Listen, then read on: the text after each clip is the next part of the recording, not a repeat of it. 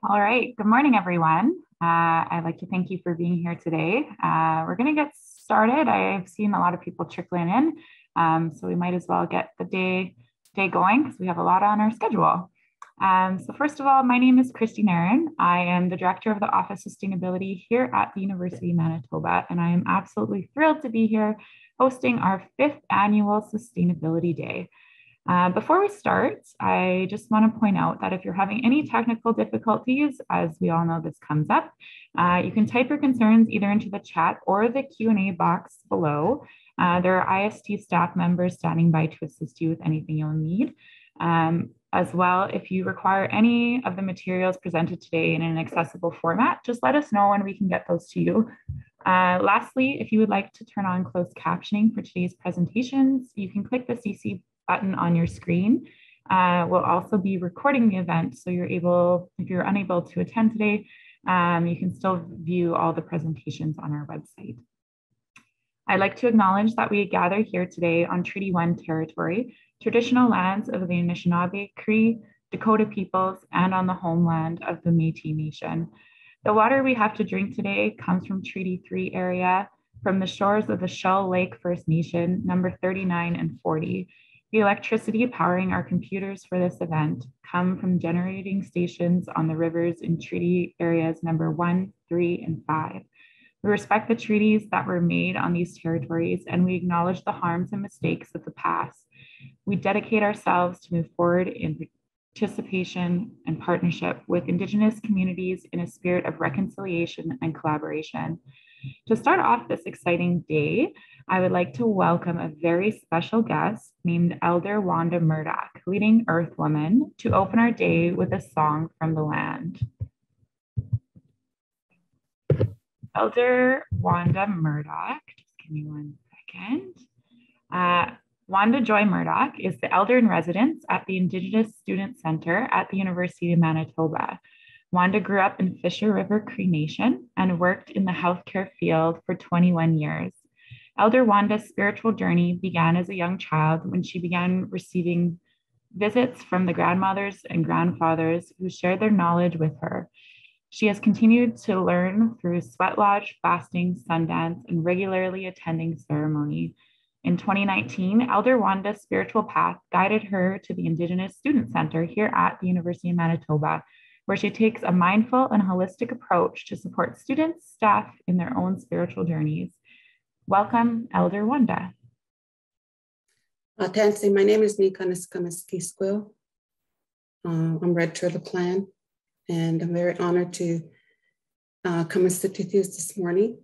Uh, I received a tobacco tie from uh, Christie, and normally when we meet with elders uh, for uh, acknowledgement, uh, this is what we do. When I come to take these offerings, I this tobacco goes into the fire and I burn it after uh, once I meet to go into ceremony.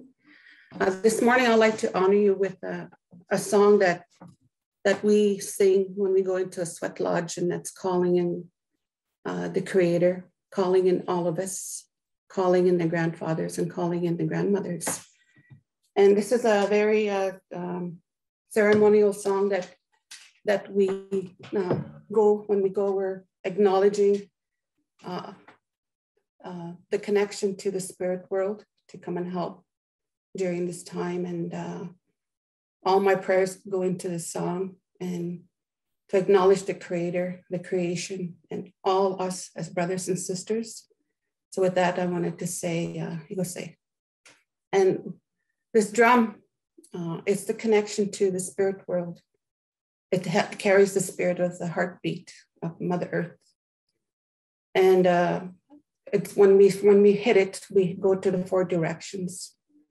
And just to let the before grandmothers know and the grandfathers know that it's time for ceremony, and they hear this the sound of the drum, and to awaken those spirits, that connection. This is why it's so important. Uh, this tobacco tie uh, this, this speaks on your behalf. This speaks on behalf of the, your uh, teachers, your professors, uh, whoever you're working with uh, over the, uh, this, this new year again. So I want to thank Creator for each and every one of you that are here this morning. And So with that being said, I wanted to say, I would say,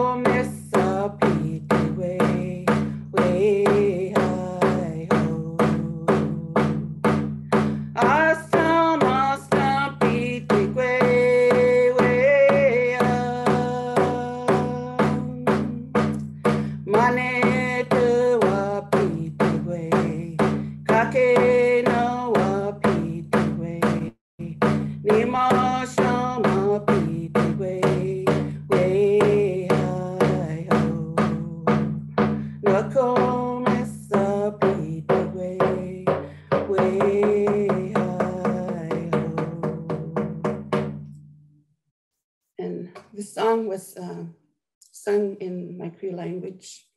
And I am from Treaty 5.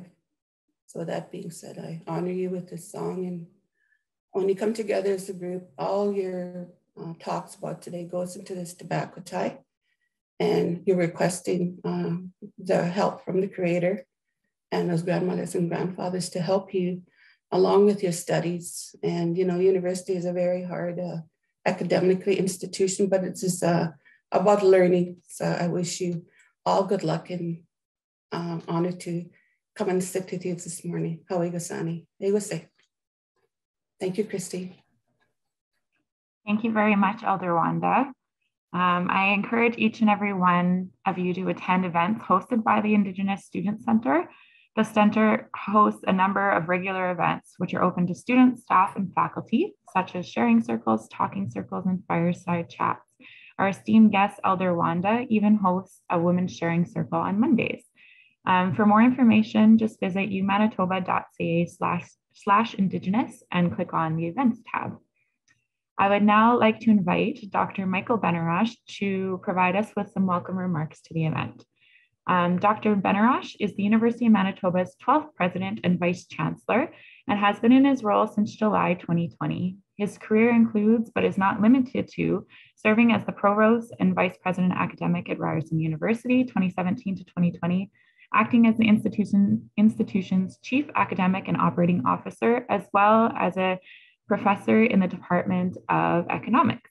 He co-chaired Ryerson's Truth and Reconciliation Implementation Committee and is an act active advocate for the advancement of Indigenous engagement and reconciliation. Before his work at Ryerson, he led the Asper School of Business as Dean from 2011 to 2017. Welcome, Dr. Benarroch. Thank you so much, uh, Christie. And uh, Miigwech Elder Murdock, thank you for that. Um, as uh, just just a few remarks uh, to welcome everybody. And as president and vice chancellor, it, it, really is a pleasure to be here on Sustainability Day uh, for this year. And, and i would like to first take a moment to thank Jeff Wharton, our Minister for the Environment, Climate and Parks, uh, Terry Duguid, who is uh, who's an ad, a big advocate for our university um, and for sustainability, the member of Parliament for Winnipeg South, and Deputy Mayor Marcus Chambers for sharing messages uh, on Sustainability Day today. Um, at the University of Manitoba, where we are being guided by our sustainability strategy um, that, that we've set from 2019 to 2023. And um, we're committed to being a sustainable leader um, by operating a, a, really efficient campus while um, recognizing the, the current need to, to act. Um, the event today not only celebrates innovative ideas and the work that's being done at U of M and its partners, but also offers valuable ways for our community to learn more uh, about how we can make, make a difference. Um, and the U of M developed its climate action plan uh, in order to reach a 50% reduction of emissions by 2030 and net zero by 2050. It's my personal hope as president, um, and I'll, I'll, try to push our institution to meet the goals before those timeframes.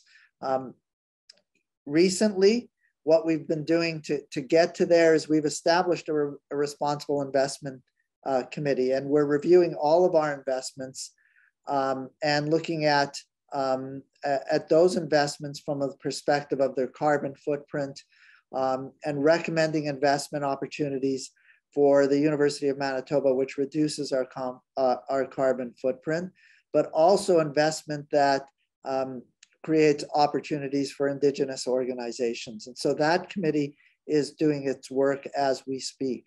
Um, our sustainability strategy includes implementing an organic waste management program, creating student sustainability ambassador program, minimizing our greenhouse gas emissions, and managing our campus lands.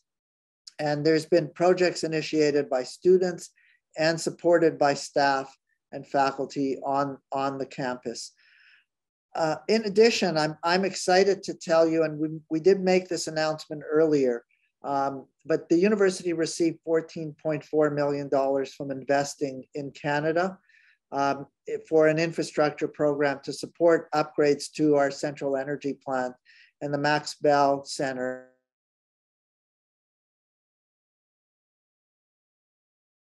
$35 million uh, program. So the university is investing $21 million.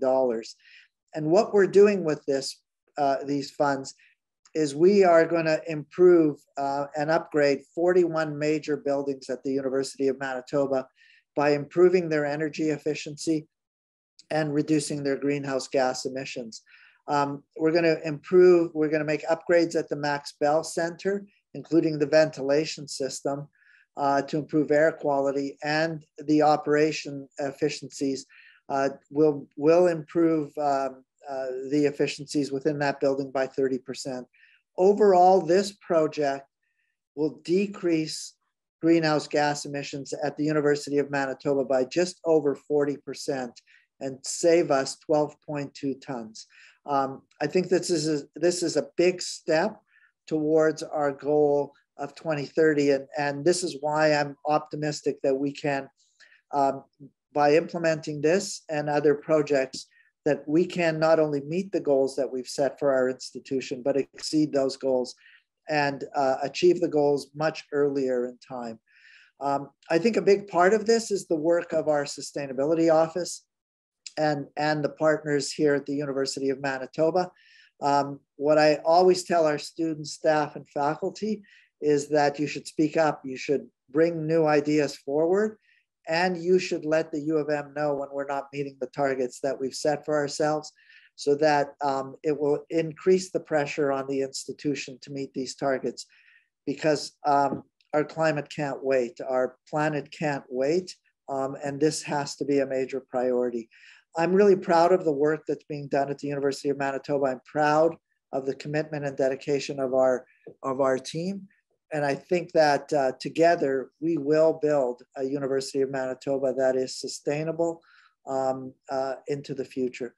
I'd like to now turn it over to Minister Wharton for a message on Sustainability Day. Thank you. Good afternoon. I'm Jeff Wharton, Minister of Environment, Climate and Parks, and I'm thrilled to hear about the 2022 University of Manitoba's Sustainability Day will focus on the United Nations Sustainable Development Goals. I am honored by the invitation to share my thoughts on these goals and share what our government is doing to advance this goal priority. These ambitious and important goals are in line with our government's priorities in supporting the collective fight against climate change and protection of our natural spaces and resources. We as Manitobans benefit from the cleanest form of emissions-free electricity. We want to make the best use of this, this energy to stimulate our economy, economic development, while investing in climate resilient infrastructure and waste systems. Last year, we increased the blending requirements for renewable fuels in gasoline to 10% and in diesel to 5%. These mark the highest biofuel blending requirements in Canada, but that's not all. Efficient, efficient trucking program with over $11 million in joint provincial federal support provides incentives to install fuel-saving devices to retrofit heavy-duty freight trucks for their emissions and protect our environment. Additionally, Manitoba created $20 million endowment fund to invest in long-term sustainability for our beautiful provincial parks. Efficiency Manitoba also offers over 35 programs and rebates to improve energy efficiency in residential, commercial, agriculture, industrial, and Indigenous communities. We also secured support from the Federal Low Carbon Economy Fund to double our investment to $32.2 million in energy efficient equipment and retrofits. Collaborating with our prairie provinces, Manitoba invested in Climate West to provide climate data and better adaptation services to the province. As well, the Manitoba Climate Resilience Training Project supports the implementation of adaptation measures by both Indigenous and Northern communities. With an investment of over $200 million, our government helps farmers, watershed districts, and communities protect our ecosystems and watersheds through the conservation and grow trusts. I am proud that the University of Manitoba is a member institution of the United Nations Academic Impact, working towards the goals of clean water and sanitation. Your significant contributions in biosystems engineering, clean energy, climate science, and Arctic ecosystems will have a long-lasting impact on Manitoba and right across Canada. Our government is proud of the work you do, and we look forward to working alongside you as we move towards a greener future together. Thank you. Merci. Miigwech. I appreciate the kind words from Minister Wharton. And lastly, I'd like to welcome a video message from Councillor Marcus Chambers, who's the City Councillor of St. Norbert in the Seine River. Thank you for inviting me to bring greetings for the University of Manitoba's 2022 Virtual Sustainability Day. I wish to start by acknowledging Winnipeg is located within Treaty 1 territory, the ancestral lands of the Anishinaabe, Ojibwe, Inouye, Cree, Oji-Cree, Dene, and Dakota peoples, and is the birthplace of the Métis Nation and the heart of the Métis Nation homeland. I'm both honored and humbled to provide greetings at this event. In 2022, Sustainability Day will consist of a full day of virtual programs open to University of Manitoba students, staff, faculty, and external partners, and will inspire participants to take action for the UN Sustainable Development Goals. Proper planning of objectives and mapping a pathway allows researchers and policy developers to do their work and due diligence towards sustainable solutions that benefit us all. As we reflect on the year of 2021, we must recognize that it was one of the most challenging in recent history, in fact, this century. But through it all, we have adjusted and have adapted and are more resilient and capable of facing what is before us. Over the course of Virtual Sustainability Day, take time to participate in as many of the presentations that are taking place and hear how the University of Manitoba is taking action to create a blueprint that will help us all achieve a healthier and sustainable future. I'm so inspired by young leaders of tomorrow that have been molded into climate activists and creating climate action goals that benefit us all. I'm confident that as you lead, you will potentially play a crucial role in solving some of our greatest social challenges including climate change and addressing longevity and sustainability of our planet. Our planet's future will depend on how we are able to adapt and adjust and the challenges of present and future. I'm profoundly optimistic on just how far reaching your abilities are if you work collaboratively and within a framework of openness and transparency. I'm intrigued by the ingenuity of future climate activists like yourselves that intend to deliver sustainability and climate action goals here in our city. You will inevitably play a crucial role in how we move forward as a generation and as a culture. Your participation in the University of Manitoba Sustainability Day has solidified not only critical skills and experiences, but your intent and desire to lead. On behalf of His Worship, Mayor Brian Bowman, and my colleagues on City Council, thank you for your leadership, partnership, and dedication to building a resilient and sustainable planet. Thank you. Thank you, Councillor Chambers. On behalf of the University of Manitoba, I'd like to thank Elder Wanda Murdock, the Honorable Jeff Wharton, Mr. Chambers, President Benarroch for sharing their thoughts on sustainability and Sustainability Day. I would also like to thank our presenters and all of you for attending today. Today is a day about sharing and celebration of our community's accomplishments and connections, connections that help us learn from our peers and network with others within the sustainability community. Today is also a day of forward thinking action as our presenters share ideas about the future of sustainability. As awareness and concerns increase globally for climate and the environment, so does the importance of gathering together, discussing issues, brainstorming solutions, and strategizing plans. I'd now like to introduce Kale from the Office of Sustainability to walk you through the structure of the day.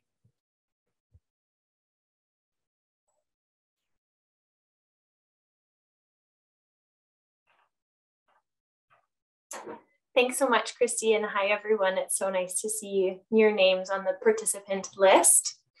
Um, I'm going to give a brief overview of the day and then talk a little bit about what the Sustainable Development Goals are. So Sustainability Day is a day of students, employees, alumni, and community members sharing their ideas, experiences, and passion for sustainability. Following this event, it's your task to take the presenter's passions and ideas and turn them into action to give our campus, city, and planet a more sustainable future. The theme of Sustainability Day 2022 is Take Action for the United Nations Sustainable Development Goals, often referred to as the SDGs. The day will feature 10 presentations shared by staff, students, faculty, and community members who are taking action for sustainability. Presentations will be between 15 and 20 minutes long. And after each presentation, there will be a Q&A period, question and answer period, where the presenter will answer all of your burning questions. A Q&A box can be found at the bottom of your screen. Feel free to drop your questions in during the presentation and then wait for them to be answered at the end. The day is structured so you can come and go as your schedule allows. Simply use the same link you logged into with this morning and jump back into the program at any point in time. If you wish during any presentation, you have the ability to toggle on and off your closed captions should you wish. This feature is also found at the bottom of your screen. And as Christie mentioned at the beginning, an IST staff member is standing by to assist you should you need anything at all. Following the presentations, our 2022 UM Sustainability Awards will be presented. This award nomination happens annually to recognize and celebrate the collaborative efforts of students, staff, and faculty to advance our campus's commitment and excellence in leadership in sustainability. It is believed that these award winners' efforts on campus demonstrate both leadership, advocacy, and a memorable and lasting impact related to the Sustainable Development Goals. Please be sure to tune in at 2.30. So you may be wondering, what are the United Nations Sustainable Development Goals? The SDGs are a list of 17 goals aimed to address people, planet, prosperity, peace, and partnerships. They are an urgent call to action for countries, developing and developed, in global partnership. They recognize that ending poverty and other deprivations must go hand in hand with strategies that improve health edu and education, reduce inequality, and spur economic growth, all while tackling climate change and working to preserve our oceans and forests. For every goal, there's an academic hub around the world, and the University of Manitoba is the hub for goal number six, clean water and sanitation. So this allows us future to future highlight and advance the research that we're doing here on campus and also provides us the opportunity to network with other SDGs hubs around the world. The UM is the only Canadian institution on the list.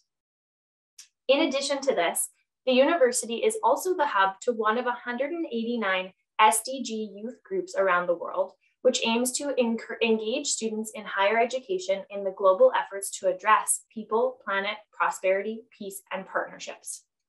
On this note, I will pass it over to Juanita to introduce our first presenter. Thank you, everyone, and I hope you enjoy the day. Good morning. Good morning, everybody. On that note, I'd like to welcome Balraj Hothi and Sahand Babaie from the UM SDG student group. Balraj is a fourth year student majoring in environmental studies with a focus area in sustainable development while also minoring in management. Sahand is a second year student in general sciences with the plan to enter into dentistry. The SDG Student Hub works under the guidance of Sustainable Development Solutions Network Youth and the UM Office of Sustainability to create a space for interdisciplinary collaboration and inclusive conversations around the Sustainable Development Goals. Welcome, Balraj and Sahand. Yeah, thank you for the introduction. And I just want to thank you, thank the Office of Sustainability for inviting us to present here today. Um, just share my screen here.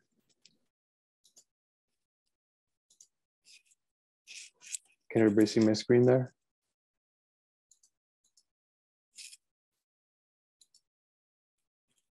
Um, okay, perfect. So uh, yeah, as we said, we're from the SDG Student Hub. I'm a fourth year student, um, minoring in management and majoring in environmental studies. And Sahand, if you want to introduce yourself a bit. Good morning, everybody. Thanks for having me. I'm a second year science student and I'm so glad to be here with you guys. Hope you can have a great day. Awesome. So we'll get right into it there. Um, so I'll be talking about SDG Goal 11, Sustainable Cities and Communities. I personally am very interested in SDG 11 because I feel building sustainable cities and communities can be the base for improving the progress of a lot of the other goals.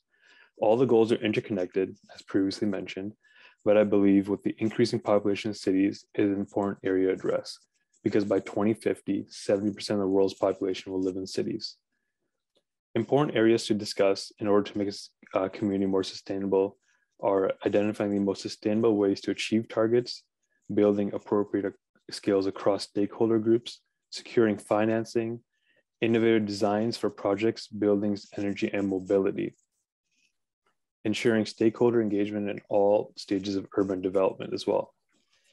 SDG, SDG targets include upgrading slums and ensuring safe and affordable housing and basic services by 2030, improving public transport and ensuring safe and affordable housing and sustainable transport systems are also essential parts.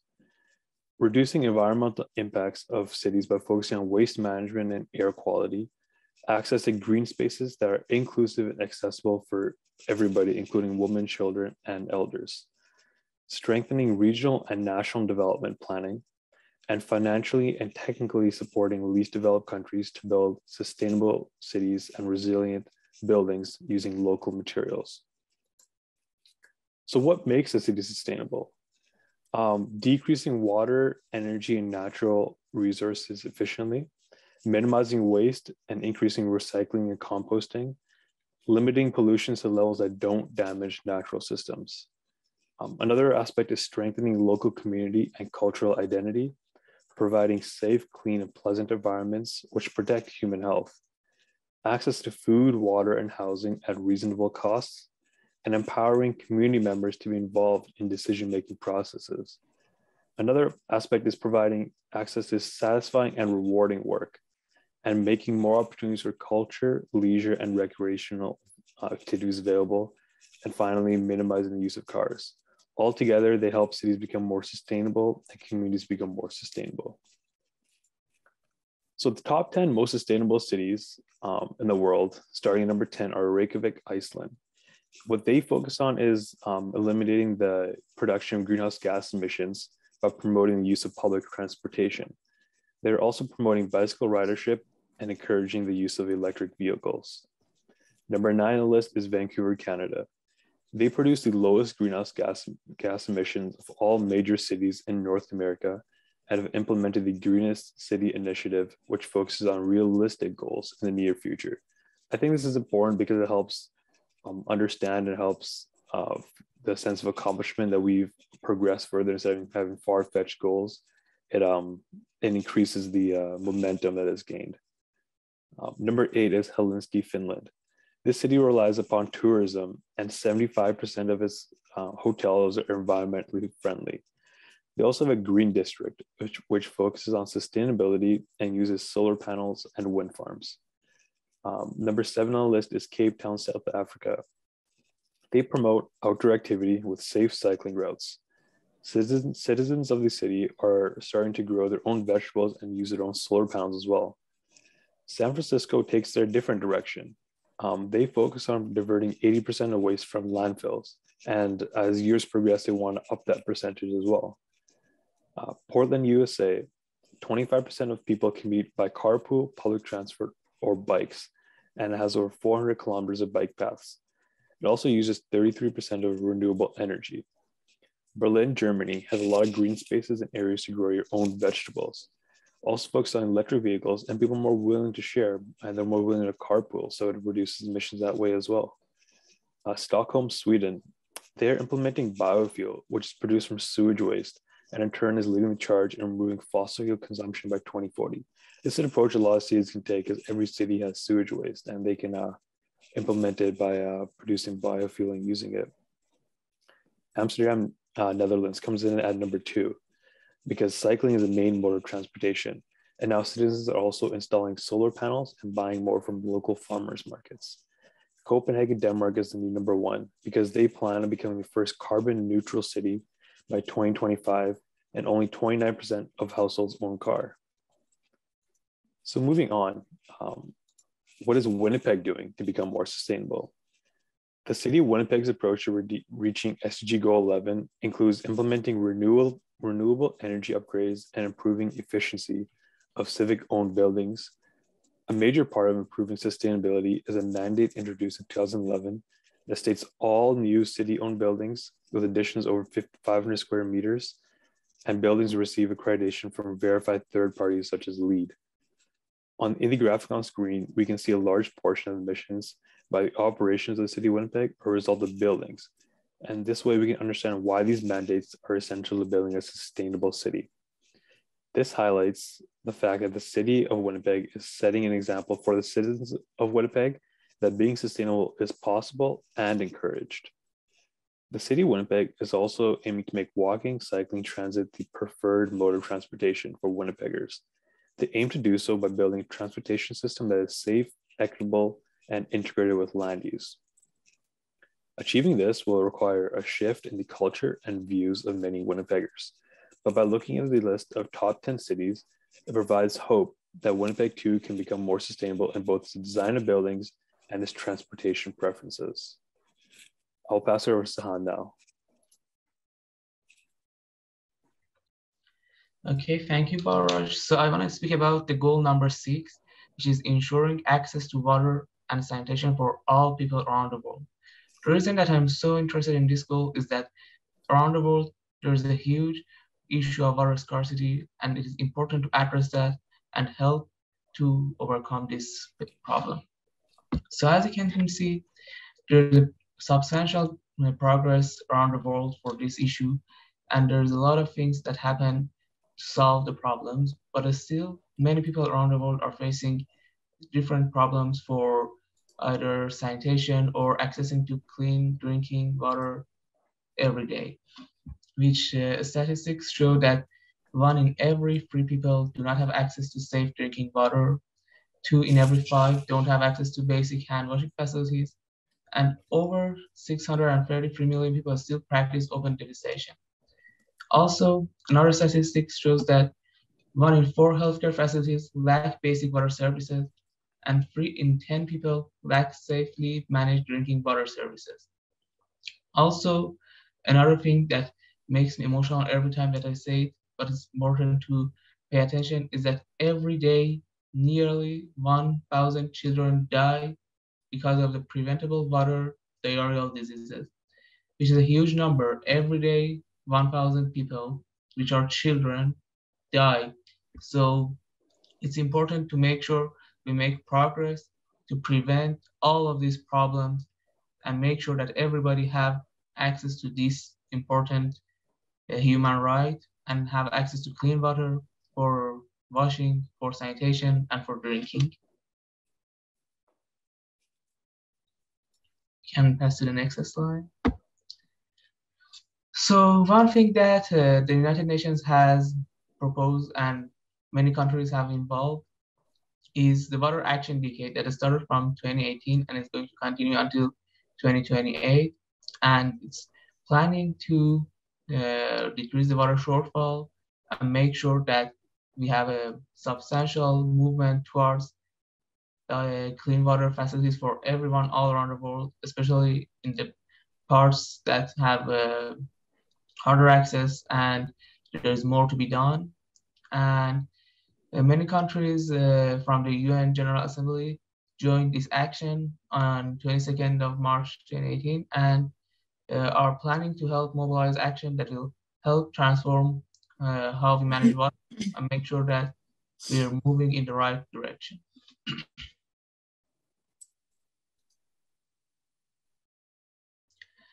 So why does this uh, goal matter a lot?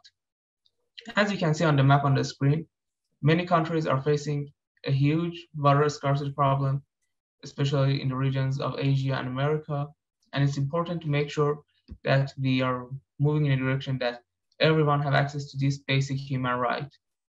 Uh, the demand for water is rising, and uh, in these countries, it can cause many problems, and it can cause growth in different preventable diseases that can easily be solved with just a simple hand washing, just like uh, COVID-19 that we're facing in the pandemic right now. It can be decreased to a highly uh, substantial level if we just wash hands and have access to sanitation facilities. So it's important to make sure that everyone have access to clean water.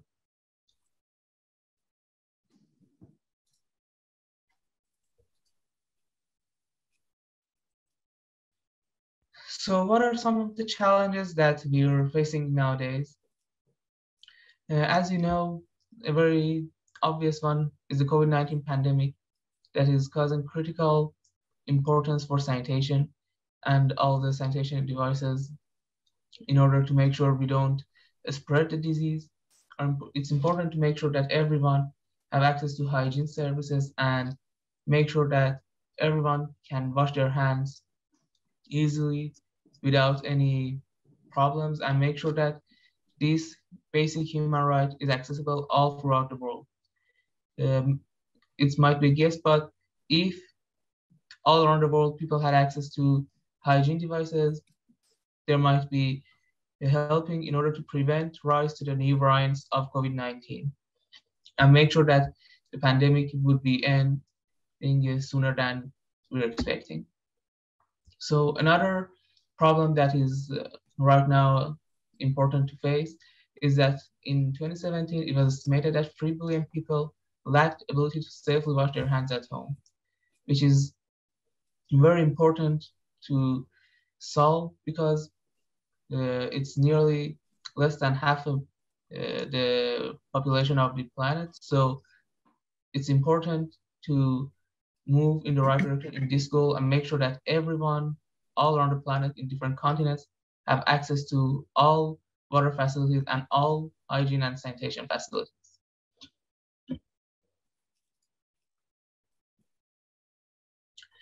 So what are the goals that, uh, what are the targets that this goal is aiming to achieve? Uh, the first target is that by 2030, we want to achieve universal and equitable access to safe and affordable drinking water for everyone. The second target is to make sure that there is access to adequate and equitable sanitation for all. And also make sure that we can end open defecation, which is causing a rise in different microbial diseases. The third goal is to make sure that we improve the water quality and reduce the water pollution, eliminating dumping and minimizing the release of hazardous chemicals, especially by different factories. Uh, the fourth goal, the fourth target is to make sure that by 2030, we substantially increase water use efficiency across all sectors and ensure that sustainable withdrawals and supply of fresh water are accessible to everyone. And to address water scarcity and substantially reduce the number of people suffering from water scarcity all around the world, which is a rising problem because of the climate change and can cause many different problems, as I mentioned before. The fifth target is to make sure that we implement integrated water resources and management at all levels, including through uh, transportation of water to different households and facilities. The sixth target, uh, which was set for 2020, so we passed that, is to make sure that we protect and restore water-related ecosystems and including mountains, forests, waterlands, aquifers, and lakes.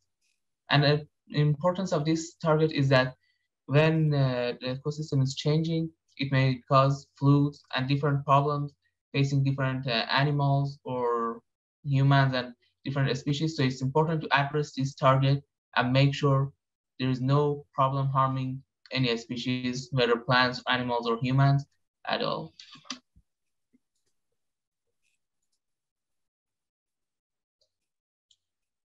So University of Manitoba has done a great work in addressing goal number six and joined the institution of the United Nations Academic Impact and was named the UNAI Hub for Sustainable Development Goal 6 in 2018 uh, because of the researchers that did a great job in uh, addressing this goal and helping uh, research for clean water and sanitation goals.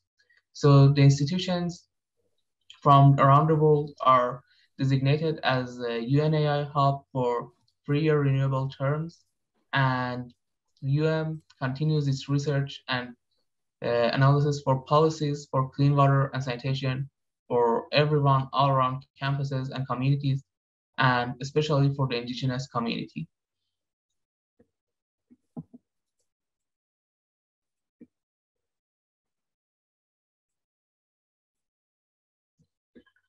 So here's an important question is what can we do?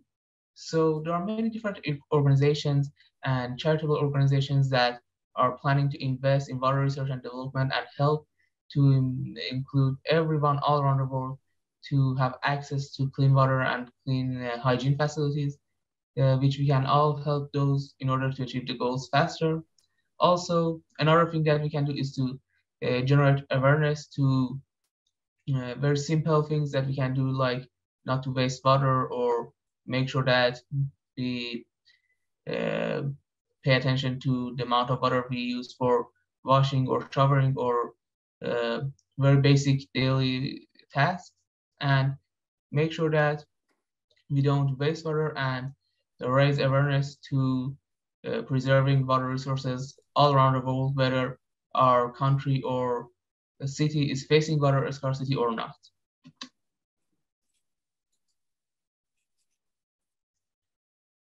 And also another way to help is to make sure that we support uh, other foundations that are planning to help these uh, targets, such as the Bill and Melinda Gates Foundation, which are planning to end open defecation, and also they have uh, had some different uh, presentations in expos in China and India and are planning to help this goal.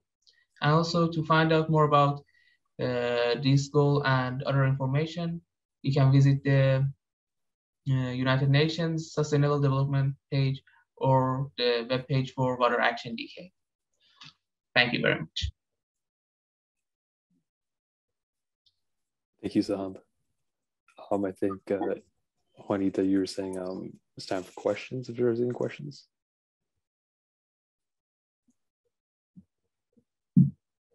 Thank you so much. That was really good. That was really interesting. Um, thank you to both.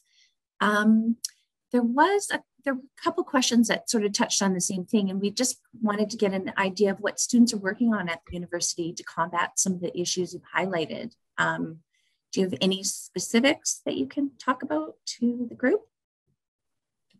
Um, I can go ahead with this one first. Um, so there was a uh, transportation, the transportation master plan was being reviewed this past month, I guess it was a month ago. And uh, as SDG Hub, we invited students to go out and uh, join the review and uh, give their own opinions from uh, their own experience using um, public transport and cycling systems as well. Um, I think it was the stakeholder engagement portion of the transportation master plan. And that's kind of what we're doing. We're just kind of trying to get more involved in community, trying to increase awareness to SDGs and increase um, the implementation of SDGs across Winnipeg as well.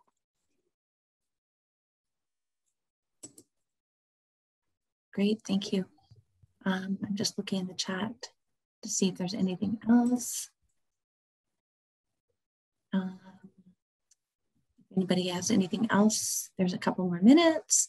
Um, there was um, some a mention about a rain barrel um, for plants. Um, if students want to join work, can you just quickly touch on how they can do that and what they would do um, if, if students want to join the SDG Hub? For those that are not involved and are interested, can you just touch on either of you? Can you go over that a little bit? Yeah, for sure. Um, so as the coordinator of the hub, you can just uh, simply send an email. I'll put the email in the chat as well as your Instagram page. And you can just send us a DM or send us an email just telling us why you're interested. And we can have a we can have a Zoom call about it or you can just uh, talk over email. And once you're once you want to join, you're just basically in. Uh, there might be an onboarding process, but that's going to be in the future. But for now, you just let us know that you want to join, and then you'll be on the email list You'll get the emails for all the upcoming events um, organized by us and by um, our uh, parent group and other organizations as well. But yeah, just simply, I'll put the email and the Instagram in the chat, and then you just simply email us or um, direct message us. Okay, terrific. Thank you. Um, are there any specific events or projects that you're offering at this time or working on that you want to touch on?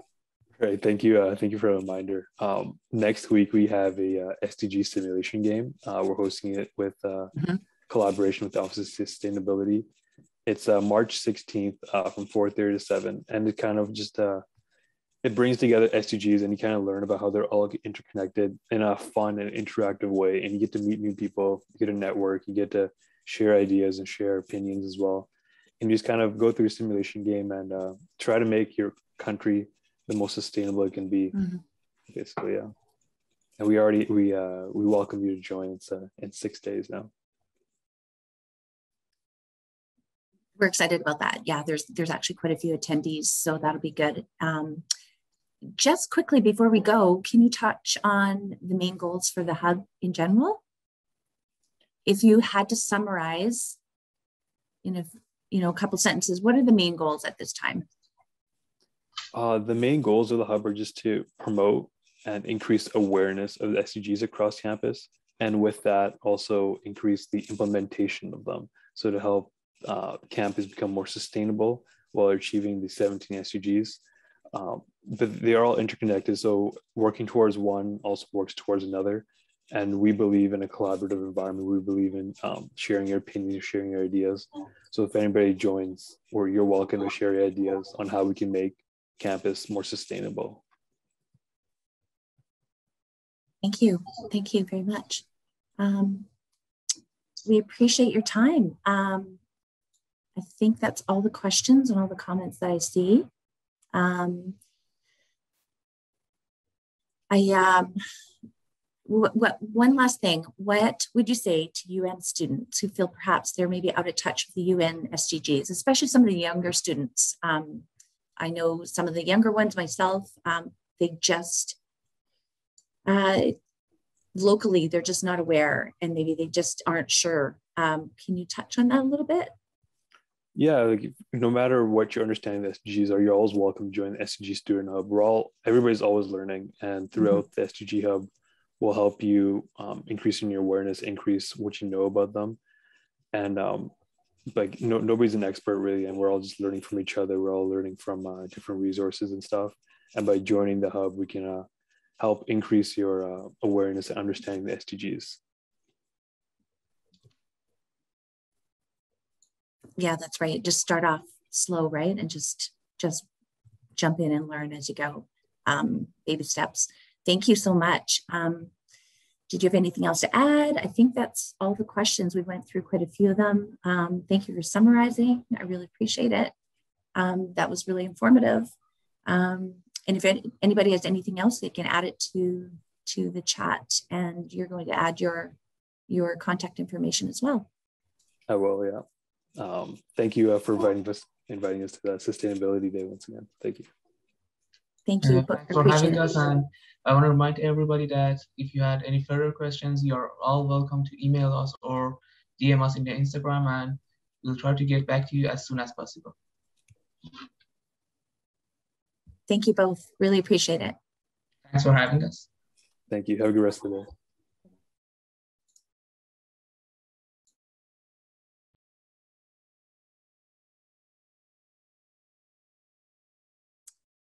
To continue on um, with our next presenter. Thank you very much again to Balraj and Sahand. I'd like to welcome um, our next presenter, who's Nicki Ferland, and she's the Indigenous Coordinator in the Department of Community Engagement Learning, a part of the Student Engagement and Success. She's a land-based educator and project lead for the Working in Good Ways project. Welcome, Nikki. Hello and thank you so much. Uh, thanks for having me here today. It's a pleasure to um, be able to join you and share something that our office has been working on, which is this um, Working in Good Ways framework, which is available on our website, and I'll, I'll share the link for it um, shortly. So um, I'm just going to quickly tell you a little bit about uh, my office. I'm going to share my um, slides quickly. Sorry, I'm just pulling that up. In the meantime, I will drop this link in.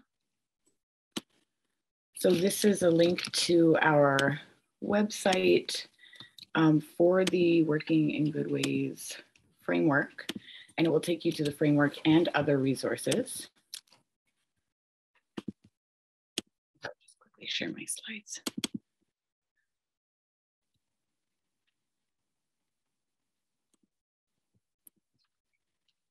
Okay, thank you. So I'm the CEL uh, coordinator Indigenous in the Department of Community Engaged Learning, where I work with my colleagues uh, Annie Chen and Hera Vijagran, who couldn't be here today, um, as well as a great team of student staff to create opportunities for students to learn from and with communities. In recent years, we've placed work with Indigenous communities across the Americas at the center of our work, and refocus the pedagogical aims of our programs on helping students to develop the knowledge, skills, and attitudes necessary for working in good ways with Indigenous communities. So uh, in that context, uh, we'd realized that there was areas of our own partnership engagement where we could improve, uh, where we were causing harms and where we weren't working in a good way, sometimes because of our institutional policies, procedures, and ways of working. So we set out to consult with our partners about how we could better work with Indigenous communities. So this framework and resources that I'll be sharing today is informed by consultations with nearly 100 individuals representing over a dozen nations, including CEL partners from Anishinaabe, Cree, Quechua, Q'eqchi' Maya, and Mapuche communities.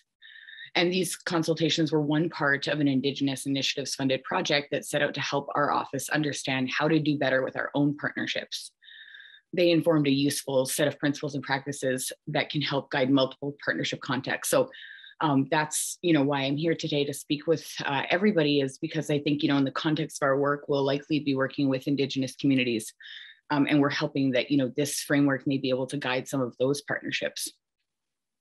Um, so I'll leave some time for questions at the end, of course. Um, but essentially, you know what we heard and learned from our partners and others guided the reframing of partnership and assessment for our own office and we hope others. And what we learned was that at its core, working in good ways is about relationship. First, building relationships and then taking care of them. So we talked with a lot of people in local, northern, and international Indigenous communities to develop this framework and resources. And we heard about dozens of good practices and seven principles for Indigenous community engagement. And these seven principles are the foundation of the framework. So um, there is literacy here, uh, which means building a knowledge base to understand the context that you're working in and the experience of those you're working with. Then there is reflection here, uh, which is knowing your own story and developing a critical lens and approach to working, learning, and relating in intercultural contexts. Relationship, which is building real relationships that aren't dependent on a partnership or particular initiative.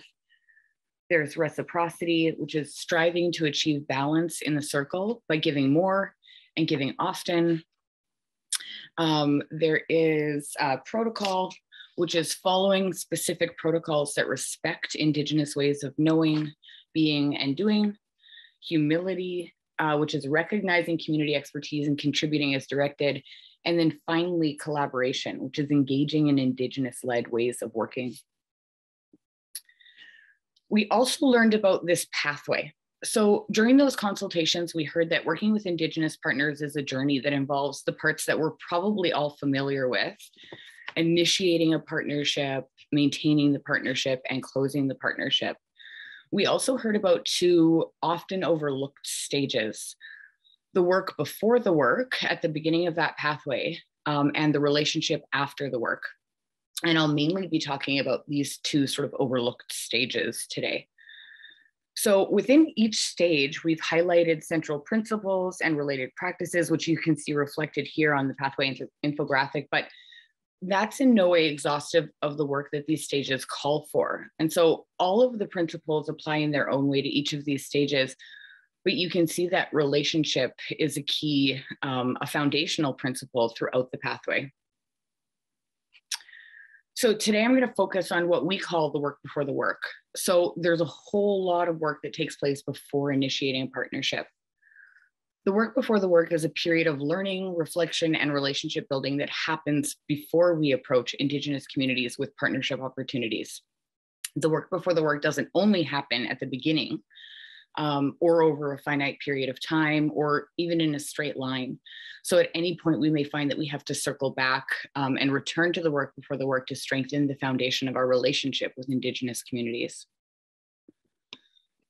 So um, as I mentioned, literacy, reflection, and relationship are the foundational principles. So I'm going to sort of walk us through these. Uh, during the work before the work, we spend time developing our literacy in Indigenous content and learning about the histories, languages, and cultures of the Indigenous communities with whom we're building relationships and hope to work with in the future.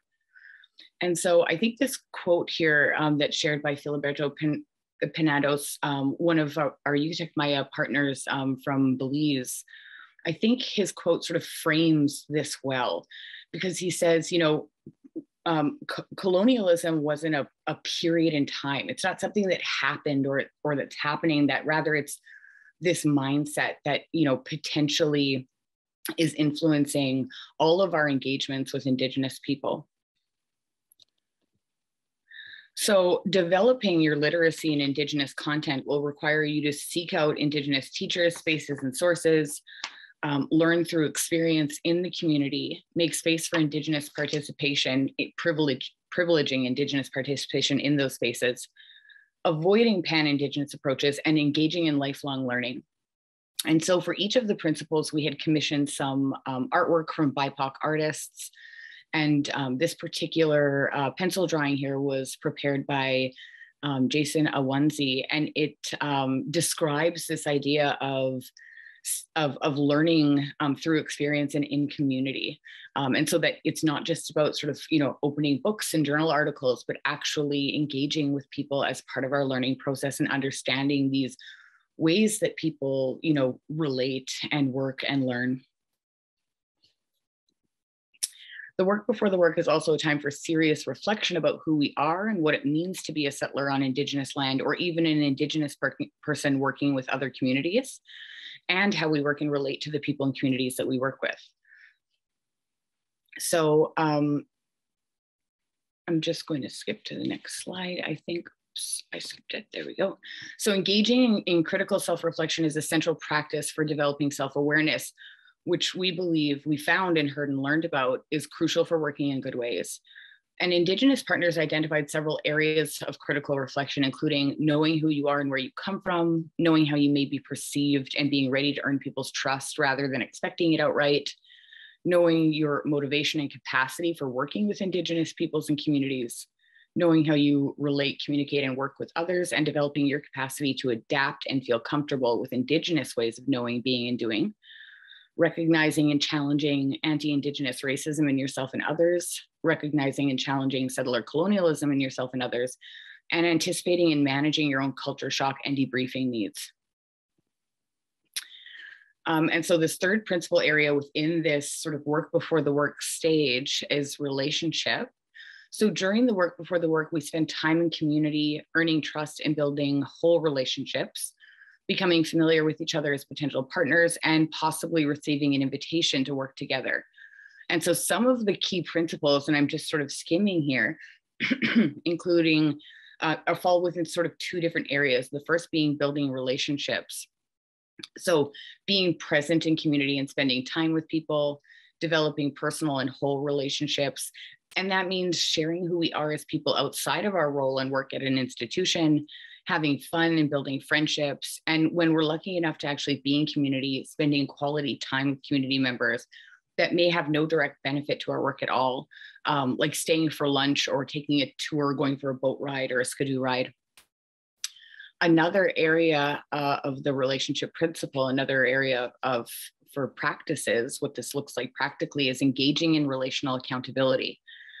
And so that might mean assuming institutional accountability. So, regardless of our own personal motivations, we'll likely be perceived as a representative of our institution, another person in a long line of people. So, be ready to take responsibility for hearing and addressing institutional harms. Um, this is also sort of uh, within here, we would follow through on our commitments. Um, honoring commitments to return for instance you know if we say that we're we're going to come back to the community that we actually follow through and come back um, and then showing gratitude. So you know making sure if we're going to meetings that we're bringing food and um, or gifts and other things like that. So doing the work before the work helps us work in good ways with community partners skipping the work before the work um, and the crucial literacy, reflection, and relationship building that occurs during this stage can lead to harmful and exploitative attitudes and practices. In the consultations, we learned that the absence of literacy in Indigenous content, critical self reflection, and relationship building often results in the disinterest to collaborate on the part of potential Indigenous community partners.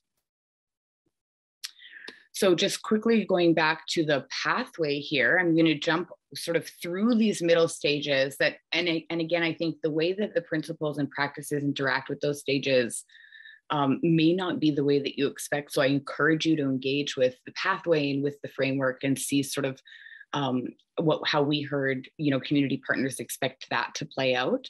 But I'm going to sort of jump to the end of the pathway and talk with you just for a moment about the relationship after the work. Um, and so this was another stage that our consultations revealed, another sort of overlooked stage. So the decision to partner and work with Indigenous communities inherently means an openness to engaging in lifelong relationships.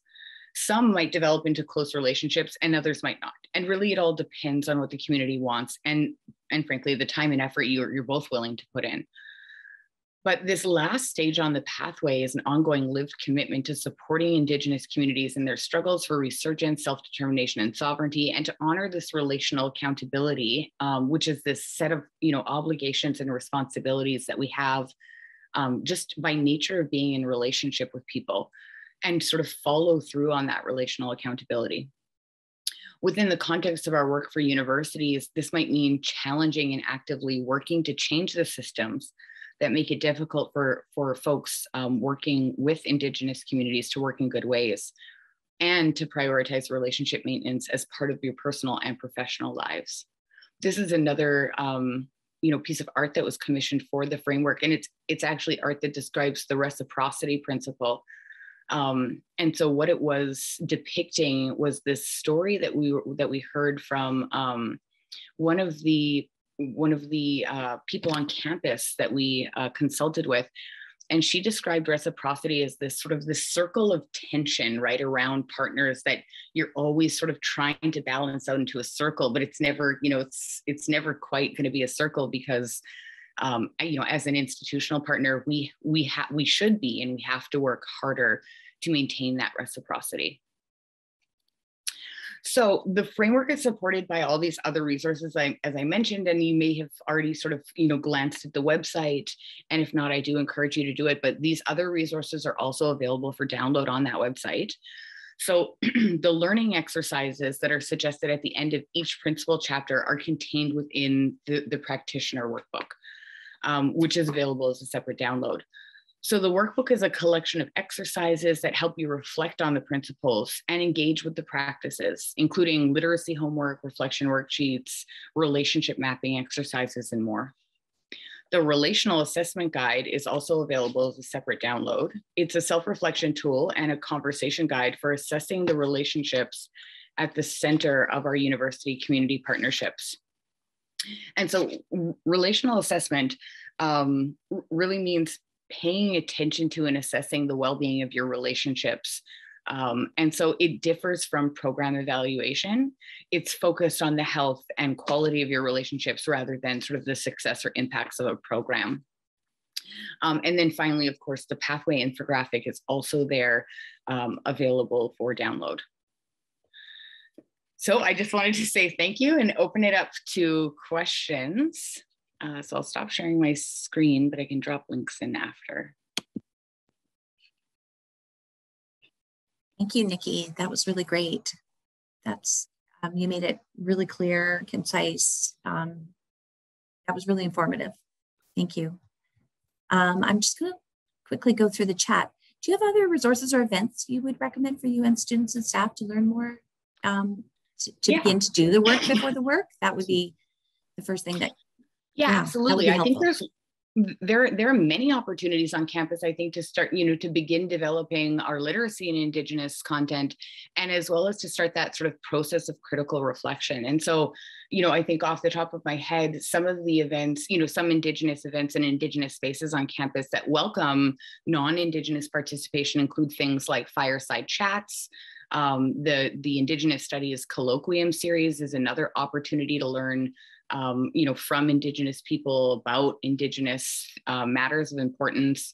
Um, another opportunity would be the Indigenous Scholar Speaker Series.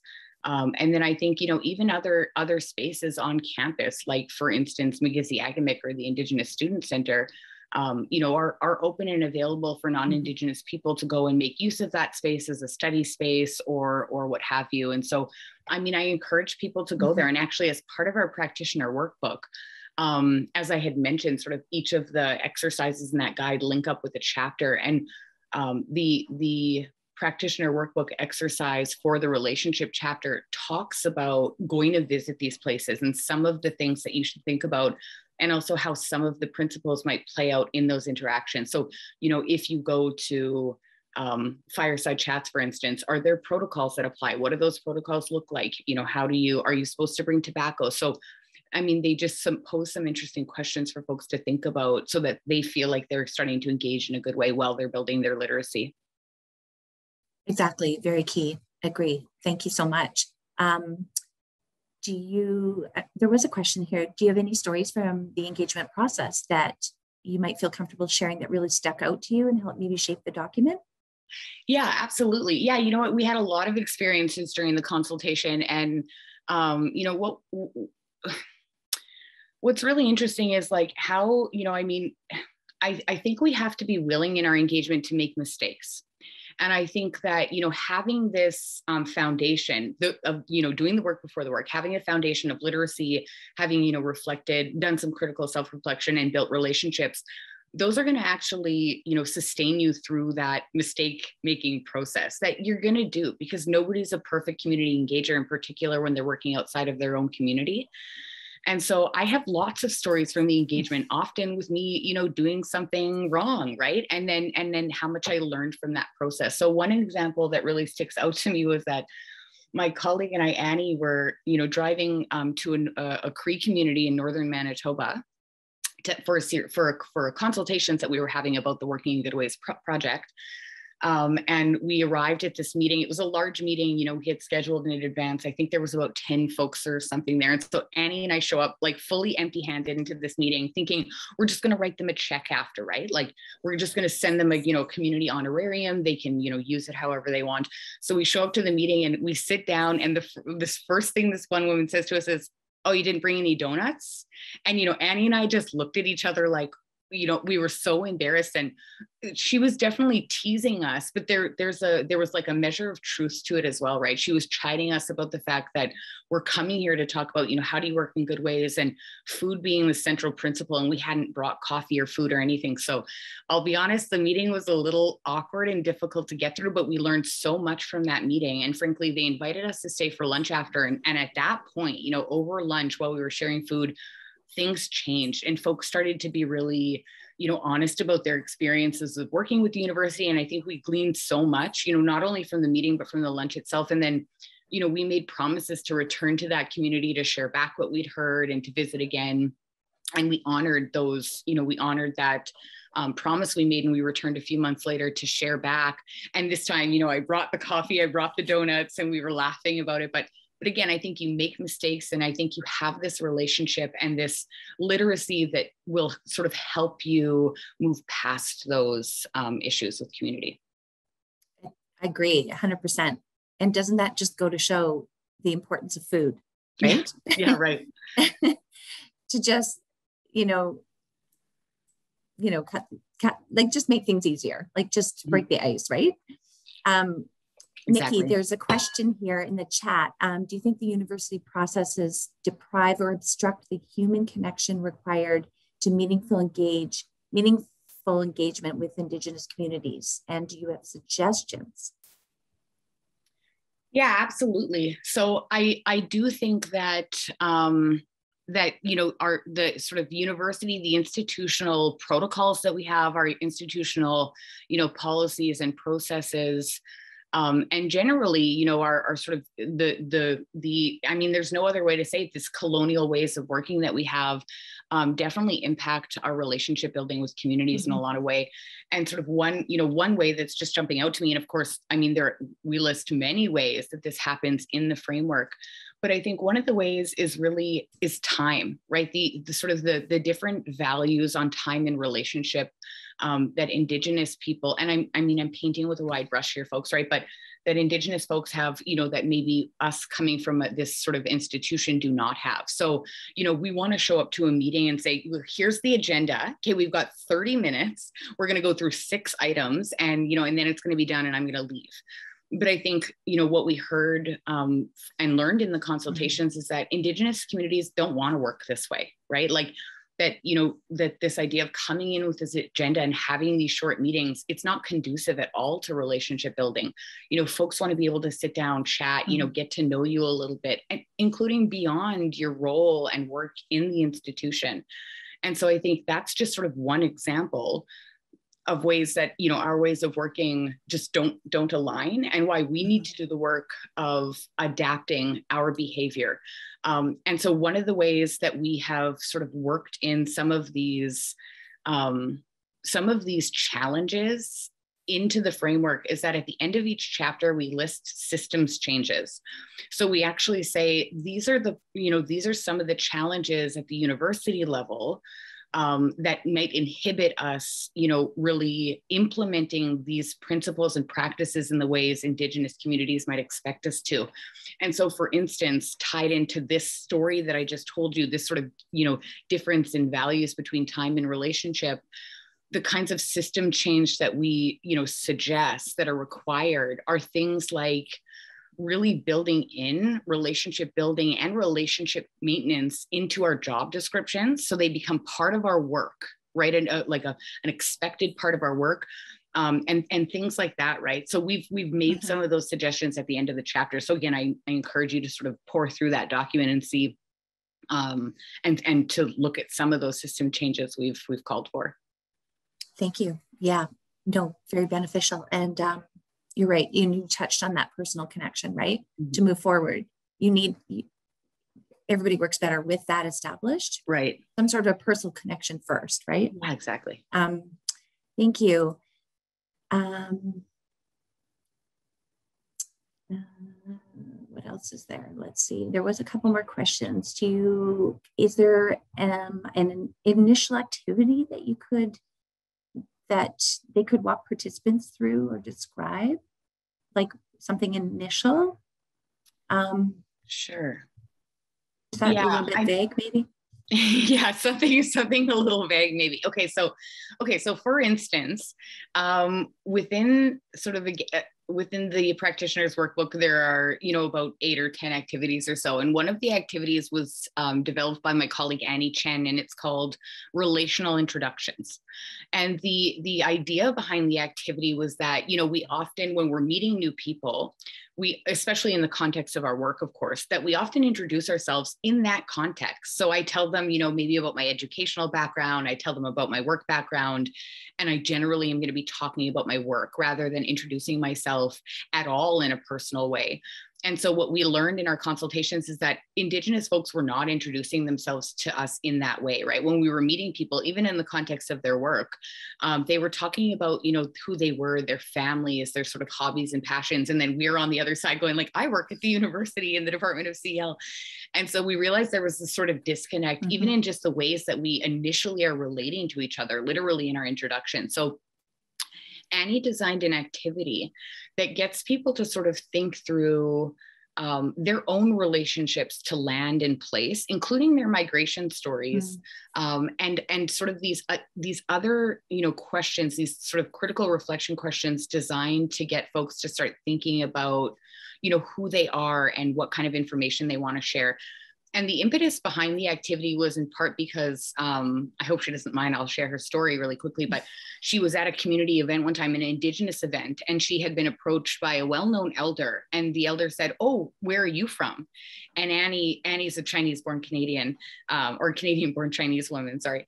And uh, so she said, "I'm from Winnipeg." and this elder sort of looked at her kind of gave her a like a funny look and then just walked away and didn't say anything else and so annie realized in that moment that's not what the woman wanted to hear right the elder you know wanted to hear this sort of migration story of where her family had come from mm-hmm. and where her other roots were um, and to sort of learn more about her than sort of this you know this sort of really surface level thing mm-hmm. we generally tell people really quick when we're meeting them so that was also sort of informing the creation of this activity. So the activity is several pages long. I couldn't necessarily walk you through it, but it sort of gets you to start thinking about some of these things that we may want to share and then at the end of the exercise to sort of write yourself a re- what we call a relational introduction so a way of introducing yourself that is rather than being professional that's mm-hmm. relational mm-hmm. and personal mm-hmm. Mm-hmm. as if you were yeah introducing yourself to a group of friends right yeah like, exactly yeah take a step yeah, back it. and re-examine yeah.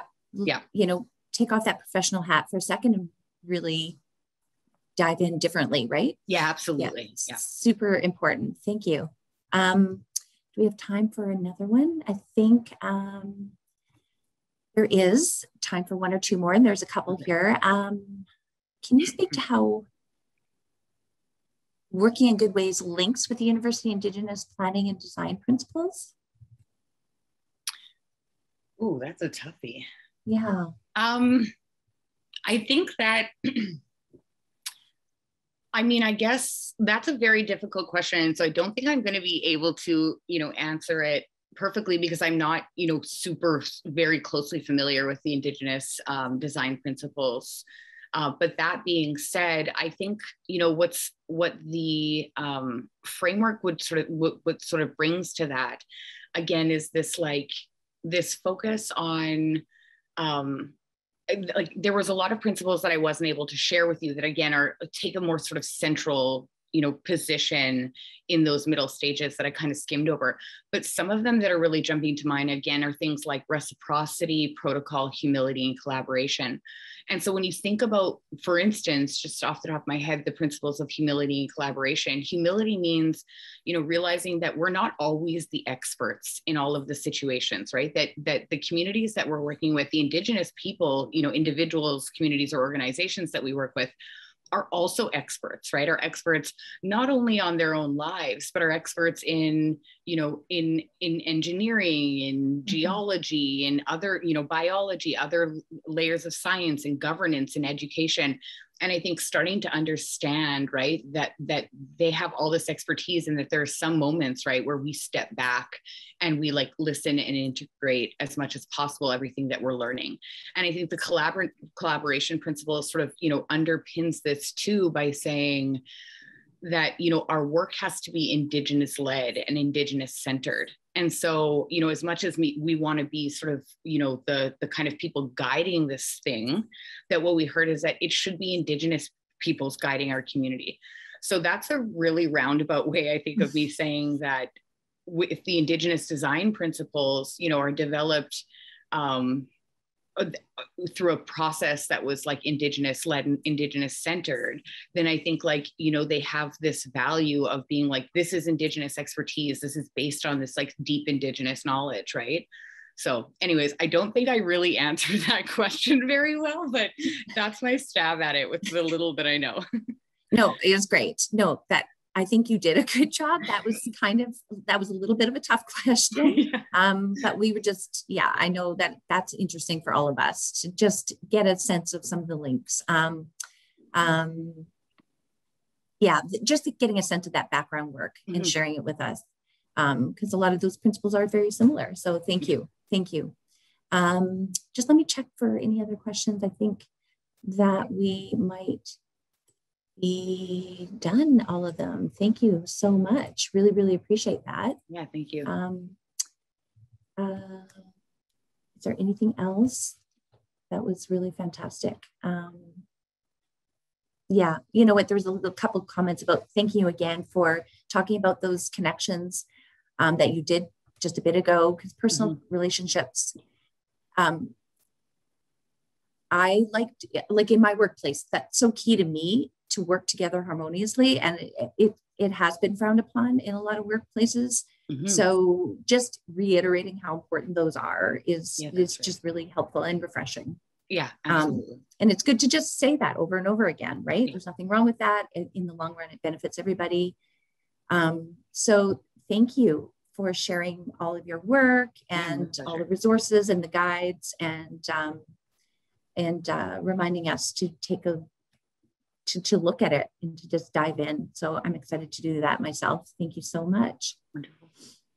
Thank you. Have a great, my pleasure. Have a great, um, have a great rest of the day. Thank you. Thank you. Hello, welcome. Thanks again, Nicki, for that uh, excellent presentation. Next up, we have a presentation from Michaela Peyson and Vanessa Jukes Strutt titled Intertwined, Sharing Stories and Learning from the Land. Michaela Peyson is a graduate student enrolled in the Master of Landscape Architecture program at the University of Manitoba. Her practicum research focuses on revealing, just one moment here, sorry, revealing Afro-Caribbean narratives in Canada's landscape, the untold stories of our collective history. Previously, Michaela worked with the Office of Sustainability before accepting her current position with HTFC Planning and Design as a junior landscape designer. Vanessa Jukes Strutt is a landscape architect, architect and project manager with Physical Plant, Architectural and Engineering Services at the University of Manitoba. Vanessa's project portfolio primarily includes infrastructure renewal and public realm development for all UM campuses. She is the current president of the Manitoba Association of Landscape Architects, Please join me in welcoming Michaela and Vanessa to the online stage. Hello, everyone. I'm happy to be here. Michaela, just to confirm, would you like me to share screen? Or are you set? That would be great. Thank you so much, Vanessa. Thank you for the introduction, Jesse. Okay, hopefully um, everyone can see this here. And just going to, oh, tempt. All right, uh, is that showing uh, for you, Michaela? Yeah, it sure is good, Vanessa. Thank you. We had a little technical switch happen here, so uh, thanks for bearing with us. Um, happy you made it safe, Michaela. Lovely to see you. Lovely to see you um, too. so as uh, Jesse mentioned, uh, the title of our presentation today is Intertwined, Sharing Stories and Learning from the Land. Um, we're going to share with you a couple of projects that Michaela and I have worked on um, at the university and, uh, and how these projects overlapped um, and we, um, we built our relationship uh, together working collaboratively at the university. So I will uh, pass it off to Michaela and I'm going to um, actually to start, we're going to just share a little overview of a, a video of a site on campus um, and, uh, and then we'll carry on with the presentation.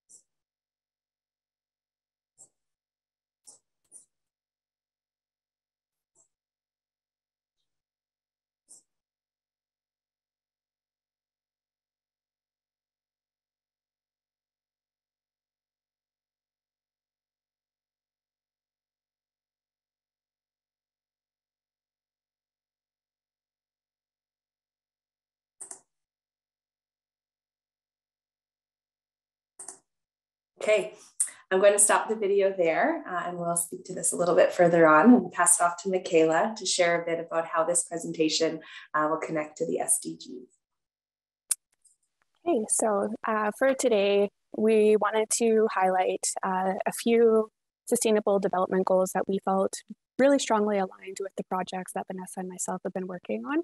Although we could make connection to all of them, we felt these were the strongest ones. So goal three ensuring healthy lives and promoting well-being for all at all ages.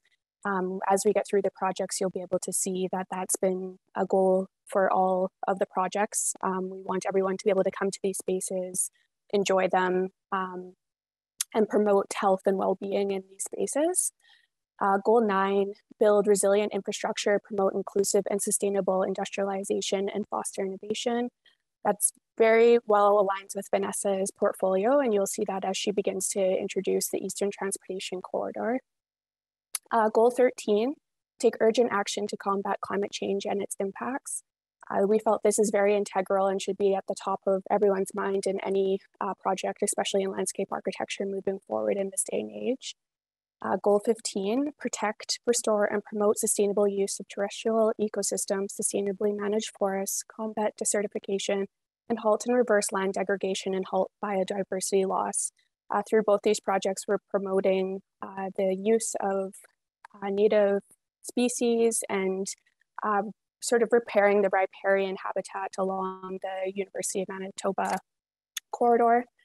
Uh, goal 16 is promote peaceful and inclusive societies for sustainable development, provide access to justice for all, and build effective, accountable, and inclusive institutions at all levels.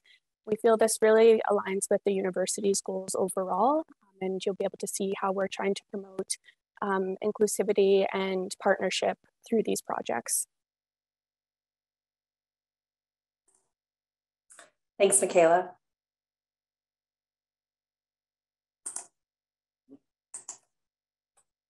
Okay, sorry about that. Okay, there we go. Um, so uh, I would like to take the opportunity to share with all of you an area of the Fort Garry campus um, and the work that has taken place over the last few years. We currently, currently refer to this area as the Eastern Transportation Corridor or the ETC.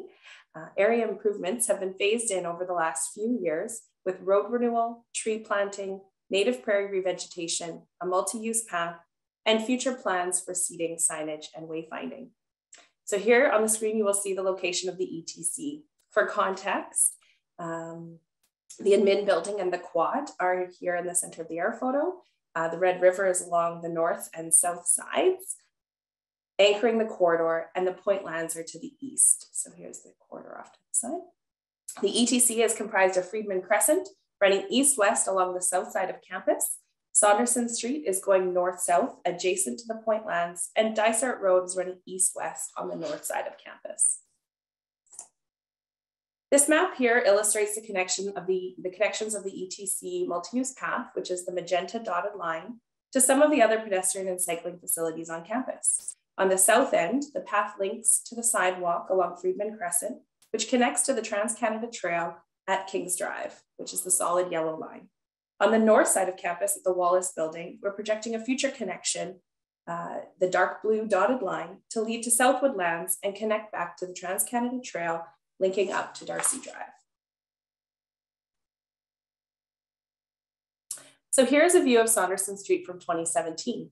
This area was historically characterized by golden willows that line Saunderson Street. The post-mature willows were removed in the spring of 2018 following arborist recommendations due to late life decay, which had been observed for over a decade. All the willows along the corridor displayed the common patterns of decline associated with this species, which typically exhibit fast growth and short life. In 2018, road reconstruction commenced with the complete renewal of Saunderson Street. 2019, dike stabilization and the construction of the multi-use path started. Native revegetation work began in 2020 with weed control and site preparation. Native seeding is scheduled for this year. The consultant team for these projects is KGS Group and Scatliff Miller Murray. And prior to their engagement, preliminary design concepts for the area were developed by Public City Architecture. In the fall of 2020, 230 trees were planted on the site.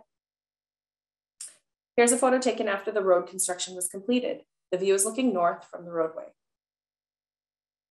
Now we're changing views. So this is a view of the multi-use path during construction. The view is looking south and off into the distance is the Plant Science Field Station. And up on the right-hand side of the screen is Saunderson Street, which is part of the city of Winnipeg's primary dike. Now we're looking back north during the cover crop seeding in 2020, which is part of the weed control for the native revegetation on site. Off to the east is the point lands.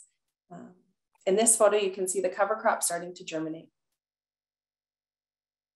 So here's the tree planting plan from 2020. The initial planting is intended to serve as a base planting for the site, while future design concepts for the area are considered. You can see that the primary focus of the planting plan was to highlight species native to Manitoba, including bur oak, Manitoba maple, cottonwood, and hackberry, among others. Willow has been reintroduced to the site and can be found at both the north and south gate gateways of the corridor. A few showing Mountain ash can also be found as you approach the seating and wayfinding spaces from the south as a way to signify a change in the pathway and a destination point. I also wanted to add that 75 of these trees were planted in support of an initiative entitled 75 Trees for the 75 Years of the UN, which commemorated the 75th anniversary of the United Nations in 2020. This initiative aligns with the SDG, SDG Goal 7, Affordable and Clean Energy, and contributes to the reforestation of the planet as each year approximately 12 million hectares of forest are destroyed. So here's a view looking north along and along the left-hand side uh, is a row of hybrid American elm, which lined the corridor all the way up to the north uh, side where planting transitions into bur oak along the roadway. Here's a view looking northeast to the south, um, next to the south seating node, and that's that space on, on the side of your screen. Now we've jumped along uh, to the north side of the site and we're looking west. Robson Hall, you can see there on your left-hand side. And you can see the bur oak, which lined Dysart Road. Off in the distance, you can see Chancellor's Hall, which many of you know is home to the National Center for Truth and Reconciliation. Here on the north side, um, in contrast to the south, where I started with the photos, uh, you can see that the, the tree planting evolves from a linear geometry lining the path into a more organic form, which ties into the riparian corridor of the Red River. And here's the last seating and wayfinding space on the north side. Of the three spaces, uh, this one has a very different view from the other two further south, uh, which primarily, primarily have views out to the Point Lands. And here we're looking out to the Red River.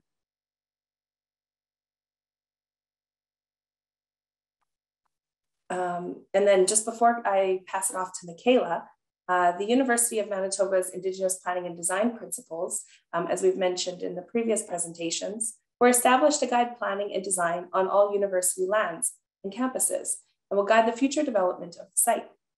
As the principles highlight, effective planning must recognize that all components of a place, land, water, transportation networks, buildings, infrastructure, open spaces, and the people that inhabit it are linked in complex ways. Each one affects the other, and they must be viewed holistically. We'll speak to this a little bit further as Michaela takes over and shares a bit about her project. Thank you, Vanessa. Uh, so now we'll transition over to Raven Medicine Cloud, uh, which was a name gifted to us for the project by Elder Stella Blackbird. As part of its commitment to strengthen relationships, honor the past, and build community, UM established the Indigenous Initiatives Fund. As a grant recipient, the Office of Sustainability set out to explore land-based Indigenous values and create a platform that conveys the understanding and awareness of these values. The Indigenous Story Map focuses on select landscape elements that are currently found along the University of Manitoba uh, riverbank forest. Information about these elements is presented to communicate and demonstrate the land-based values of Indigenous communities while building awareness of Indigenous knowledges, cultures, and traditions. To help guide and provide advice on developing an Indigenous story map, the Office of Sustainability developed an Indigenous land-based knowledge working group, using the framework of the Indigenous Planning and Design Principles. This group is comprised of key campus and external stakeholders, with influence from Elder Stella Blackbird and Elder Audrey Bone. The vegetation in this story map is found at the University of Manitoba and identified in the Biodiversity Baseline Study and Assessment, an investigation to characterize the river bottom forests of the University of Manitoba campus lands. During this assessment, surveys were undertaken to determine the overall biodiversity of the forest environments with a focus on vegetative communities and the habitat that they provide. Numerous plant species identified within the project assessment areas were well-documented species of cultural importance for local Indigenous peoples. This report then provided the basis of understanding the Indigenous vegetation and habitat traditionally used for medicine, substance, and cultural purposes still present in the riparian forest today. After reviewing this report, the Indigenous Land-Based Knowledge Working Group selected the species of raven medicine cloud as important species to Indigenous cultures in Manitoba. This project is dedicated in loving memory of Elder Stella Blackbird, Red Eagle woman of the Turtle Clan. The University of Manitoba is truly blessed that she shared her love and knowledge as an elder, medicine teacher, and traditional healer within the community. Elder Stella will continue to guide us as her teachings live on. The following images, information, and maps communicate and demonstrate the land-based values of Indigenous communities while building awareness of Indigenous knowledges, cultures, and traditions at the university. These images will be physically displayed at the university in the coming years. The information below re represents only a small portion of many extensive Indigenous teachings that exist. Teachings vary from region and from nation to nation, and for more information, we highly recommend and encourage consulting with a traditional elder, medicine person, or healer in the appropriate manner. Plants are not objects, they are beings. They are connected to each and every one of us. They are all of our relations. The ecological elements found in the riparian forest contribute to community building, carrying languages forward, and sustaining a specific way of life. The elements contribute to the function of the larger ecosystem and support activities such as hunting, fishing, trapping, and gathering. We are part of the nutrient and carbon cycles, are as the plants and animals. These ecological elements are an aspect of traditional knowledges recognized by Indigenous peoples.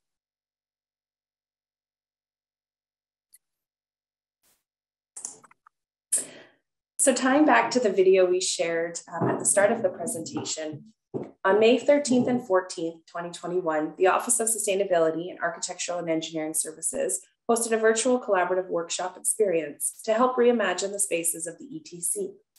UM undergraduate and graduate students, faculty, staff, and alumni were invited to participate.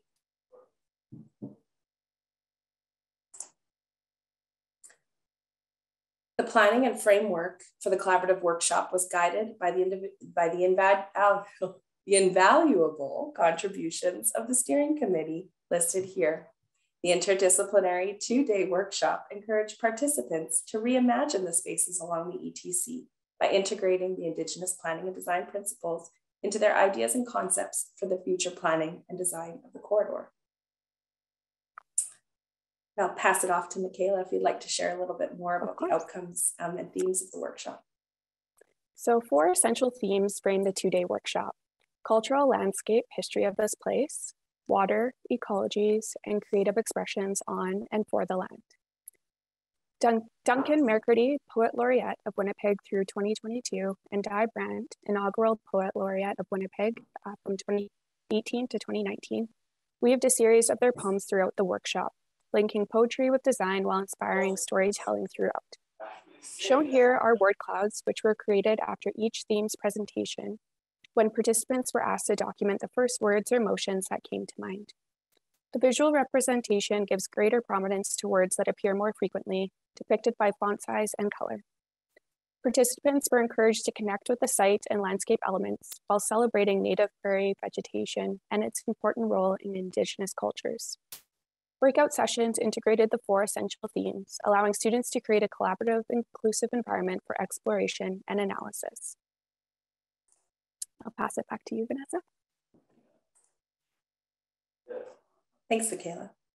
Uh, so in the workshop, participants considered ideas and concepts for the three seating and wayfinding spaces along the multi-use path and discussed strategies for the overall wayfinding and interpretive signage along the corridor presentations and guidance from mentors, including members from the Indigenous campus community, faculty, and industry professionals, supported students in creating their proposals.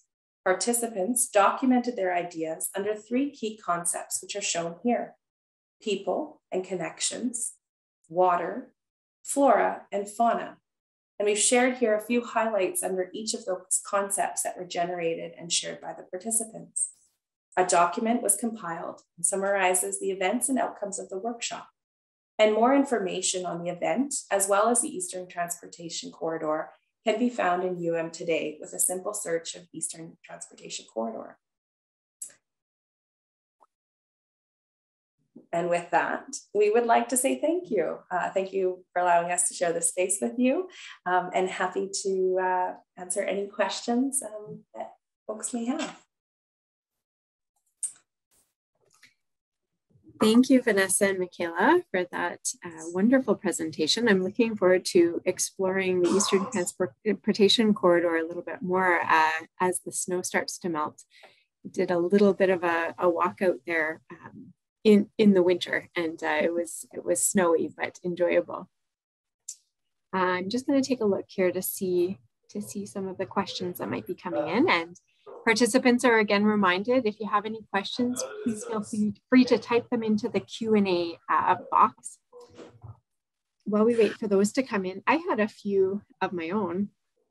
Um, you know, looking at some of the beautiful trees that have been planted along this, this uh, pathway, I wondered what the university's plans are to, um, to help nurture those those trees to continue to grow uh, through the next couple of years. I know sometimes trees can be pretty vulnerable in their first few years of uh, of planting. So I just wanted to hear more about that. That's great. Um, happy to share about this. Uh, so, for the first time on the university campuses, we've introduced what they call tree watering bags. Um, so, if you spent time out in the area over the last year or so, you would have seen these black bags um, that are uh, attached around the base of the tree. And those will be filled with water. Um, a watering truck takes quite a bit of water to water these trees. Uh, and so we hoped to, create a system that would help slow um, the watering process and uh, allow that to take place over many hours. Um, so that's one of the aspects that we've introduced and actually started um, to, to introduce it on other sites on campus as well. Um, we, we have noticed uh, a significant amount of animal damage, uh, deer in particular, uh, rubbing at the trees, which has caused some stress uh, and, um, and to the demise of a few of the species. So we will be uh, replanting some of those that, that may not uh, survive that damage uh, and looking at new ways to introduce other mechanisms. So multiple stakes. Uh, we realized after the fact that it might have been uh, beneficial to have multiple stakes added um, around the trees to, to prevent the wildlife from getting close. Um, and, uh, and in other areas on campus, we've also done some, some wire mesh around those stakes, just as the trees become established uh, to help to deter any uh, wildlife damage. But uh, unfortunately, I think this spring we will see um, some of the trees not leaping out uh, simply due to uh, the increase in wildlife on campus that we're experiencing as there's low uh, capacity and low numbers. So uh, you'll see a few more deer and many rabbits around campus, the Fort Garry campus right now. Uh, and I did want to apologize. I'm sorry, folks, that there was no video or there was no audio in the video at the beginning. Um, I, I didn't realize uh, and I didn't happen to see the chat, but uh, what you would have heard was uh, Di Brandt um, uh, was uh, doing the audio for the video and sharing River People. Um, as part of the um, as part of the promotional materials that we shared for the collaborative workshop last uh, last May. So it's still floating out there. Um, I encourage everyone to take a look. It's a beautiful, uh, beautiful piece. So uh, thanks. I think someone popped that in the chat. So thank you. thanks, Vanessa. Uh, and good to hear some of the plans to, to try to protect some of those trees as they start to uh, grow this spring. There has been some uh, keen interest in the Raven Medicine Cloud project and learning more. Um, a few questions have come in on that project uh, one asking if the focus has been um, mostly on the plants that have been established in the area uh, and incorporating indigenous knowledge around those plants or um, plants that, that are already available, um, not available, but uh, found in the area. Can you just tell us a little bit more about the Raven Medicine Cloud Project? Of course, yeah. Uh, so the basis for the project was to identify those species that are currently present um, in the riparian forest at the University of Manitoba so that people could go out and see what it is in its environment and learn more about that species um, from an ecological ecological perspective, but also from understanding the importance to Indigenous cultures um, and hoping that by building this framework in projects like Vanessa's working on um, in the future, that those can begin to be incorporated um, within um, the native revegetation uh, just because we know that they can thrive and they are thriving in the riparian forest. Um, so trying to increase the di diversity of those uh, species is hopefully the future goals of Raven Medicine Cloud. That's great to hear. Uh, there's also a few questions coming in about the design charrette uh, in itself. Specifically, uh, you know, one comment, this looks like such a lovely place to visit what do you envision these nodes looking like going forward? Um, where will it follow the three themes in the design charrette? Just wanted to, to know a little bit more about those nodes and what's to come. Uh, yes, most definitely. So some of the themes that evolved out of the design charrette um, and the collaborative workshop focus on creating uh, unique spaces that encourage uh, sharing and storytelling and ways to get to know one another as you pause along your route uh, through the space. Uh, we would like to carry on uh, the um, Indigenous engagement and inclusion for the project. Um, as Nicki mentioned in her presentation, focusing on centering Indigenous content throughout uh, the development of this site um, will be key in moving it forward and becoming a, a, shared space across the campus for all, all users. Um, so that will remain at the foundation of the site development. Um, and we are looking to, to hopefully advance that through engagement of um, additional working groups uh, for campus stakeholders, as well as uh, consultant teams moving forward um, and hopefully some uh, cross-disciplinary engagement and both student and professional uh, engagement in the project. So stay tuned. I don't have anything more concrete to share with you, um, but, but certainly uh, feel free to reach out at me uh, to me anytime uh, to hear more and, and become engaged in the project as we move forward with uh, future phases. Thanks, Vanessa. I'm looking forward to, to learning more and uh, seeing, seeing those developments happen. Michaela, a question specifically for you. Uh, can you describe your experience working as a student with multiple stakeholders on this project?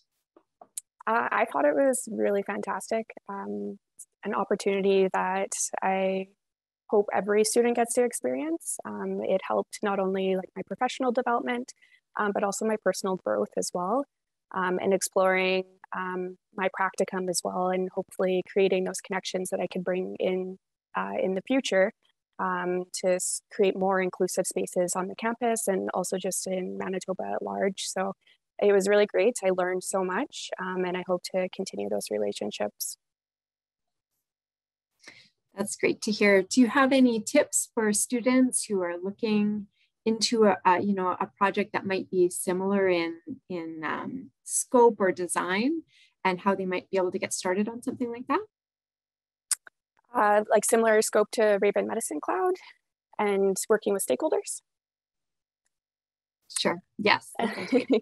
um, yeah, I would say uh, reach out to the Office of Sustainability and to Vanessa. Uh, they're really great at um, being able to build those connections and make those bridges. Um, even just the Office of Sustainability in general, even before um, working there, it was a great resource to go to to um, understand what has already been like developed on campus and understanding the research that's been put forward. Um, and it helps you to identify those gaps and where you may be able to input your own research and sort of advance that. Um, so definitely just branching out on campus and using the resources that are readily available um, and sort of building your awareness on what resources are available. Um, there's just so many that are popping up all the time and it's always changing. So just speaking to even your professors, um, they could be a great resource for that as well too. Great tips. Thanks, Michaela. And the Office of Sustainability is always keen to hear from, from students.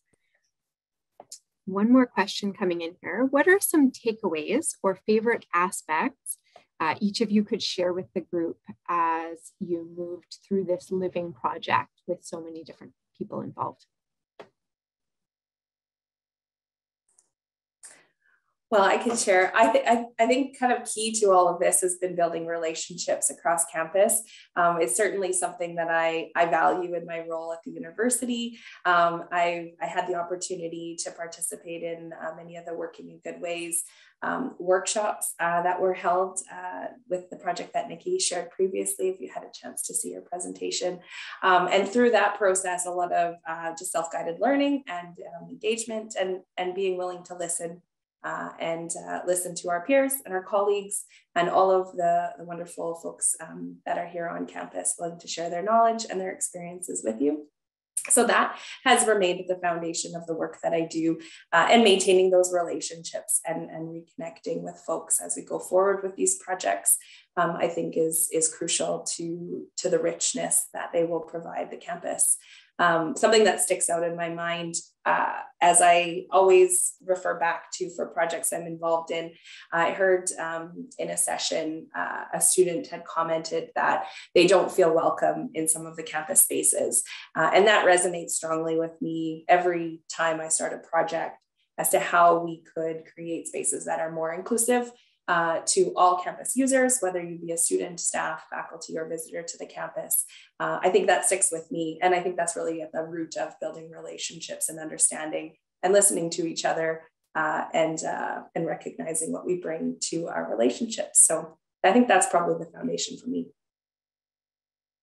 I would have to strongly agree with uh, everything that Vanessa said there. Um, relationships for sure, and everyone's story. I thought everyone brought a really unique uh, and beautiful story to the table, and just allowing people to have that space to um, feel safe to share was really wonderful as well too. Um, and I really appreciated the integration of poetry into the workshop as well too. is really unique, um, and it really highlighted that interdisciplinary aspect of the workshop. Um, so it was such a great learning experience, um, and I really hold all of those relationships and stories dear to my heart.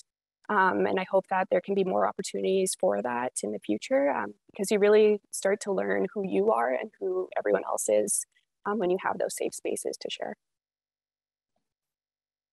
Well, thanks so much. Um, there are a few links in the chat if anyone would like to learn more about the Raven Medicine Cloud project. as well as take a look at that video again uh, from the Eastern Transportation Corridor workshop and design charrette. Thanks so much, Vanessa and Michaela, for a great presentation. Thanks, Thank everyone. you. Thanks, Jesse. Thanks, everyone. Take care. Bye. Next up, eh, we have Tino Dogo and Brook Rivard to present on sustainability programming in UMSU operations. Tino is a fourth year biological sciences and political studies minor student at the University of Manitoba. He's an international student from Zimbabwe, and he is currently the UMSU VP of Community Engagement. In his role, he also serves as the chair of the UMSU Green Team. Brook Rivard is a fifth year mechanical engineering student at the University of Manitoba with a passion for sustainability. He's originally from Calgary. He is currently the UMSU VP of Finance and Operations, and in his role, he serves as the sustainability lead at UMSU. So welcome Tino and Brook. Awesome. Thank you so much, Jesse. And hello, everybody. It's such a pleasure to be here today with you all. And um, yeah, we're excited to present on what UMSU sort of does for sustainability. But while I get that set up here, I'll Brook can say a quick hello. Right. Hi, everyone. Thank you so much for the introducing introduction, Jesse. And yeah, super excited to be here, super excited to talk about what UMSU has been doing, what we're currently doing, and some of our plans going forward into the future with hopefully a return to normalcy, knock on wood, fingers crossed. Um, yeah, let's get into it. Awesome. All right. Um, can we all see the screen? I think that's always a good sort of first question to ask via thumbs up or Brook, you can see the screen? Good. Yeah. Yeah. Okay. All right. Awesome. Okay. So in talking to Brook about how we would approach this presentation, we thought that the best way to do it would be by presenting to you UMSU's sustainability mandate, which was passed by the board of directors in 2020, I believe it would have been. And essentially the mandate itself splits our kind of approach to sustainability into four sections. And what we would like to do today is take you through those four, I guess, primary areas uh, with, of course, the understanding that uh, this was passed in 2020 and it's been a very different world since March 2020. And some of the things that we've done have deviated a little bit from what was in the mandate at that time, but we've been happy to find and come to see that a lot of the work that we've done does fit into the scope of the mandate itself. So yeah, we're very excited to take you through that. Okay, all right. But really quick, just before we get into it, another quick introduction because there's already been one. I'm Tino and I'm the UMSU VP Community Engagement. And just like Brook, I have a passion for sustainability and I've always been involved with science in one capacity or another for a long time. So much so that unfortunately I did um, blow up the electricity to the science building the one time and totally my bad there, but it's always a fun little story to share. And real quick, my job at UMSU is related to communications, marketing, and events, what whatever events we can have with the current situation that we have. But um, it also extends into partnerships and sponsorships and collaborations with other students. So yeah, and that's a picture of me in a tree.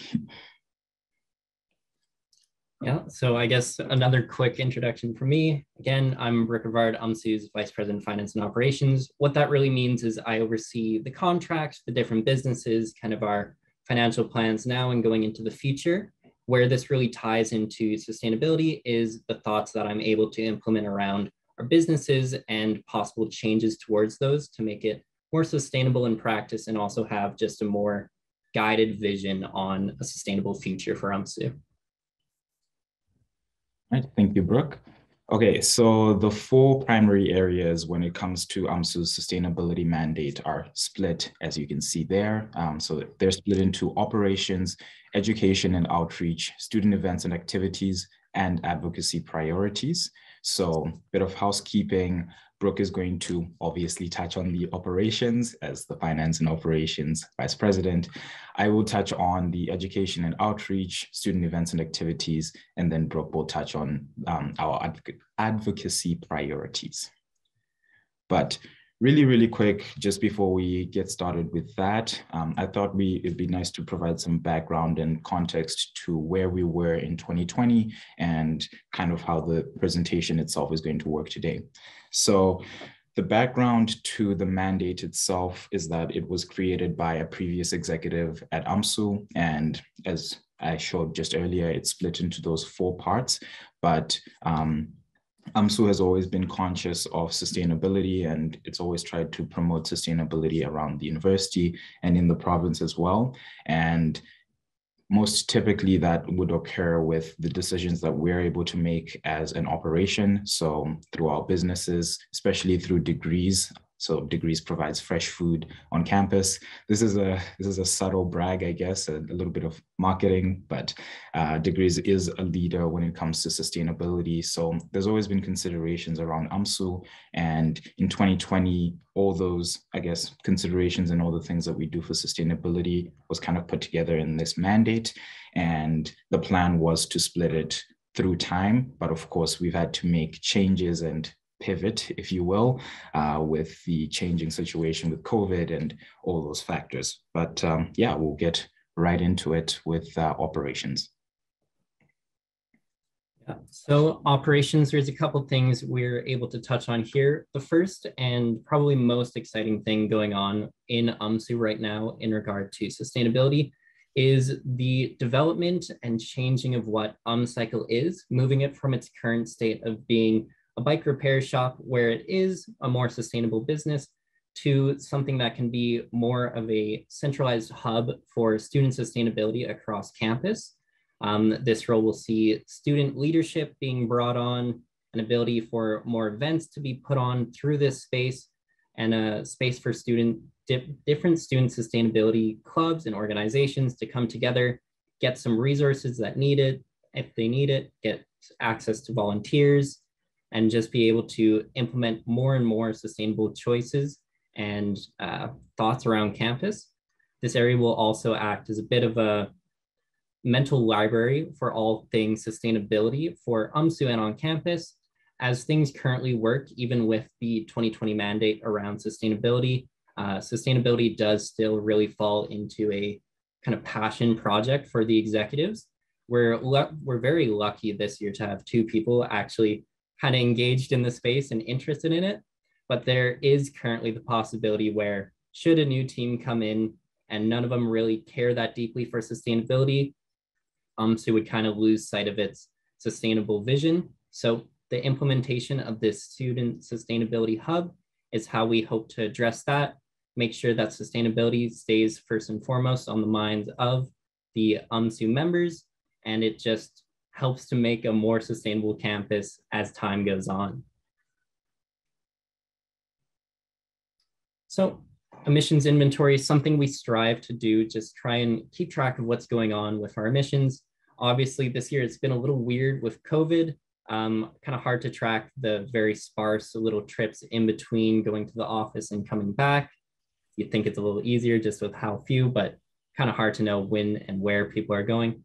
But that being said, it's nice to be able to say that our emissions have certainly been lower the past two years uh, because of the work from home policy, just no one really needing to do transit. But we have been trying to look into our electrical uses and what that will also mean for our emissions.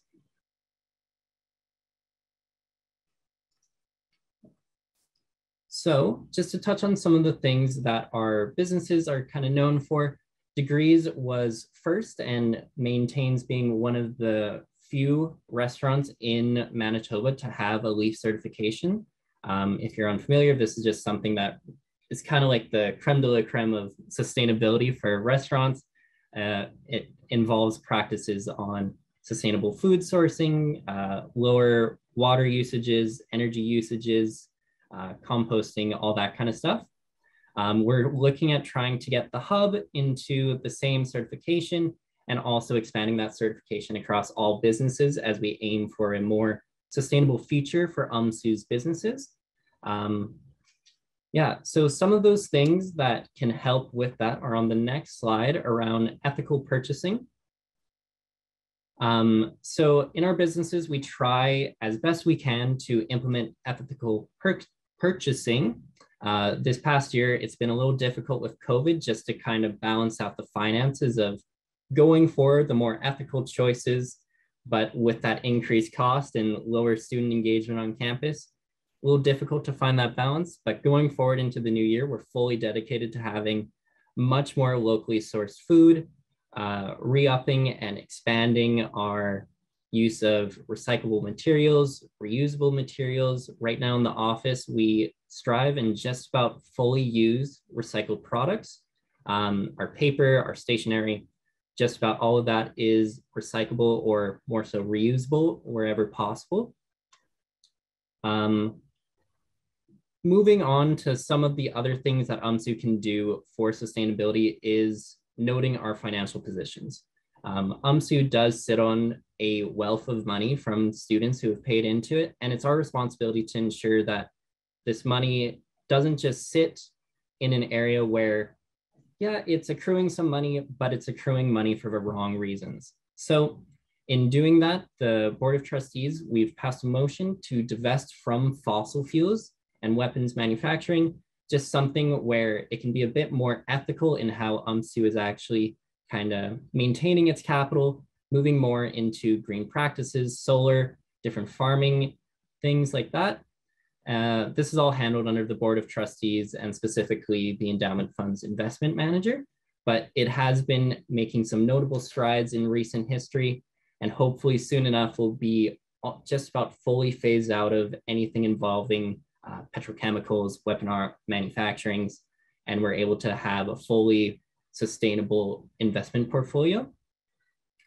Um, some other ways that we're addressing sustainability in the businesses is we're trying to get rid of single-use plastics, single-use uh, packagings. So degrees, we use a lot of biodegradable single-use items, um, couple wooden items, as the like, just to do our best to cut down wherever possible, just bits of waste that aren't exactly dealt with perfectly on campus. Um, we do have a composting program a little bit through degrees, and we're expanding that through the other restaurants on the third floor this coming year, just to ensure that where we can, we are composting. And we're doing our best to limit waste management. Um, we're also looking at the possibility of bringing in more so reusable containers at the degrees, something where students would be able to grab it, take it away, and then bring it back on their next visit. Uh, there's just some hiccups there with trying to ensure how do the takeaway containers actually make their way back? How do we ensure that they're properly cleaned? And how do we actually do the on the ground work of handing it out, collecting it back? But those are issues that we are very eager to tackle hopefully get that up and going for this coming year when students are back. Just really utilize this kind of gap in student engagement to act as a reboot for all of our businesses in many ways. I'll pass it on to Tino for education and outreach now. All right, thank you so much, Brook. And yeah, that was a nice overview on what the specific items under operations in the mandate are. And uh, moving on to education and outreach. So one of the, I guess, influencing factors to the work that we do when it comes to sustainability is recognizing the most effective things that we can do as UMSU and where our decisions or our actions can be the most effective. And it's with education and outreach that we feel that we can have the most impact because UMSU does have a few platforms and we do have a strong student following and we also have the capability to talk to every student and as i'm sure a lot of people on the call know uh, one of the most important things with sustainability is full context consideration and adoption of i guess cyclical systems and all that stuff that's been some of the philosophy that's influenced us. But yeah, so with education and outreach, some of these um, steps and all that, it's guided or it's trying to push that idea of uh, spreading the message as one of the most effective things that UMSU can do. Okay, so coming up first with that is the UMSU Green Team. So the Green Team was part of the mandate um, that was passed in 2020. And as Jesse mentioned, I've had the pleasure of being the chair of the Green Team. And Brook touched a little bit about on touched a little bit on student engagement and how that's been, you know, waning over the years just because there's been a lot of things happening and I myself have felt it as well that I get quite tired of screens. So I can totally understand um, just wanting to maintain that screen time for work and then school and not wanting to engage with too much else after that but I have taken the opportunity to engage a few students on creating a space where we have it as the kind of primary sustainability group at UMSU. Um, what we wish to do in the future is take the green team and incorporate it into a sustainability hub, like Brook mentioned, that will kind of serve as the central area of um, sustainability at UMSU. And very much so at UMSU, a lot of the projects that work are working because of the passions and motivations of the executives. And we found that it was very important that that that the sustainability work isn't just being done out of passion, but I was happy to uh, sort of serve as the chair of the green team and see how we could have taken advantage of some of the opportunities there being a marketing VP myself, what I decided to do with this was take it and turn it into a brand of sorts and um, kind of have things that influence the brand itself. And I'm very excited to see where this will go in the future. And um, yeah, I think we've done fairly decently so far. So it's been good. Okay, so compost program expansion, right? So compost program, it falls under education and outreach because it's a very active thing, I suppose, when it comes to composting, because there needs to be consideration of waste management and separation of waste and knowledge and active participation by community members. Um, Degrees was the sort of flagship restaurant that we had with composting on campus. Degrees actually still composts their uh, waste, I believe. Brook can give a nod if that's the case.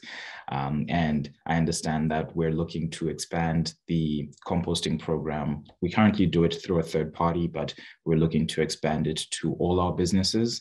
And we are also currently advocating for a centralized system across campus because we believe that that's the best way to address all the waste that is generated on campus. And also it presents yet another opportunity to engage community members on uh, proper waste management and considerations when it comes to, first of all, reducing waste, but then also making sure that there is infrastructure in place that can be used effectively because um, there's been research, I think, done, uh, well, by researchers, but also internally at the university that shows that some of the pilot programs around campus do struggle a little bit with contamination and those other uh, concerns. So hopefully if there's a centralized system across campus, then there can be more knowledge uh, across the community.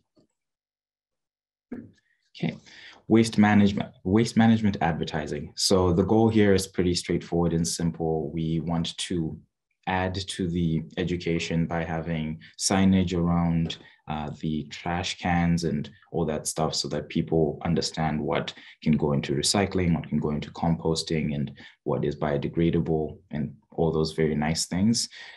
I should also mention at this point that some of the slides here, because they were all points underneath uh, sort of the mandate. So this was a point underneath education and outreach. Some of them you'll find are sparse just because we haven't had much of an opportunity to work on some of these things. So the idea here is that there would be signage in our businesses and unfortunately our businesses haven't been open this whole time. So we're still kind of waking up. And um, so some of the items will kind of be like this. All right. So the UMSU.ca sustainability webpage, this is something that very nicely falls under my portfolio.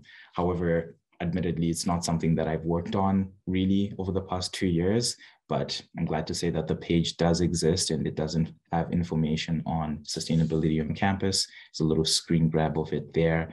Uh, you feel free to check it out. Highly encourage you to do so because the info does um, is relevant, but it just hasn't been updated in a little bit. social media content. Okay, so you will recall that the green team has been turned into a bit of a brand. So that's what um, has turned, that's what we've done with it. Um, we saw that a lot of people are quite engaged on Instagram, especially over the past two years. So we decided to start with that space and, um, you know, humble shout out, I guess, on Green Team UMSU. Please follow it. It's got uh, information on the different events that we've done in the past when it comes to sustainability. It's got um, information on student groups at um, UMSU that are related to sustainability as well. So it's good stuff there. And then I will continue as well with student events and activities. I'm also just keeping an eye on the time there because uh, I know that our time is finite. So moving along, the Green Events Guide. So this is one of those items that we're very happy to uh, adopt within UMSU. So the Green Events Guide was established by the Office of Sustainability. And the idea is basically that event organizers and event planners will have an opportunity to go through kind of a checklist of considerations that they sh should have considered or may want to consider if they want to make their event more green. And UMSU, at UMSU, we want to do our part to make sure that student groups are actively taking this up as a framework to consider how they do their events. And I put there when I put the, the little certificate that we got for the keynote we did with David Suzuki. So it is a really good framework and we are hoping that this is something that is adopted again across campus because it doesn't just have, I guess, environmental considerations. It also uh, goes into accessibility considerations as well. So again, it's, it's very nice to see that full context consideration as well. So yeah, Green Events Incentive. So this is something I touched on with the Sustainability Hub. I think it's kind of worked out really well because we have Mr. Money with us as well. So Brook has been wanting to um, make sure that there's a budget line that acts as an incentive for students to use the Green Events Guide. And this will be kind of tied into the Sustainability Hub that we're developing.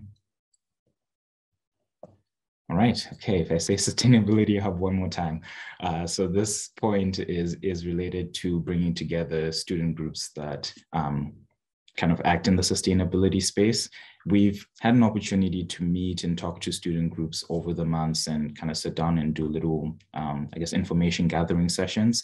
But one thing that we have found is that a lot of these groups are doing really, really great work, but by them, kind of by themselves. So the idea is to bring everybody together and realize where we have shared goals and shared ideals and take advantage of those opportunities. Okay, passing it back to Brook on advocacy priorities. All right, so UMSU, big thing we do is advocate. So jumping right into it, um, when the UMSU sustainability mandate was first created in 2020, there wasn't something quite like what we have now with the climate action plan. Um, so climate action plan, I'm sure everyone here is super engaged and knows clearly about it. It basically has the detailings of um, uh, the university's plan to commit to net zero by 2050. Uh, over the past two years, UMSU has kind of been involved in uh, meetings regarding the feasibility of the plan, different aspects of the plan, and the ability to provide a bit of a student perspective on everything contained within it we're really glad to see that it is shaping up and it's set to finish up and be good to go very soon here. Um, yeah, so next thing for you guys, because I'm sure you guys are tired of hearing about CAP, heard about it so much because it is so big and wonderful. Landfill gas on campus, this is one of the possible things within it and something that UMSU has kind of also been looking at the past little bit.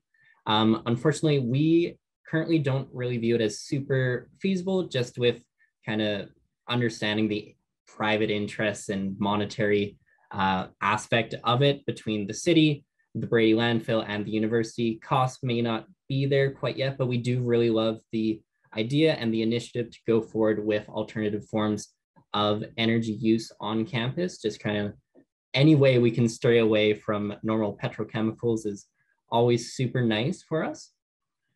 Um, other ways that the sustainability mandate brought up advocacy was through the endorsement of UNDRIP and TRC calls to action.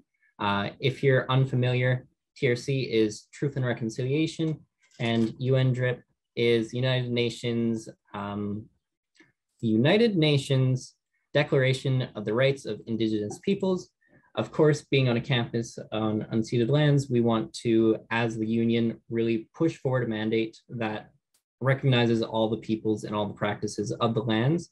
So this is something that we really want to see pass through the board just to have a more clear understanding and mandate going forward with how we can be sustainable and also more clearly involve different aspects and kind of viewpoints on sustainability. Um, the last thing for advocacy for you guys here is that on third party contracts. So one of the largest third party contracts on campus is Aramark Food Services, uh, recently renewed. They're the ones who supply Campo, they supply the uh, fresh food company, all the places around campus just about. Um, so as Students Union, we are dedicated to uh, offering the student perspective on these contracts, being able to consult with what's going on in the sustainability issues and seeing just kind of what practices are really being implemented within these contracts to ensure that sustainability is actually being noted and worked on. Uh, so this is something that we as a union have and will continue to be quite active on advocacy for. And yeah, so that pretty much wraps up the four primary areas, that being operation, education outreach, student events and activities, and then of course, advocacy. Uh, if there's anything else that you guys feel should be a pillar, please feel free to reach out to us. Um, going forward, there's just a couple thoughts around how we can be moving forward with this mandate and also just general sustainability within the union. Uh, the first is reopening our businesses with sustainability in mind making sure that wherever we can be, we are implementing sustainable practices, connecting more with student groups through the UMSU Sustainability Hub. So this is moving more beyond just the small little group engagements that we've had on the CAP or different uh, sustainable documents throughout the year and moving more to a centralized thought, hosting more sustainable events through the Sustainability Hub, making sustainability more of a present thing on campus. Currently, we have sustainability season this month, but we'd love to see it move not just from being a month of advocacy to being throughout the year and always being a bit on people's minds. And then, of course, maintaining our advocacy priorities to ensure that we're able to advocate for the needs of students, advocate for sustainable practices on campus, and hopefully extend that extend that past campus and moving more into Winnipeg and the greater Manitoba area. Thank you so much, Brook and Tino. Uh, sorry to interrupt. We have just two minutes left, uh, so I'm just going to pose a couple of quick questions here.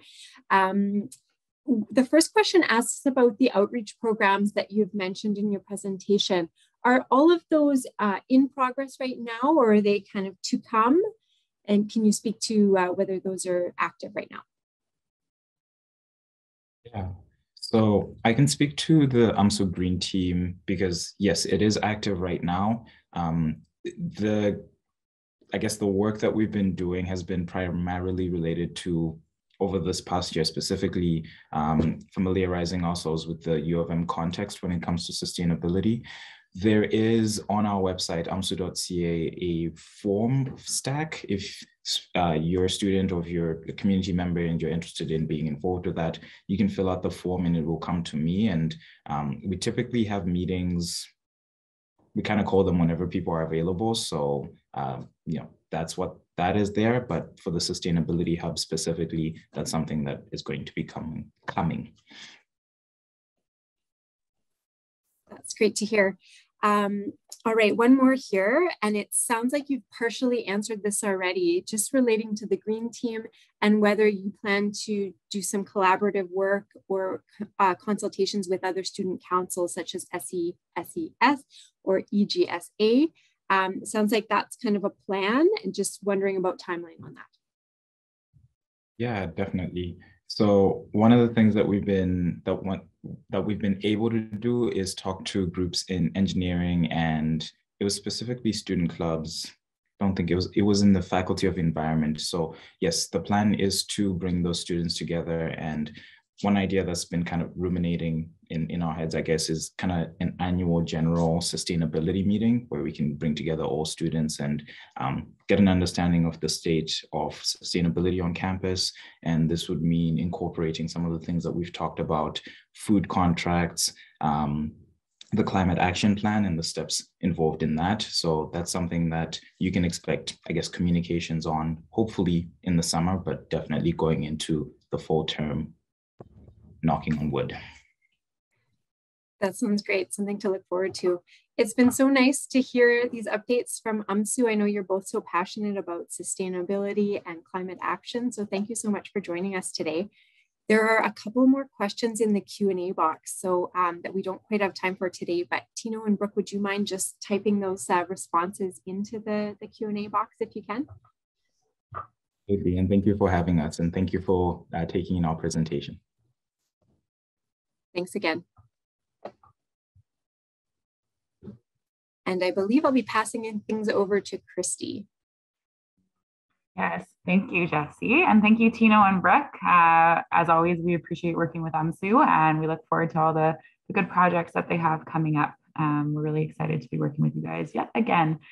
Um, so I'd just like to encourage everybody to stand up and shake it out a little bit. We're at about the halfway point of the day. Um, and it is a lot of sitting. Um, so yeah, just stand up for a second. Uh, we have a little interlude here um, where I'm just going to um, share my screen. We have a sustainability literacy survey um, that is available for students uh, in the campus community to take at the moment. Um, I feel like I'm probably sharing the wrong screen, but you get the idea. Um, so you can see the survey at, or it's on our website right now at umanitoba.ca slash sustainability under the sustainability day page. And this survey, uh, it feeds into our sustainability tracking and rating system uh, report that we have coming up uh, in the next month or two. Um, so what we're doing is we're looking at the general culture and literacy regarding sustainability at University of Manitoba.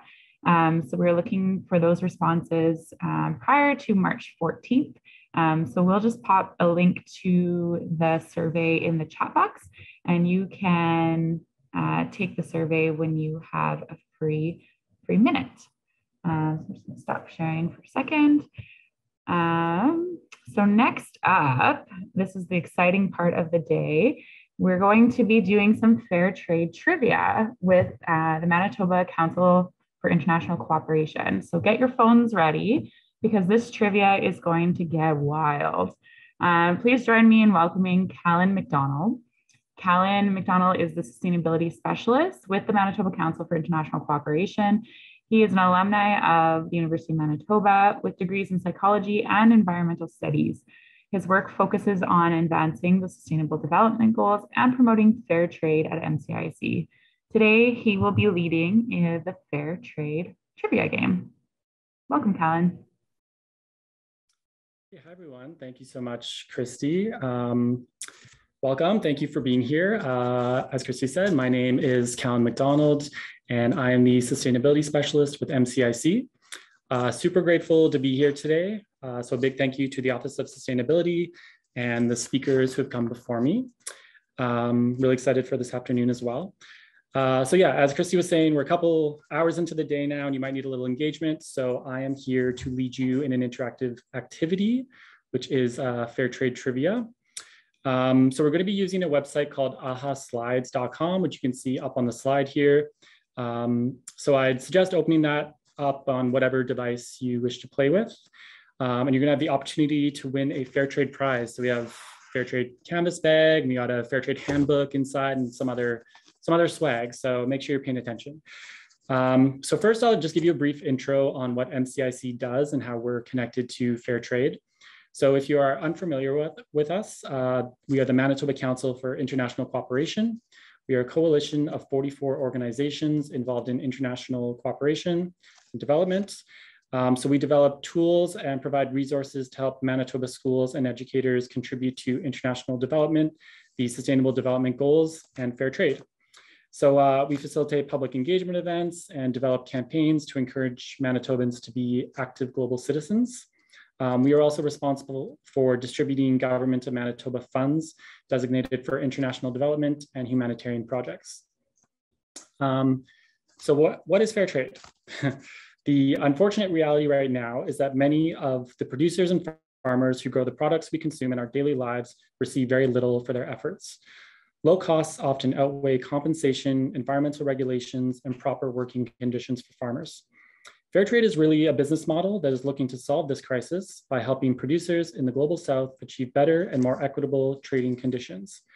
Fair trade looks to balance concerns for people, the planet, and profit.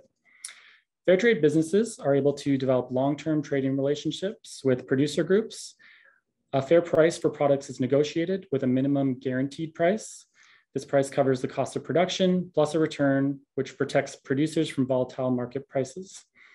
Uh, you'll see some stats on the slide about countries and who is uh, involved in the fair trade system. Um, so what are some other good reasons to support? Um, producers, workers, and artisans receive fair pay. There's gender equality within democratic cooperatives. Conditions of work are fair and work environments are safe. No child labor. Strict rules are set to reduce environmental harm.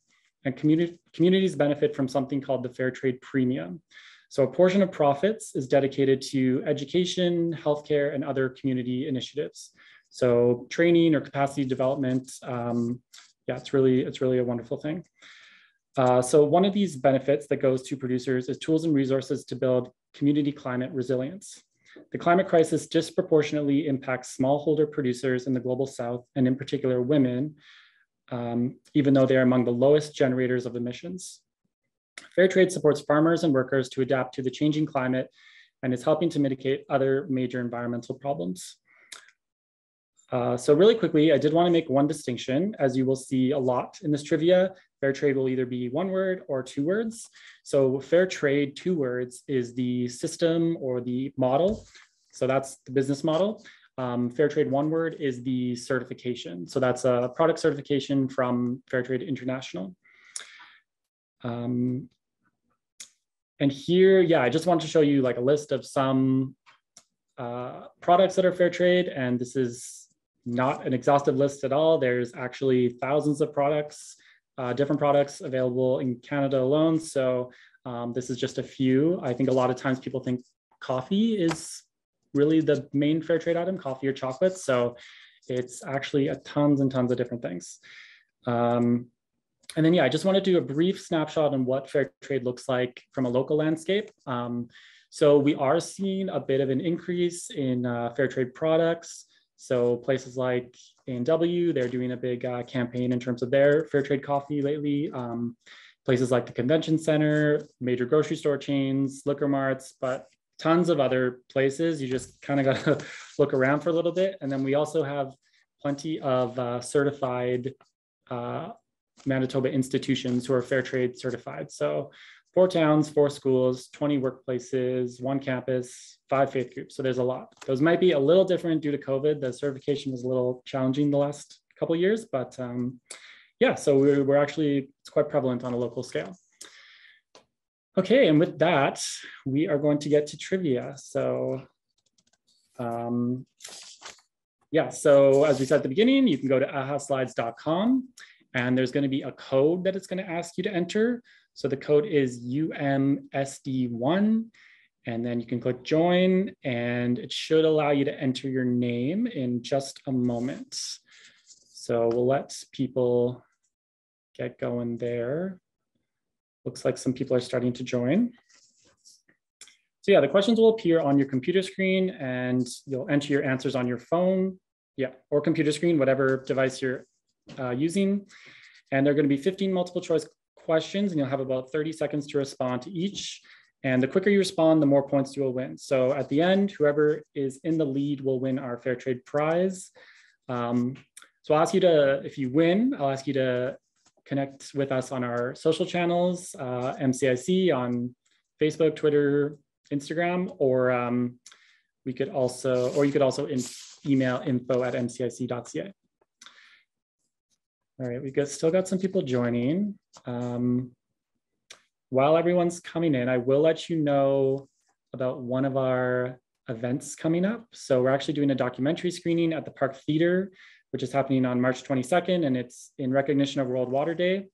Uh, we will be screening There's Something in the Water, a film about communities in Nova Scotia who are plagued by the toxic fallout of industrial development. So if you're interested in joining us for that, um, yeah, we'd encourage you to come on Tuesday, March 22nd for World Water Day. All right, we're just about to get going. A few more people joining. I wish everyone luck and hope you were listening because there were some hints along the way. All right, let's uh, let's maybe get going.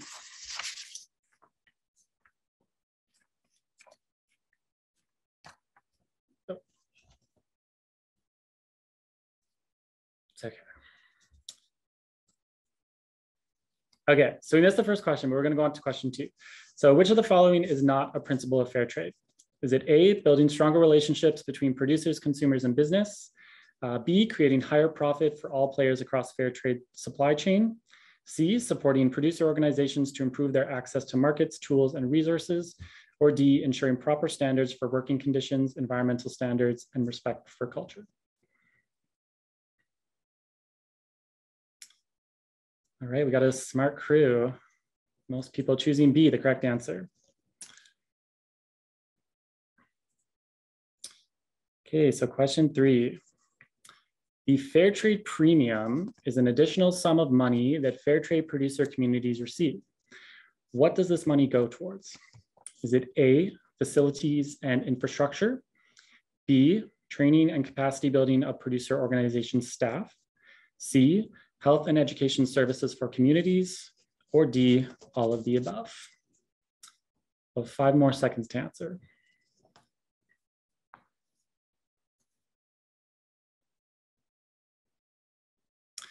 Great job. Everybody got that one right. All right, we got a close game already. Question number four. Fair Trade Month brings together business partners, retailers, and campaigners to raise awareness about the fair trade movement. What month does this happen in? Is it A, May, B, July, C, September, or D, October?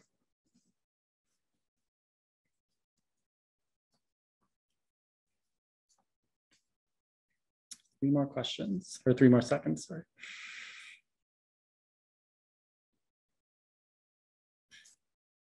Yes, May, A. So a lot of you said October, and I believe Fair Trade Campus Month is in October. Fair Trade Month is in May. So I can see why that would be a little tricky.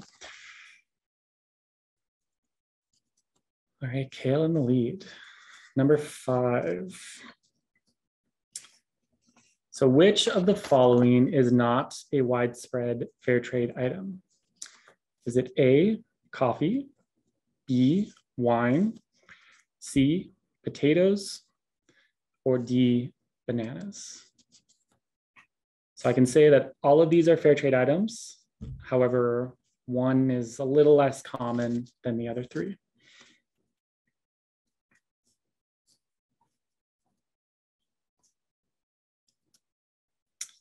Correct answer is C, fair trade potatoes.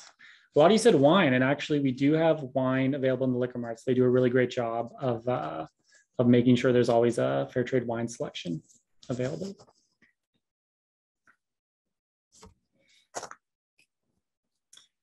Number six. So did you know that sports balls can be fair trade? In uh, which country are 70% of the world's hand-stitched soccer balls made? Is it A, Indonesia, B, Ghana, C, Senegal, or D, Pakistan? I will say that uh, Selkirk is a fair trade town and they actually sell Selkirk fair trade soccer balls if you're ever looking for one. Correct answer is D, Pakistan. That was a tough one, kind of answers all over the place. Okay, so question number seven. Only 13% of the world's cotton is produced sustainably. What is not true of cotton production? A, the environmental and social footprint of fair trade cotton is five times lower than conventional cotton farming. B, cotton production requires the extensive use of agrochemicals. C, India is the highest producer of fair trade cotton. Or D, fair trade standards ban genetically modified cotton seeds.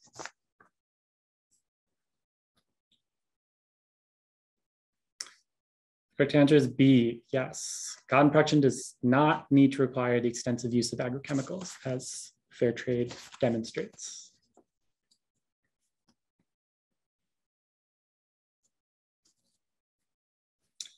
Okay, so question number eight. How does buying fair trade tackle climate change? A, farmers must meet environmental standards as part of their certification. B, investments in community climate resiliency through the fair trade premium. C, farmers are encouraged to minimize the use of energy, especially from non-renewable resources. Or D, all of the above. Couple seconds. D, all the above. Most of you got that right. Great job.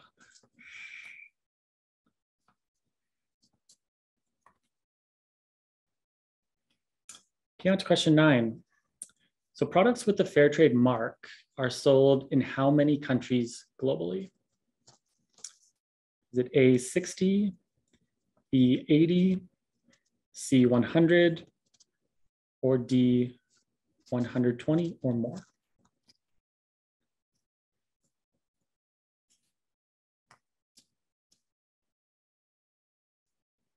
Five seconds remaining.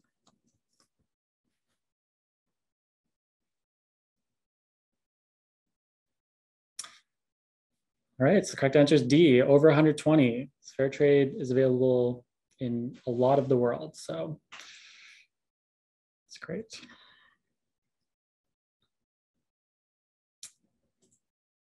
Okay, question number 10.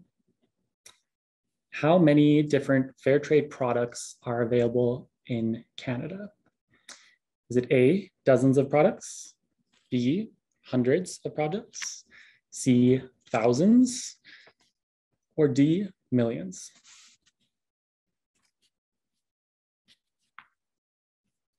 So I mentioned this in my intro, on the, slide about the products. Hopefully you're listening.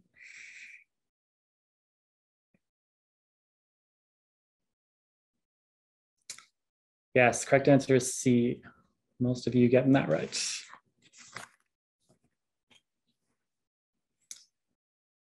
Okay, so on to question 11. Uh, what city was designated the 25th fair trade town in Canada and the 2000th in the world in September of 2017? Is it A, Mont Saint Hilaire, Quebec, B, Selkirk, Manitoba, C, Springfield, Saskatchewan, or D, Winnipeg, Manitoba?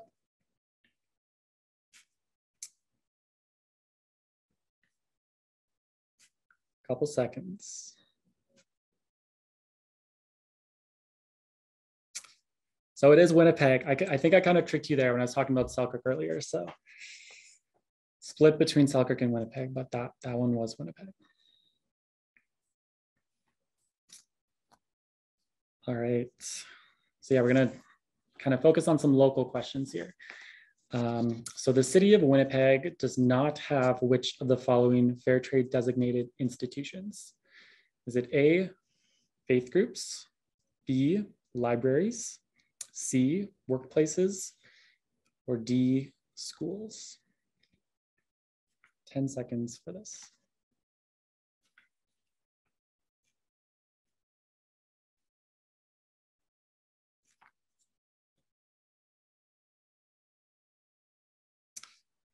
So we do have faith groups where most of the answers went. It's actually libraries. So technically, if a library was to be fair trade designated, they would count as a workplace. But we have schools, workplaces, and faith groups.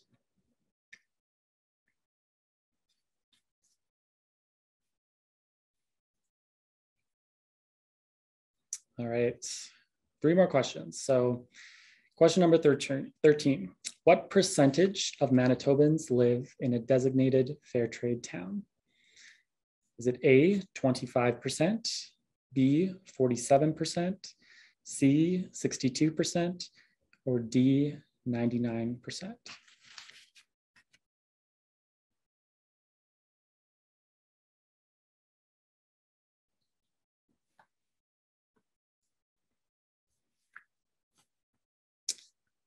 That's right, 62%. Most of you getting that one. Okay, last couple questions now. So question number 14. So what campus in Manitoba is the only fair trade designated campus in the province? Is it A, U of M Bannatyne campus, B, RRC Polytech Notre Dame campus, C, the University of Winnipeg, or D, uh, CMU or Canadian Mennonite University? Five seconds to answer.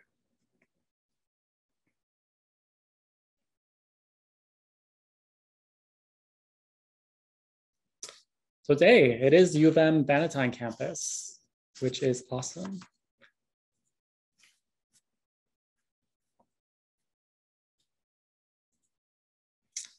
Okay, and the last question. So at what business will you find fair trade products? A, Safeway, B, A&W, C, Mountain Equipment Co-op, or D, all of these and so many more. I hope this wasn't, this is an easy one.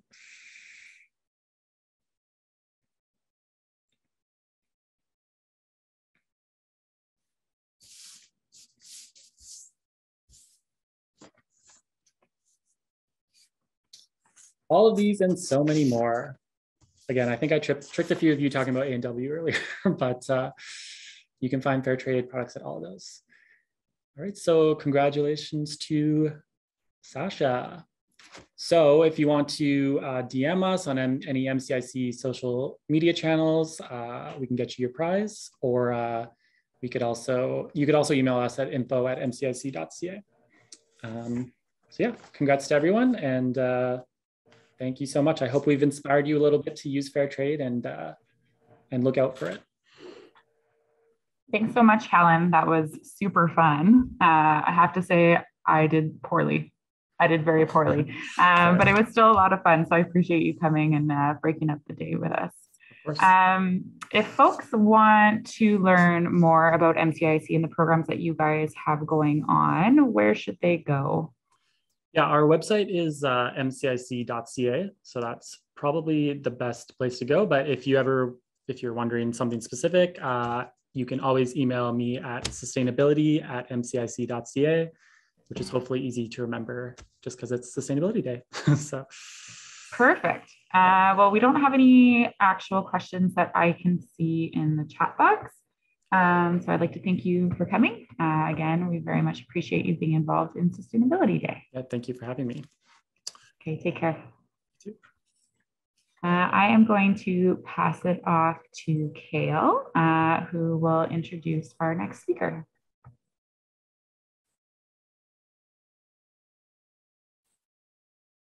Thanks, Christie, and thanks, Kalin. I had a blast playing trivia. Um, I hope everyone else did. So next up is Dr. Stephan Pflugmacher Lima. Uh, Dr. Pflugmacher Lima received his PhD from the University of Munich, was a group leader and assistant director in a non-university research institute in Berlin, and served as a full-time professor of ecological impact reserve and ecotoxicology at the Tech Technical University of Berlin.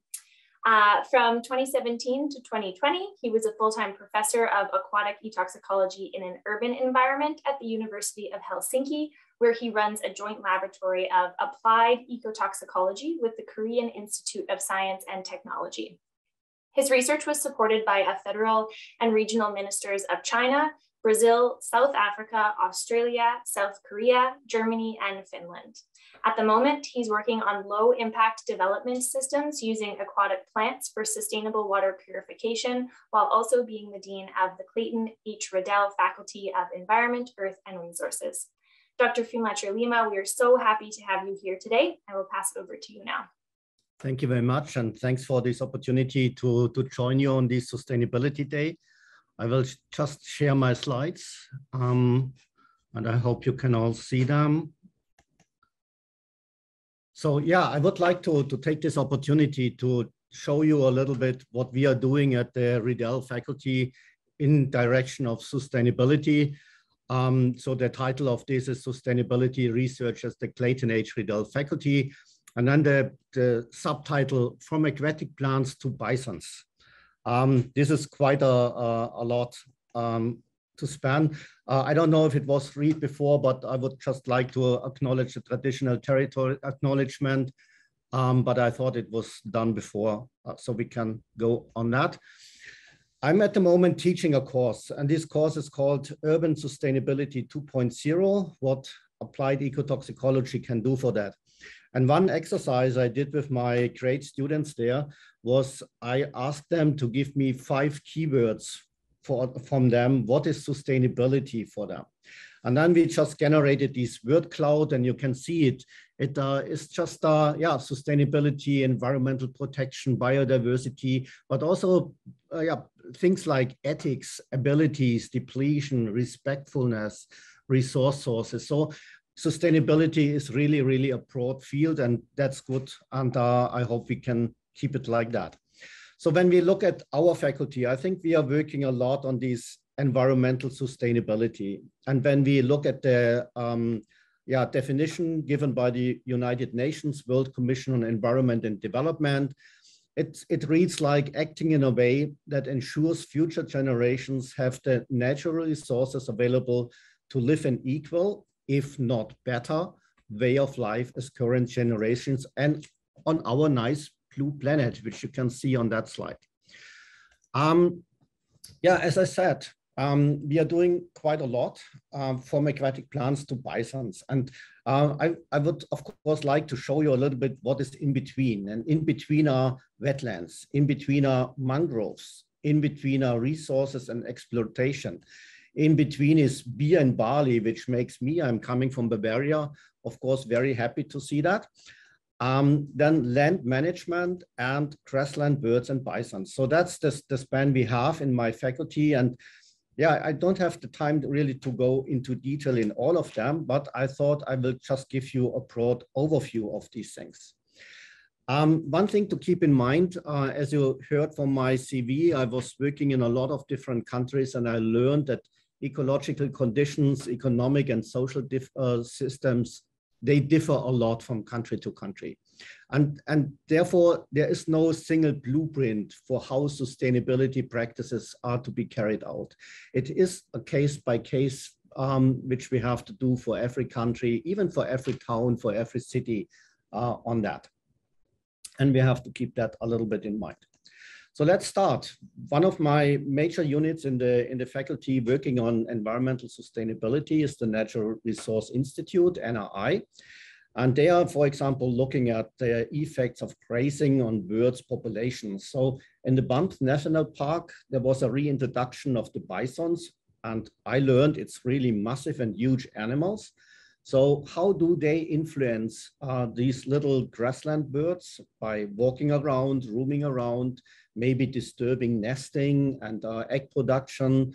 And uh, that's a very in, in interesting research done by Alex and Nicola in my, in my uh, faculty. Then we have very similar to that um, ideas around improving land management for grassland birds. So of course, they, they, we, need, we need more food and for that we need more food production and um, grassland is really maybe transferred into agricultural land, but what can we do to really give the birds a place there as well, which is safe, where they can nest, where they can live, um, without being hunted by these um, yeah, uh, um, big machines um, getting the corn from the field. And this is uh, research by Zach and also again by Nicola Koper. Then we have um, what, as I already told you, me as a Bavarian makes me very happy. My family had a microbrewery in Bavaria, and we were taking the barley from uh, the agricultural fields next to our village to keep really the, the transportation very short. But for that, of course, the, the barley has to have a certain quality. And I, when I was coming here from, uh, from Europe to be the dean here, I saw this uh, a project by Iain Davidson Hunt and his colleagues looking at possibilities of a circular craft beer economy in Manitoba. So the same like we did in Bavaria, looking where we can get the barley here from local farmers to have short transportation, but to have a good quality for the beer to be produced.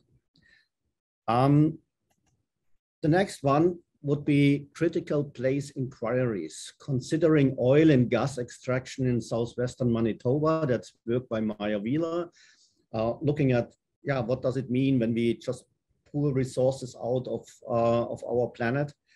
And the second one, very similar, is assessing the impact of increased resource extraction related to shipping. So we are tackling both the land-based stuff and also the water-based things by, by shipping and um, these are done by uh, Simon and by John Sinclair. Yeah, um, protecting white mangroves in Grenada, um, done again by Soya and by Nicola. And I don't know if you know it, but mangroves are really tough plants. Um, they, they live on the edge of land to, to oceans, to water, to salt water, but they can be four times sequestered carbon um, much better than, than the rainforest can do. So four times more carbon sequestration than a, than a rainforest. Um, this can be seen as an um, ecosystem service. And uh, of course, we can transfer ecosystem services into money, into money value. And if we do this, then we are coming up with some um, values, which means that mangroves can uh, give us $194,000 per hectare on that ecosystem service. If we now look at the remaining um, mangrove forests and the, the, the space, the area they have, that will sum up with a huge sum of $2.7 trillion as an ecosystem service per year what these mangroves forests are providing to us. If we would have these $2.7 trillion as a university budget that makes us all happy. So looking at that, what the mangroves can do for us, we have to see how to protect them. And a major threat for them is, of course, that, um, yeah, for example, plastic uh, coming in from the oceans to the shorelines, to the mangrove forests, and getting stuck into this uh, aerial root system of these little trees and making major damage on that. So this is something which is tackled by Soya and Nicola and uh, it's an important research for all of us in that way. Um, another project, which is, um, yeah, for the birds, but you can also see it's, it's in, in a way also related to us. We are all disturbed by noise, um, whether it's construction noise or noise on the street, noise in the city, um, noise from airplanes flying over our house or wherever we are. And uh, Nicola uh, with her team is determining uh, the effects of anthropogenic noise on songbirds. Um, yeah, not all the birds have these nice headsets on, so they will be destroyed by these, um, they, they will be um, yeah, affected by this anthropogenic noise. And what happens? Are these songs from these birds getting louder to compete with this anthropogenic noise? Or is it getting more or, or does it really disappear? That do, do it, uh, are they not singing anymore? Do we expect a second silent spring like um, we, we already saw with uh, Rachel Carson and her book, which is by the way, very nice to read and you should, should do that as well. Um, then we have in our other department, environment and geography, we are tackling the question of enhancing Arctic wastewater treatment through natural wetlands. You all know that we can use wetlands for water treatment to remove contaminants. um, on that. And uh, we have uh, several projects. One of them by Mark Hansen is on the Baker Lake. And uh, they try with building up a wetland there to see how they can, in these yeah, harsh climate, what we have. Uh, and if I look outside of my window, there's um, nearly middle of March and we still have nearly a meter of snow here. And this morning it was minus 23 degrees. So that's for plants, really hard conditions. And um, yeah, we have to see how we can use plants for wastewater treatment also in this kind of a, of a climate. Um, this fits in into my own research, what's what I'm doing and what already mentioned as uh, low impact development systems.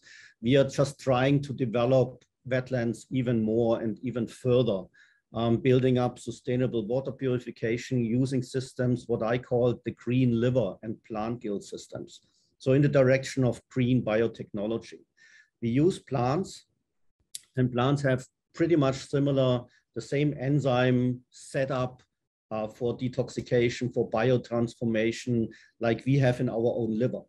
So what we can detoxify, plants can do pretty much the same. And uh, for that, I was calling these things then green liver systems. So I'm using plants in a complete artificial setup to clean water. And also we develop systems and you all know microplastic and plastic is a big threat to our environment. We also develop filter systems using um, plant waste products like uh, coconut shells um, to filter out microplastic from water bodies, from stormwater, that it's not reaching the environment that's what I call um, the environmental sustainability solar system of my faculty. So everything is turning around this topic, environmental sustainability, sometimes more close, sometimes a little bit more far away, but building up this solar system and trying to enhance our knowledge on environmental sustainability. And I hope that with the years coming, we, we can see more little planets circling around these uh, environmental sustainability. And then also contributing to what is done here at the University uh, of Manitoba in that direction. We have also sustainability-based lectures at our faculty. Um, there's Sustainable Manitoba or Sustainable Water Management, Sustainable Development and Natural Resources, sustainable economics and natural resources, and the urban sustainability 2.0. So that's where we tackle really questions around sustainability from different points of views. And um, yeah, I think it's it's a good setup. And also here, I hope to see it growing around this topic more and more that we can offer students um, more information on sustainability and what to do and how to do it. Um, we are not alone in the world. So I'm coming from, uh, yeah, the last three years, I was professor in Finland at the University of Helsinki. And uh, during that time, we set up there a Helsinki Institute of Sustainability Science, which is uh, HELSUS. I'm still a member of HELSUS, and with that, we have a great link to Europe and what's going on on sustainable uh, science issues between these two universities, Manitoba and Helsinki. And uh, yeah, we have to see how we can, in the near future, enhance the cooperation between these two institutes uh, in favor of sustainability. With that, I thank you very much for that, and I'm open for question and will stop sharing my slides. Thank you. Thank you so much for that, Dr. Pflugmacher Lima. It was such a nice overview of all of the work that's being done in the faculty. Um, so just a reminder to everyone out there, if you have any questions, please feel free to put them in the Q&A box. But uh, while we're waiting for those, I do have one that I wrote down for myself. Uh, so you talked about all the work that's being done.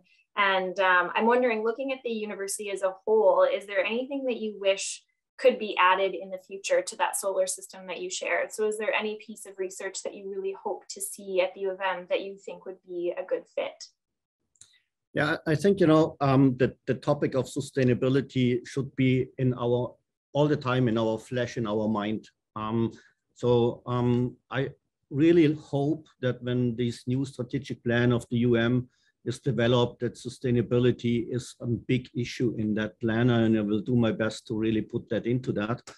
um, because that's that's important to be really on top of, of what we are doing. Um, I forgot to mention that we have students building up, uh, for example, a startup repairing bikes, which is which is very sustainable because the, the resources are old bikes. So these are things we would like to support and we would like to see more, that we find space for these little startups uh, on campus that they can develop their things. Um, that's, that's one of the, the uh, ideas we have. Um, we have a big idea, which is which I called a think tank building for the whole university for all faculties.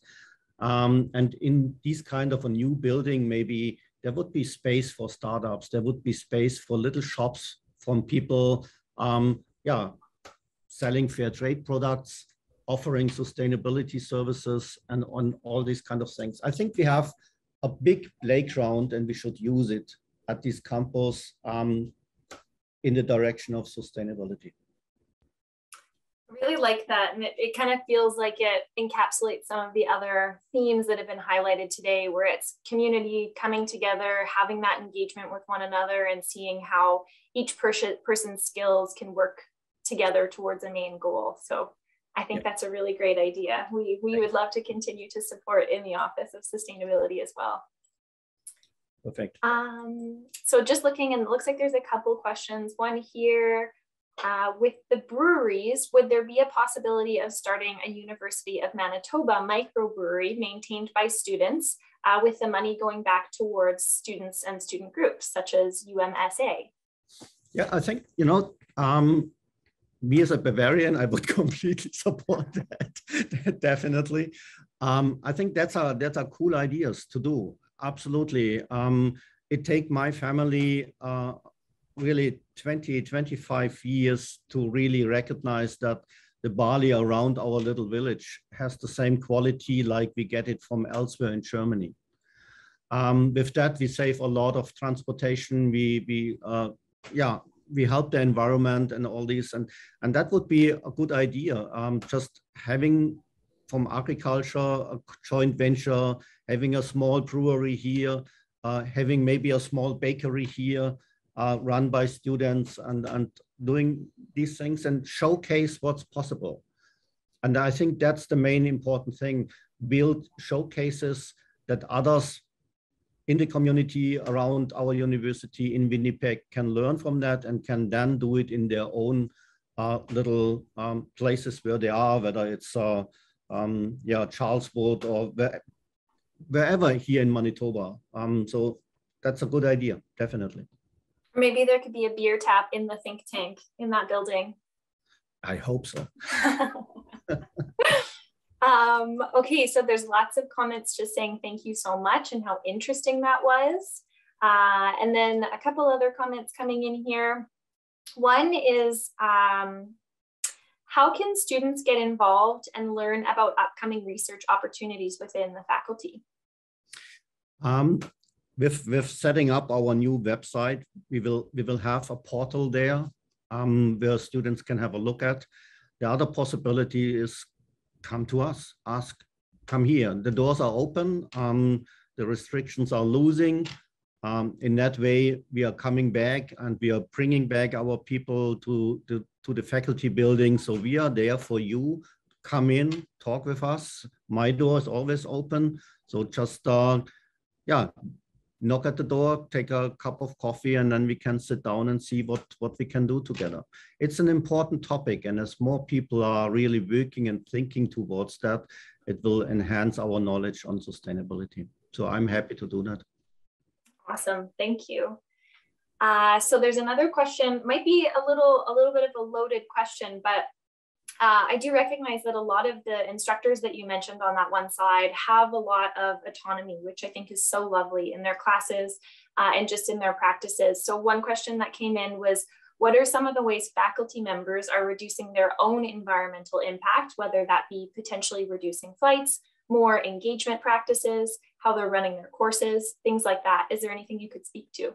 Yeah, um, I think that's one point what COVID really taught us that it's not necessarily for a 10 minutes talk to fly around the world. Um, and I have an eye on that, and I talk with the people. If I see that someone is flying from from here to to New Zealand for a 10 minutes talk, I, I really talk with him uh, or with her and ask, is it necessary? Is there not a hybrid model where we can do that? Um, of course, we have people telling me, okay, but the, the personal connections and in person, and that's necessary. Yeah, that is, but maybe not with all the conferences.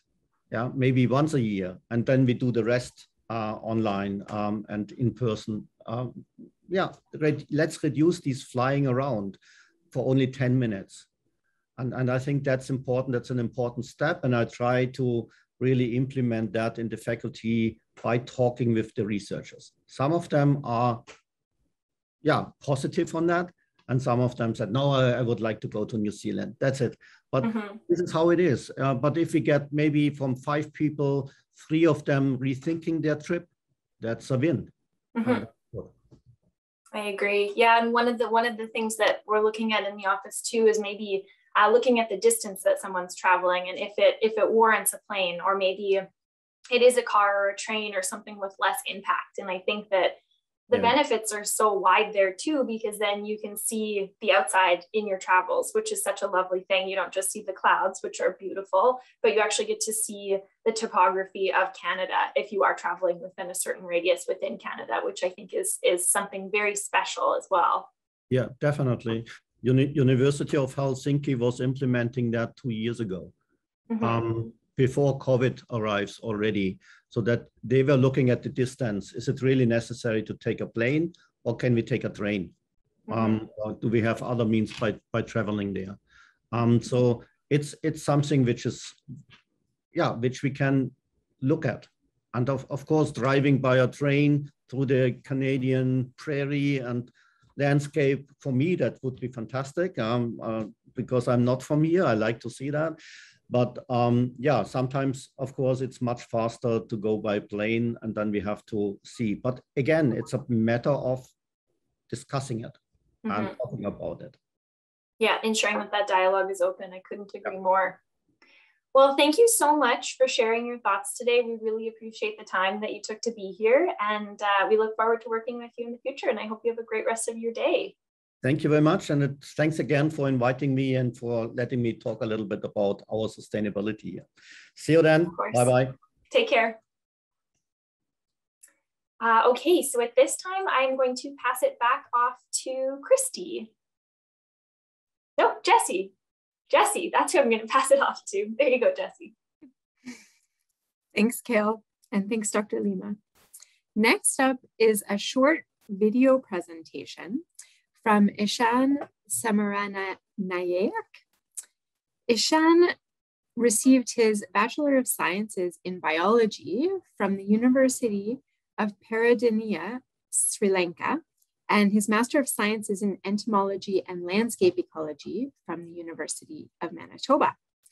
Currently, Ishan is a research technician in agronomy at the University of Manitoba's Plant Science Department. Ishan is conducting research and biodiversity surveys on urban natural areas in the city of Winnipeg and conservation projects in home gardens in Sri Lanka voluntarily. He is a member of the International Union for Conservation Nature, IUCN, which is the global authority on the status of the natural world and the measures needed to safeguard it. Also, Ishan is working with Scouts Canada and Sri Lanka Scouts Association for educating the young generations to promote, su promote, support, and strengthen nature conservation in climate change. So I will turn it over to our IT specialist here to start up um, this video.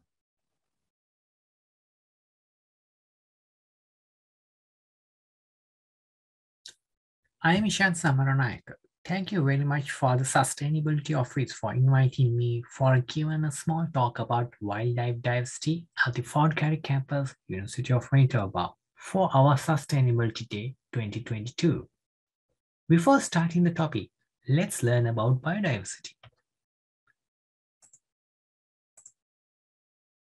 Biodiversity is a term used to describe the enormous variety of life on Earth It can be used more specifically to refer to all of the species in one region or ecosystem. Biodiversity refers to every living thing, including plants, bacteria, animals, and humans. As you can see this slide, biodiversity is related to many things. There are three levels of diversity, such as genetic diversity, species diversity, and ecosystem diversity. Genetic diversity.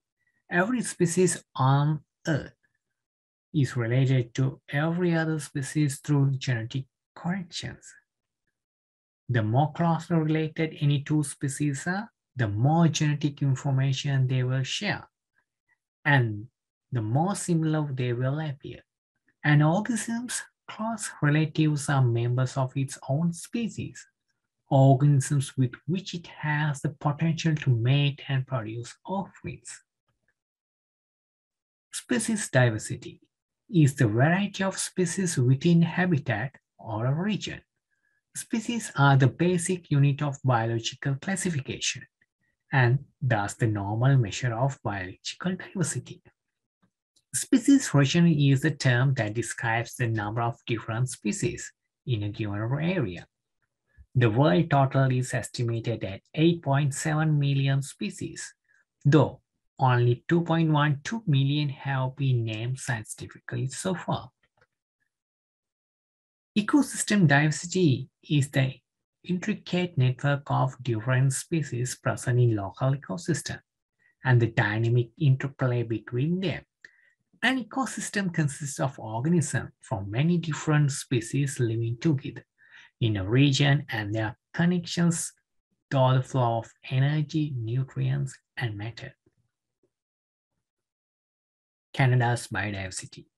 Canada is home to a wide spectrum of significant biodiversity, including the vast portion of the world's boreal forest, 20% of its freshwater resources, and the longest coastline on the planet. Canada also has a quarter of global wetlands and 25% of remaining global temperate rainforests. These ecosystems are globally significant they provide habitat for a unique variety of plants and animals, including many that are central to the traditions and cultures of indigenous peoples. There are 70 to 1,000 species described by science in Canada, while another estimated 69,000 species remain to be named and classified by scientists or recorded the first time. If viruses are included, the number of estimated species would be doubled. About 51% of Canada's species are terrestrial, 23% are freshwater, and 25% are marine. If you look at the higher groupings, like phyla, then 61% occur on land, 72% in freshwater, and 84% in marine waters. Manitoba's biodiversity. Manitoba hosts five major life zones or biomes. Grasslands, boreal coniferous forests, Arctic tundra, freshwater, and Arctic marine biomes, plus aspen parkland, eastern deciduous forest, and forest tundra transitions. Each of these major biological communities teems with countless number of diverse species. From huge whales, lion's mane jellyfish, and the seven meter Greenland shark in the Hudson Bay to bizarre mesoprophic life forms in the soil, water, and air, and even in on our bodies. Manitoba is truly buzzing with life during all season, even under the snow and ice. There are 635 vertebrate animals, such as fish, amphibians, reptiles, birds, and mammals and over 3 to 1,000 invertebrates like insects, spiders, worms, crabs, lobsters, squids, and clams in Manitoba. Also, there are around 200 400 plants, 800 lichens, 3,000 fungi, and a staggering 36,000 algae in Manitoba. Certain of these figures will continue to rise with new studies. There are no numerical estimates for the other groups, such as protozoans, bacteria, or viruses. Let's move on to our topic. Do we have rich wildlife diversity at the Fort Garry campus? To know the answer, I have conducted the terrestrial vertebrate inventory at the Fort Garry campus since 2030. I have selected four main areas at the campus, such as a trail around the Red River, at the Pine Research Station, South Woodland Lands, lands beside the Markham Road. I have recorded the observation of amphibians, reptiles, birds, and mammals, and use pictorial guides and web apps to identify them on random days as I had my free time. In Manitoba, there are 16 amphibians. Among them, I observe only two frog species such as northern leopard frog and wood frog as shown on this slide. In Manitoba, we have eight reptiles, including five snakes, one lizard, and two turtles. In our campus, I found common garter snake, common snapping turtle, and western painted turtle as shown in the slide. There are around 391 bird species in Manitoba. Among them, I observed only 48 species during my inventory. However, I am expecting there are more bird species in our campus land. I have recorded 15 mammal species during my study. For your interest, there are 88 mammal species in Manitoba. Now we have the answer for our question. Yes, we do have rich wildlife diversity at the Fort Garry campus. Also, I am expecting more terrestrial vertebrate species as well as more invertebrates find our campus premises. So, we need your help to record these species. Students, staff, and faculty can join the citizen science project to identify flora and fauna on our campus. I would like to suggest using the iNaturalist.org website or its mobile app to record your observation here our Fort Garry campus. The app is helpful for identifying species and confirming your species by three naturalists or suggesting a correct identification of the species that you uploaded. Now you can watch a short video clip about it.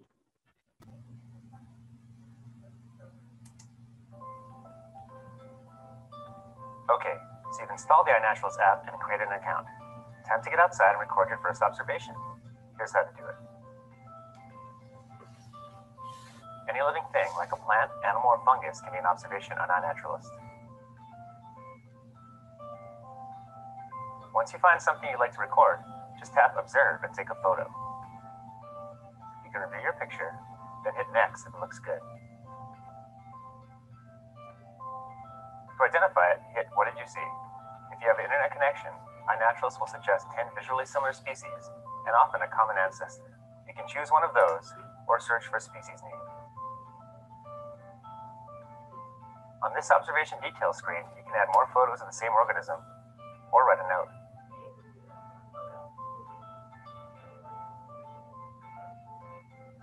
The date, time, and location have been automatically added. You can also change the geoprivacy of the observation, mark whether it's captive or cultivated, or add it to a project. Once you're finished, just hit share and your observation will be uploaded for everyone to see and identify. That's it. Keep on exploring and sharing.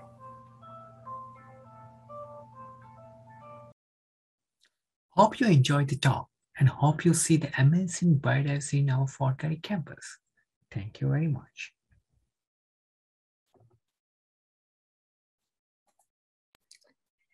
Thanks, Ishan, for that informative video. Next up is one of our own, Kale Kostick. Kale is the project's coordinator in the Office of Sustainability and has been working at the University of Manitoba for almost three years. She has a demonstrated history of working in post-secondary institutions, working mainly on plans, policies, and engagement. Welcome, Kale. Thanks so much, Jesse. And hello, everyone. Oh, I did uh,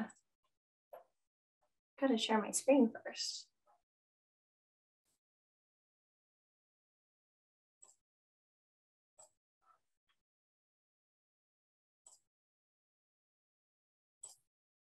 Can everyone see that? Yes, I can see it. Perfect. Thanks, Jesse. Okay, so my name is Kale, and I will be presenting today on the University of Manitoba's forthcoming climate action plan. This plan has been in the works for over a year now. It has not yet been approved, but we are hoping that it will be so in the next couple of weeks. So what is a climate action plan? The University of Manitoba's Climate Action Plan lays out a clear pathway for the U of M to reach the determined commitments that I will discuss in a moment. It also is founded on the most effective approaches to decarbonize currently de to decarbonization that is currently available to us. And lastly, it is developed specifically to suit the University of Manitoba's local energy and emissions profile, its building constraints, and its cold weather climate, and other elements that make up the unique context and culture of our community. This climate action plan takes a look at where we are, what we are already doing and digs a little deeper to, to see what is left to do and what we can do better. Before I get started, I think it's really important to note that although I am presenting this plan to get to this point and to achieve all that we have that I'll talk about going forward, it involves every person and every corner of the University of Manitoba at all of our campuses. So thank you to the community for the never ending insight and thank you all for being here today. So before we talk more about the climate action plan, let's talk a bit about how we got here. The University of Manitoba's sustainability strategy approved by the Board of Governors in 2019 outlines the university's commitment to significant large-scale action. The document is the Office of Sustainability's guiding tool for what we do in our office on a day-to-day -day basis, and it consists of the three sections that you see on the screen. Infrastructure and operations, campus life, and research and academics. Within these three sections, there's a total of 14 goals and 64 commitments. One of the 14 goals is to reduce greenhouse gas emissions, and the commitment that goes with that, uh, as seen on the screen, is to create a climate action plan that includes targets for emission reductions, resilience and adaptation, and considers the financial benefits of planning. So from this, we know and we knew that we needed to take immediate action on climate change. From that understanding and the university's support, the U of M signed the Global Universities and Colleges Climate Letter in 2020, it is now called the Race to Zero, and it commits the university to three things. The first is mobilizing more resources for action-oriented climate change, research, and skill creation, a pledge to reach net zero by 2030 or 2050 at the very latest, and increasing the delivery of environmental and sustainability education across curriculum, campus, and community outreach programs. The most time sensitive is that one in the middle, which is reaching net zero by 2050. So from this commitment, the university sought out a consultant that would be an expert in this line of work, which ultimately is bringing the emissions of a small town down to virtually zero.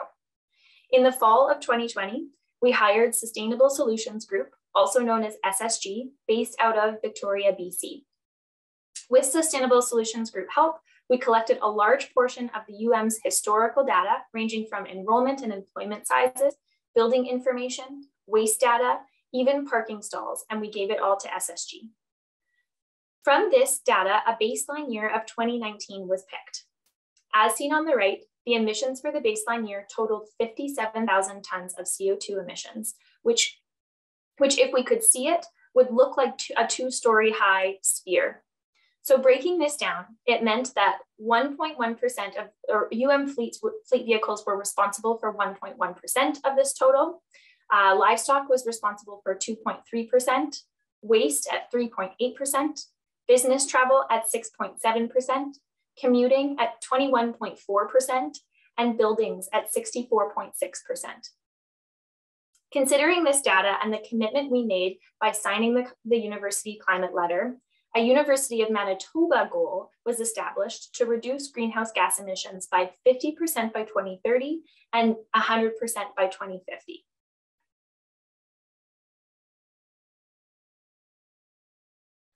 So from the outset, we knew this needed to be a community plan. COVID posed many challenges to engagement, but we persevered and were able to hear from the public through six methods. The first was pre-engagement interviews with 12 individuals that we felt would have insight into how best to engage with the UM community. This engagement was for the purpose of this plan, but also how we continue to engage throughout the implementation of the plan. Another group was the Climate Action Plan Working Group, which consisted of nine members of the campus community. This group focused on the technical abilities of the university and what could be accomplished based on nuances specific to our location and resources available. Additionally, immensely valuable information was gathered from the Sustainability Committee in the creation of this document. And fourth, public lunch and learn sessions were hosted by the Office of Sustainability in May of 2021 that looked at five big move areas, which I'll talk a bit more in a couple slides about. And fifth, we also ran an online survey during that month of May for those that could not attend in-person or virtual sessions. On the right is a word cluster that was generated from the survey when respondents were asked what they would like to see if they were standing on a U of M campus in 2050. And last, using the outline of our lunch and learn sessions, we created a discussion toolkit that allowed groups within the university to host their own engagement sessions. This information was sent back, reviewed, and incorporated into the climate action plan. So now that we know the goal of the climate action plan and who was involved, let's talk about the boundary and the scope of the plan. So the emissions boundary of the climate action plan includes the campuses and locations shown on the map on the right. This includes the responsibility of assets owned or under the operational control of the university, such as buildings, land, vehicles, and equipment. The scope of the climate action plan is production based meaning it accounts for emissions produced within the boundary of the university's properties or as a direct result of the activities within those boundaries. It's broken down into three areas. The first is scope one emissions. These are emissions from within the geographic area and include things like furnaces from the Fort Garry District Energy System, university fleet vehicles, agricultural activities, and waste and water generated on campus. Scope 2 emissions are produced outside the U of M boundaries, but consumed by the university.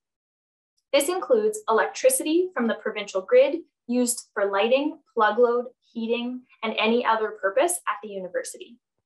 This also includes building electricity and heat use at the Bannatyne campus that comes from the Health Sciences Center district energy system and is not owned or controlled by the university. And then last is scope three, which is other indirect emissions not included in scope two. These emissions are a result of commuting to and from university locations, from business and research travel, and from the university's waste and wastewater facilities off campus. These emissions are a consequence of our university's activities, but occur at a source that the U of M does not own or control. What the plan does not cover is a consumption-based emissions inventory. This is where responsibility is assigned for emissions to the community in which the production or service is consumed rather than the community in which it was produced. This type of inventory would calculate the emissions generated to produce and transport food to the U of M, which this inventory does not cover. So let's see what this looks like if we have to chart out all the information we have so far. In the graph on the left, the dotted yellow line shows the first step and reduction of a reduction of 50% by 2030. The blue line above shows the University of Manitoba's emissions from now until 2050 if no additional policies, actions, or strategies to address energy use and emissions are implemented other than those currently underway. In this scenario, U of M's total emissions will decrease by 20% by 2050. And remember, we wanna get to 100% reduction. So how can we get to this, our pathway to net zero? And that's the lighter blue line that just appeared on the graph. Let's look at five big move areas to identify how we can make this happen.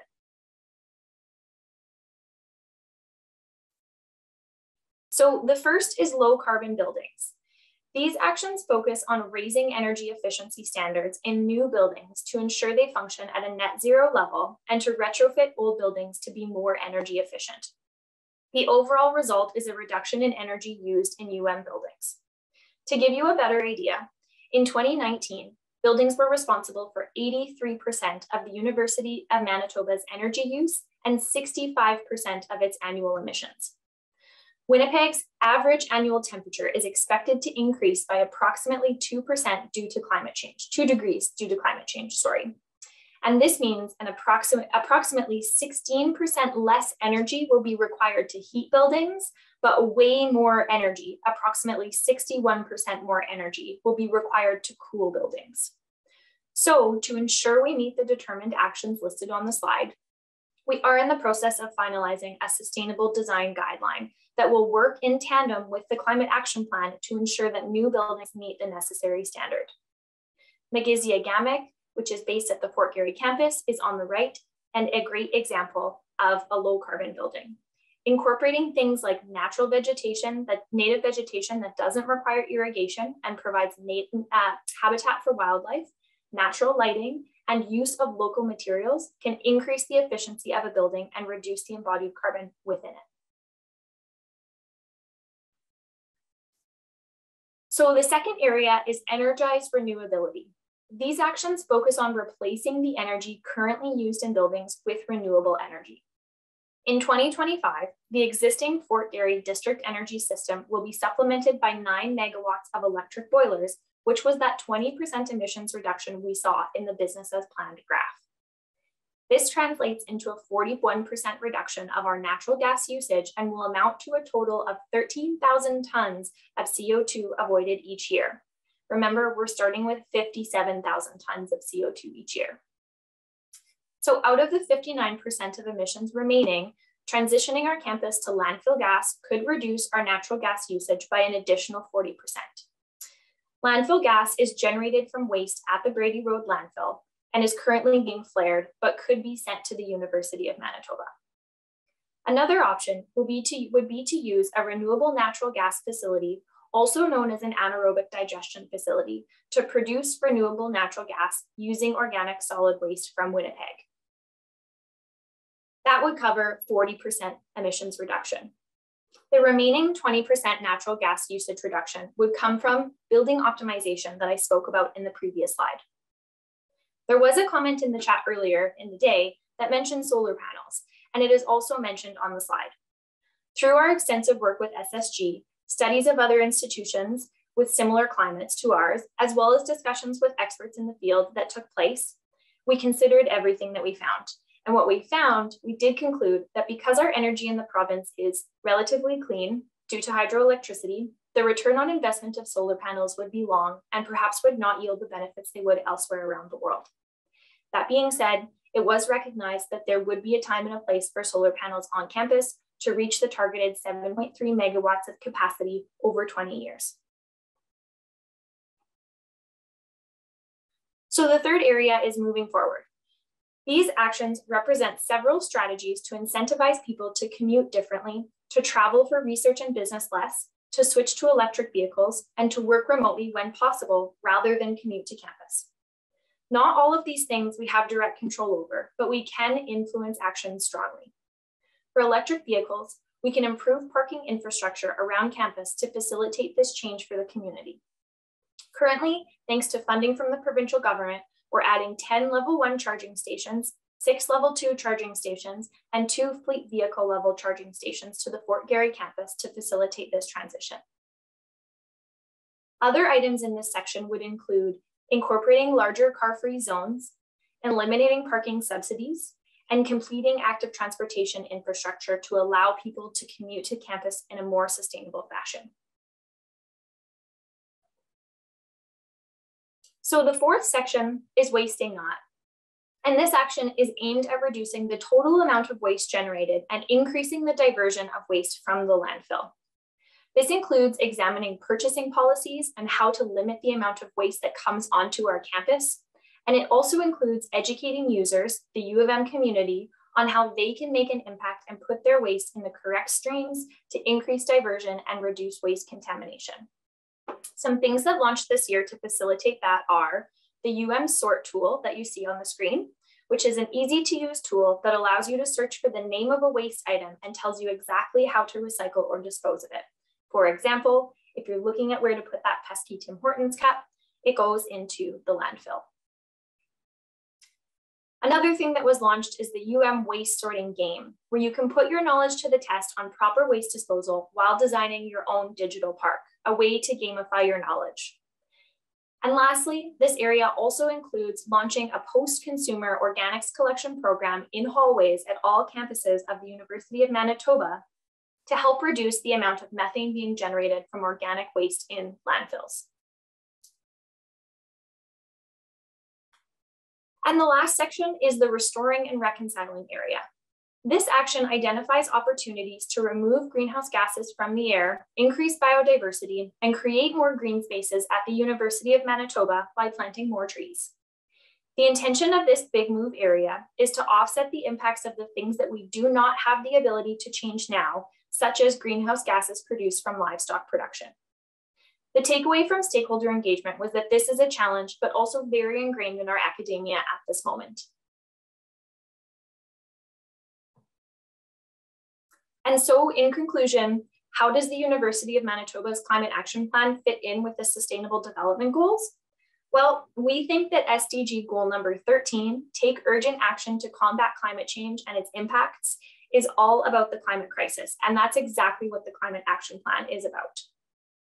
Keeping in mind that none of the SDGs are mutually exclusive and working towards one of them means working towards all of them. It should be recognized that the Climate Action Plan does some notable things. The first is, is that it consists of ambitious goals. There's no question about that. But they are goals that align with the International Panel on Climate Change, also known as the IPCC, recommended global emissions reductions targets. Achieving these targets and shifting to zero 100% emissions reduction globally would mean that global heating is limited to 1.5 degrees Celsius by 2050, of which we are already currently at 1.2 degrees. Uh, climate change impacts will still occur during this time if the target is met, but we could avoid catastrophic events. The University of Manitoba's Climate Action Plan is the University of Manitoba's way to address the climate crisis and make a positive change right here at home. So what can you do? You can get involved. Please get involved by joining events, becoming a sustainability ambassador, and engaging with your peers to really have conversations about the climate crisis and what's happening and what actions you can take to help combat. Uh, also staying up to date. As you know, I work in the Office of Sustainability and we have endless resources that we share on our Instagram and our Twitter. I recommend signing up for our newsletter. We send it out about every three months or so and then following our climate action page website so you know exactly what's happening with this project at any time. And there's a couple things that were already mentioned today too, but really think about your impact every day, but especially on days like World Water Day, Earth Day, and Earth Hour. Try participating in Bike Week and Commuter Challenge when the weather gets nicer, and be sure to bring your own reusables when you come back to campus, including your water bottle, cutlery, and a reusable bag for your bookstore. Try hosting a green event like this one today, whether it's in person or online, as Tino had highlighted earlier. And be sure to take advantage of things like Go Manitoba to find a carpool or a ride buddy for your commute, whether that be biking, busing, or driving. And then lastly, as Christie had mentioned earlier, we really want to hear from you. Uh, so we know that the community needs what the community needs are, and we understand what they need as far as education goes for climate, sustainability, and more.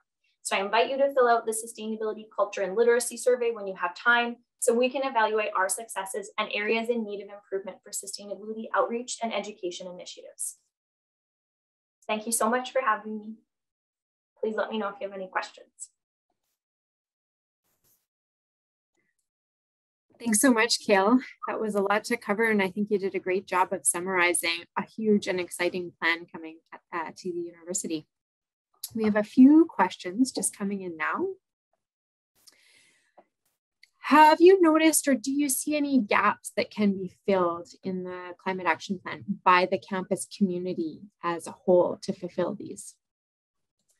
Yeah, that's a good question. Um, I think what I had mentioned at the beginning is that it will take the whole campus community to have this plan succeed.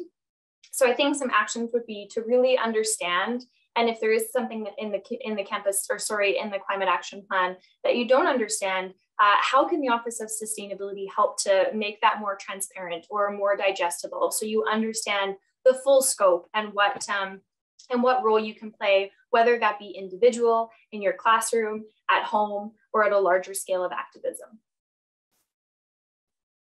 Great suggestions. Any thoughts for um, how classes can take this climate action plan and really break it down as a class or for students or some different you know student project ideas that could come from this? Yeah that's also a good question um, i think really kind of coming off of the conversation that uh, Stephan Pflugmacher Lima had mentioned and, and just trying to incorporate it into classrooms whether that be a discussion on a topic a discussion on the climate action plan um, how the climate action plan is being communicated, or just getting in touch with nature itself and getting outside and understanding the importance of it, which is really nature and why we want to protect protect the world that we live in and the benefits of being outside and being with each other and that community that's created around the actions that we take. So I think that would be um, a really fun activity for students to just open up the dialogue and talk about it a bit more and get in touch with certain aspects of the plan. Great suggestions. And from the staff and faculty side, do you have any thoughts on how staff members and faculty members can get involved in the plan? Yeah, I think that um, I think that there's a lot of processes at the university that have been the way that they have been for a really long time, and I think that just like students, faculty and staff have um, a firsthand view and experience as to how these things are maybe not as sustainable as they could be. So as we were talking about, potentially thinking about if you have to travel for work, how far are you going? And really try and take that step to mitigate your impact as best as you can through the actions that you can control. So if you can attend something virtually, try attending something virtually. Um, you know, when you say how can students get involved, maybe it's a group bike ride to campus, and maybe that means that the instructor joins in. And so maybe there is that interconnecting between faculty and staff and students to all reach that common goal. Great suggestions. A few more questions coming in. Um, why do you think that environmental issues sometimes don't get the same resource mobilization um, as other issues that come, come along on campus? These are good questions. I think that, uh, yeah, well, I think there's a couple reasons. I think that it always feels like it's potentially a moving target because things in sustainability or the environment are always changing. Uh, so what is the temperature that we really want to stay below, you know, and, and what does that mean for our geographical location as well?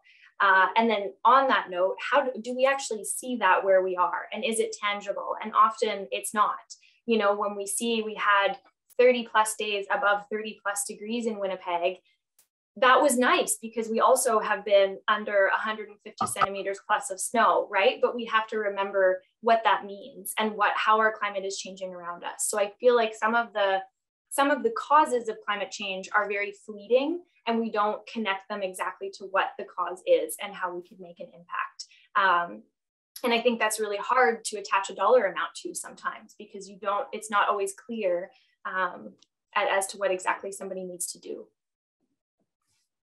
Mm-hmm. Good point. Good point. There's a question in the chat here um, just about the, the time range and that it's fairly broad, uh, stretching from 2030 all the way up to 2050. Do you have any thoughts on that, comments on that? Yeah, I think it's really important um, because I think when we look at, you know, when, especially in a university setting, we have our fiscal years that are one year in length, which is a really short amount of time. And we see that in our political structures too, outside of the university, when certain terms are only four years. And our sustainability strategy, albeit very helpful and a great pathway, is also only five years. And I think that it's really hard to chart out how you're going to make effective long term change in such short amounts of time. So it is a 28 year plan, which is very long and feels quite daunting, but it's also a living document. And it's something we have a foundation for right now, but we're always going to be growing on it. And I think as we review the plan over the years and tailor it to what's happening around the world and at home, it will we'll be thankful that we had something that looked at, at it so broadly in the initial stages is, is my uh, is my thought on it. That makes sense. Um, one question here from a staff member, are there any specific um, incentives that are currently available or that you see you know coming becoming available in the future that would help to influence um, student staff faculty changes? Mm-hmm. uh, well i think there's a couple things on the student side. As far as transportation goes uh, there is the eco pass that that hopefully will get back up and running after COVID suppresses. I'm not totally sure what the good word to use there is, but but um, reduced transit costs, I think, will be is a huge incentive for students.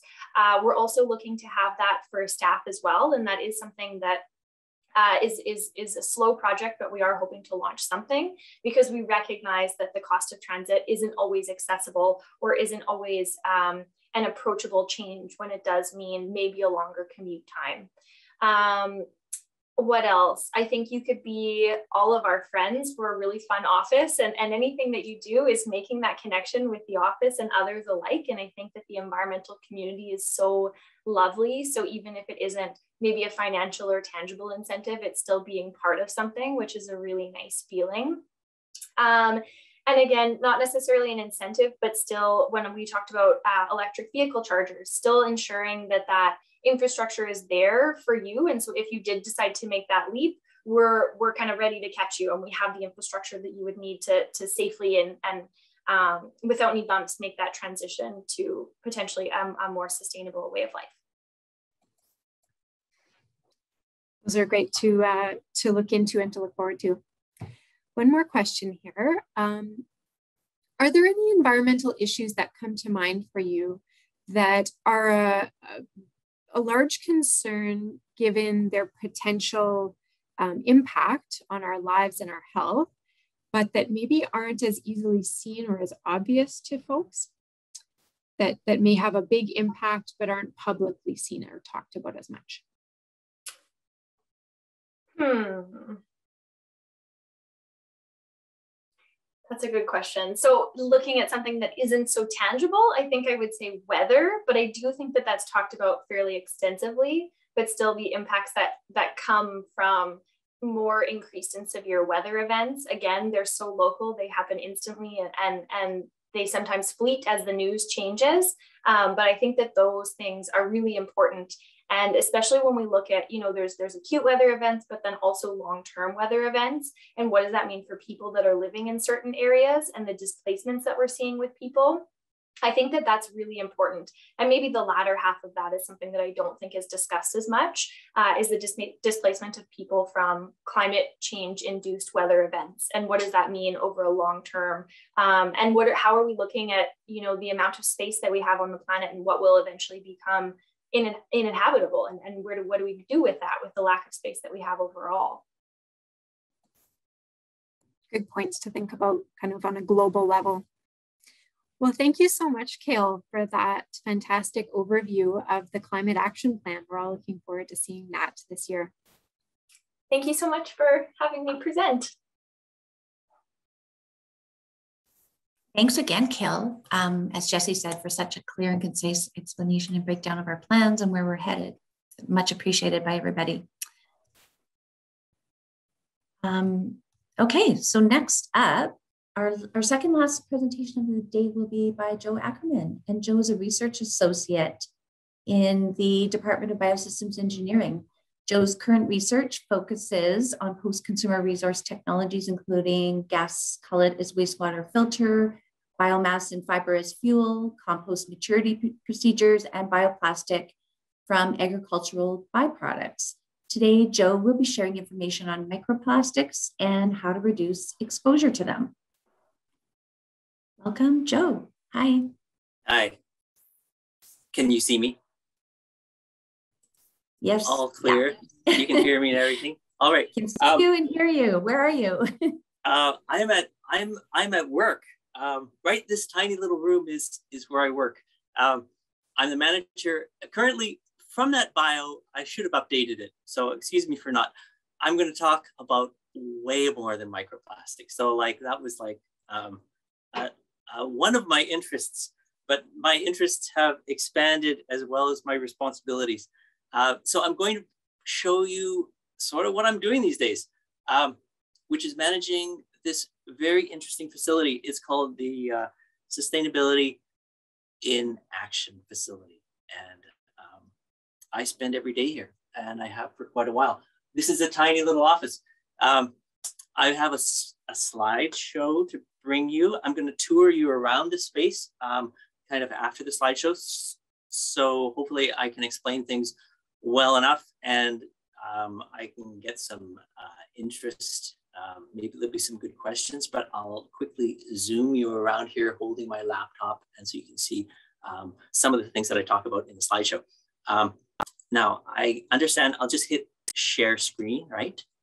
Um, and I will share that. And I will, I can't quite see it, slideshow. You know, the little drop down menu is hiding what I need to see here. Um, why can't I? Slideshow. I just want a slideshow. How can I get rid of this? Um, well,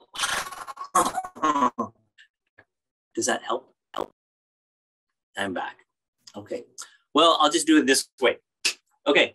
Um, this place is called SiAF. That's what we call it, uh, just for short. So it's sustainable sustainability into action facility, and it is on the university campus. Um, but it's not downtown. It's a little bit off into Smart Park. At the very end, I've got a map, so I'll, I'll show you what um, how to get here. Um, the um, what I'll do is kind of tell you a little bit how I um, where I'm at. I, I caught the tail end of, um, of Kale's presentation. So my personal, um, I guess, interest and sort of passion in all that I get to do here is driven by some of the same things. Like I heard uh, that there was like 10 years left before uh, significant climate change, irreversible um, life will never be the same again. Um, drastic consequences to um, to CO2 levels in the atmosphere happen. Well, and now we're down to eight years. So uh, I guess my attitude is, well, I'm not really doing very much over the next eight years. Uh, might as well get serious. So um, that's you know practically what I'm I'm injecting into my job here. Um, so I try and make things happen and I try and facilitate things happening. Uh, and it's going pretty well. Um, this is the front of our building. Um, we just got a sign put up. This whole site, um, just in Smart Park, used to be called the Alternative Village. And it was a sort of alternative building techniques um, uh, workshop um, graduate studies, playground. Um, a lot of experiments went on here, and there's a lot of uh, research carried on, and things been published. And um, that professor who was in charge of all of those kinds of things um, has retired, and has sort of left all of this um, legacy of very interesting projects, very interesting um, uh, demonstrations and prototypes and pilot scale um, alternative energy, um, building techniques, um, and was actually a fair bit of food production. So my job is to integrate more of the campus into this instead of it just being a little tiny corner of biosystems. that a lot of biosystems students didn't even know about it. I'm trying to really break it out into um, the larger faculty and larger, um, all the other faculties. So any course that has something to do with sustainability or alternative energy or, you know, kind of innovative building, um, food production, all kinds of things, um, you can come here. So to give you an example, um, oh, see, am I able to, are you guys able to see this? Maybe not quite, I hope you can. Um, so this building I'm in right now is made of straw bale. And it is, correct me if anyone knows better, but I believe it is the largest straw bale building in Canada. It's uh, 100 feet long and 40 feet wide and 22 feet high. And what makes straw bale interesting, and this is the sort of research that we like to do here, um, it's if you look at it from an embodied energy perspective, so measured in megajoules per kilo of material, straw bale is, uh, is about a quarter of a megajoule per kilo. And that compares with styrofoam or fiberglass, which both have about 30 megajoules per kilo. Now, granted, you have to, you know, be smart and um, normalize that because, um, you know, a square foot of, of wall um, is much heavier when you make it out of straw bale than you when you make it out of styrofoam. So you have to normalize it for for for real comparison purposes. So this graph you see, can you see at the bottom, the, the tiny chart? Um, uh, that's all normalized. So you've got the R value uh, per inch and you how many inches to bring it all up to R40. So you see each one of these materials has got a different kind of, um, um, you need a different thickness of wall to have the same R value. Um, and consequently, you'd have a different weight. So you can see straw bale is much heavier. However, if you look at uh, embodied energy, um, straw bale comes out just by far the victor, um, you know, 1.75 uh, megajoules per, per square foot of wall area. So um, it's a sort of research that you can do is like, well, yeah, what's better, fiber, fiberglass or styrofoam? Well, how about go bigger and look at um, the carbon footprint embodied energy each of those materials. And um, straw bale's got a lot of great things going for it. Um, you know, you don't have to travel very far to get it. You don't have to use fossil fuels.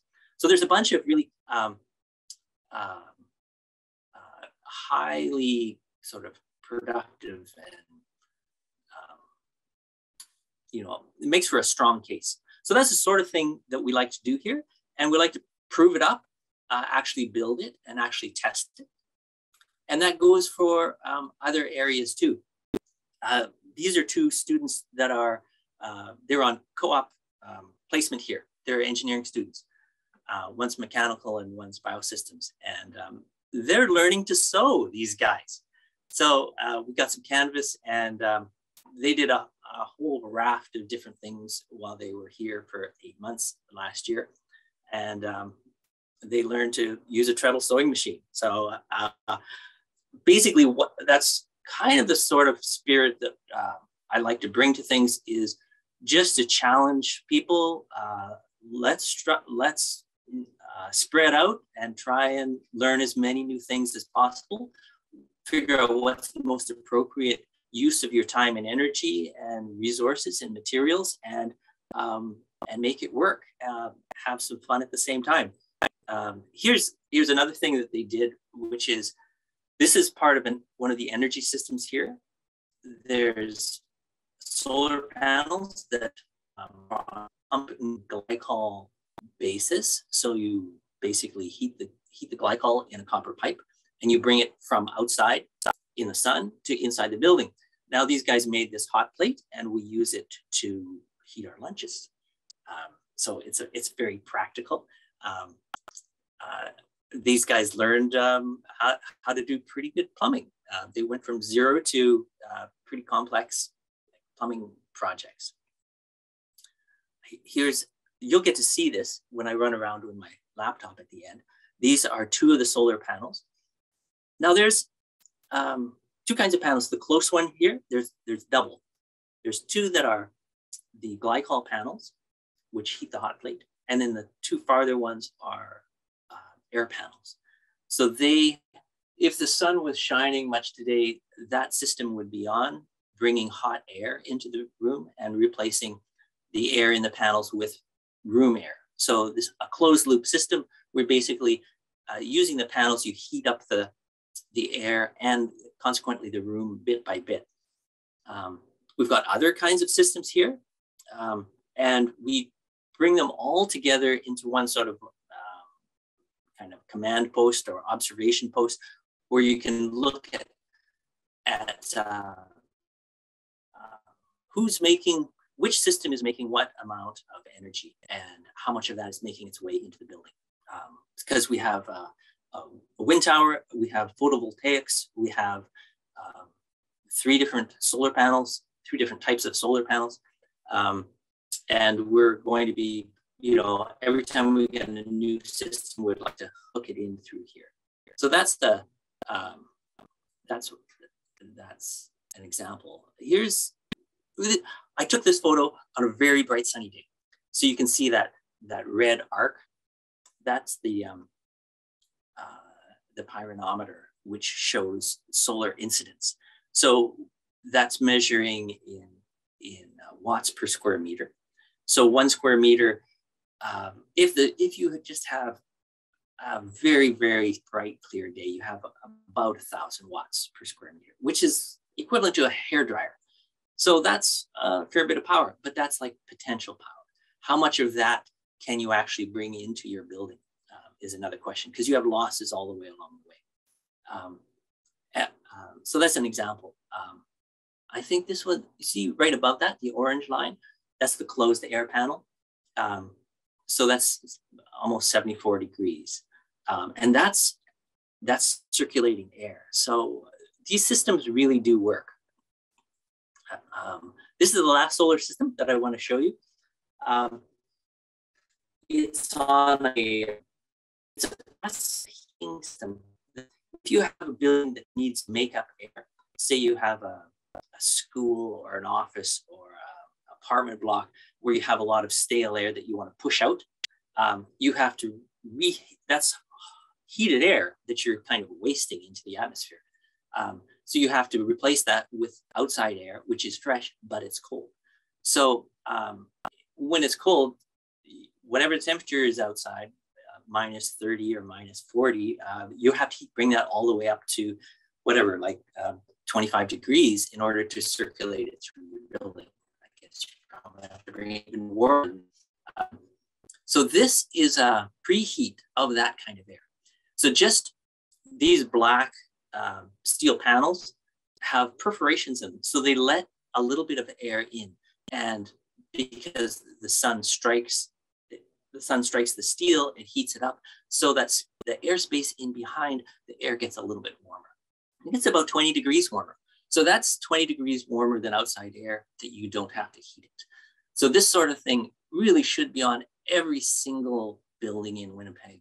There's no reason for this technology not to be um, um, mandated um, because that's that's actually over the course of the winter. On we get enough bright sunny days. Of course, it doesn't work in the winter in, at night, but um, there's enough hours of the day that it it, it would cut heating bills um, substantially.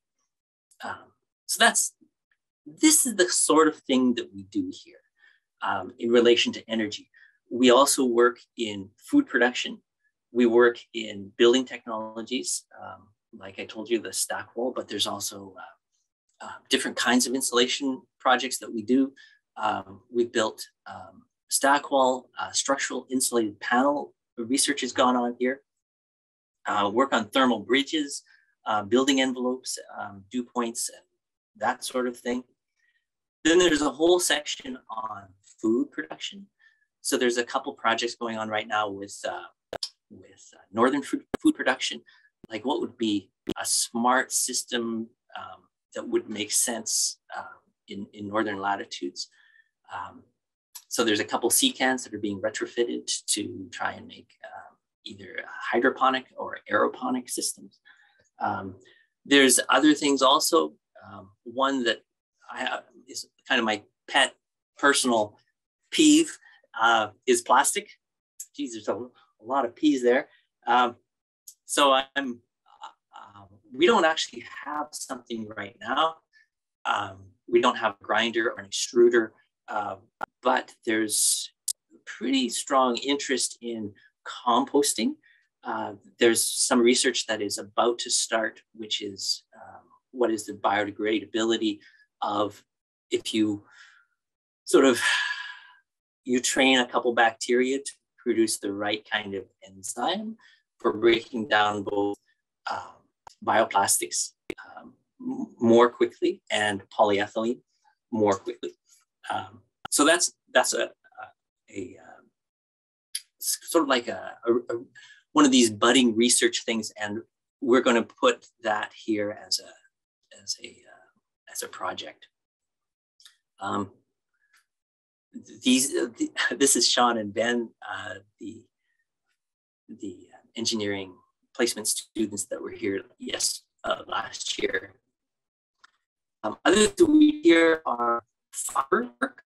So there's a couple projects going on. Uh, these are little gardening like greenhouse potting plant cups made of typha, which is cattail.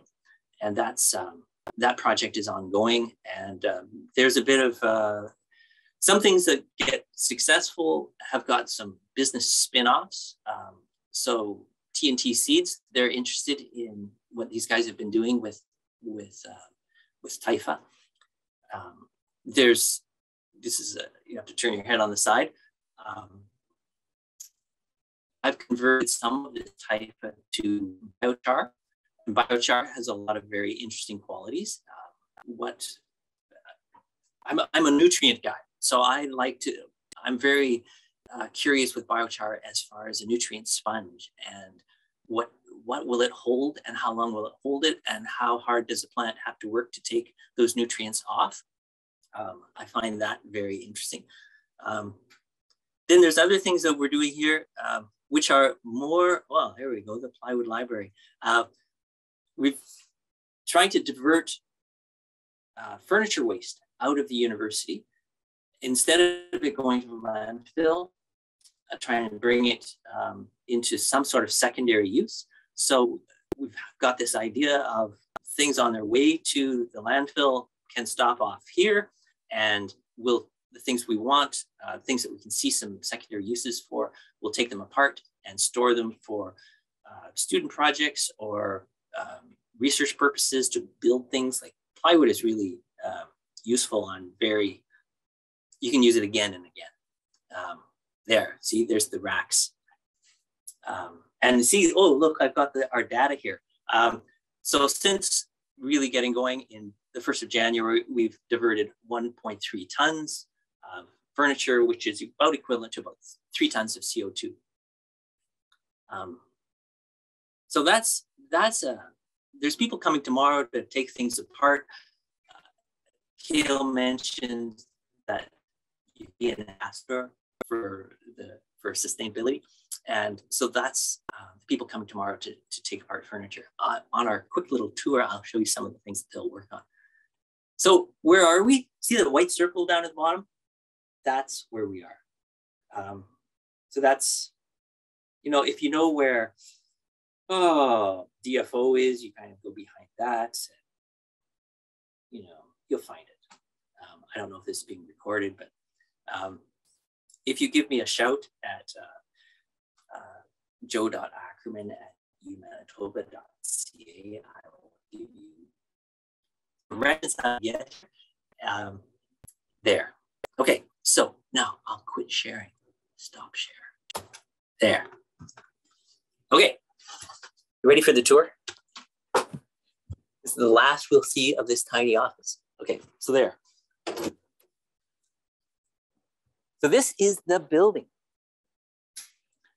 It's about 100 feet long, and we share it with this big red structure, which is belongs to soil science, but they never use it.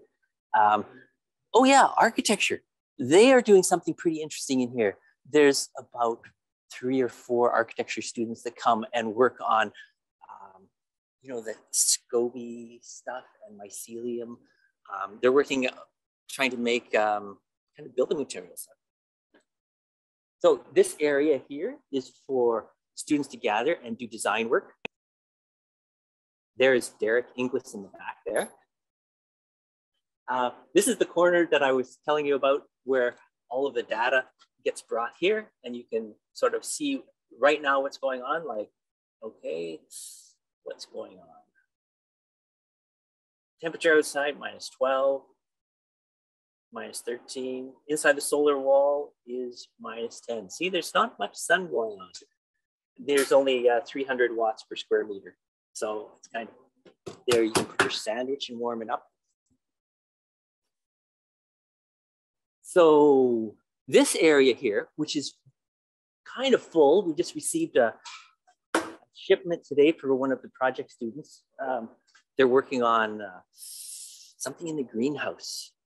Um, these are pieces of furniture that we're going to take apart tomorrow. This whole area is workshop area. So this is where uh, projects will get built if you got a prototype. Um, and hopefully we don't lose our connection. So this is what it looks like. There's our solar panels. Uh, there's a student project that is turning this into a growing chamber. Right behind here is the greenhouse, which I probably shouldn't take you in there because I'll lose the connection. There's two biomass boilers in here, in this green one, along with the Stirling engine.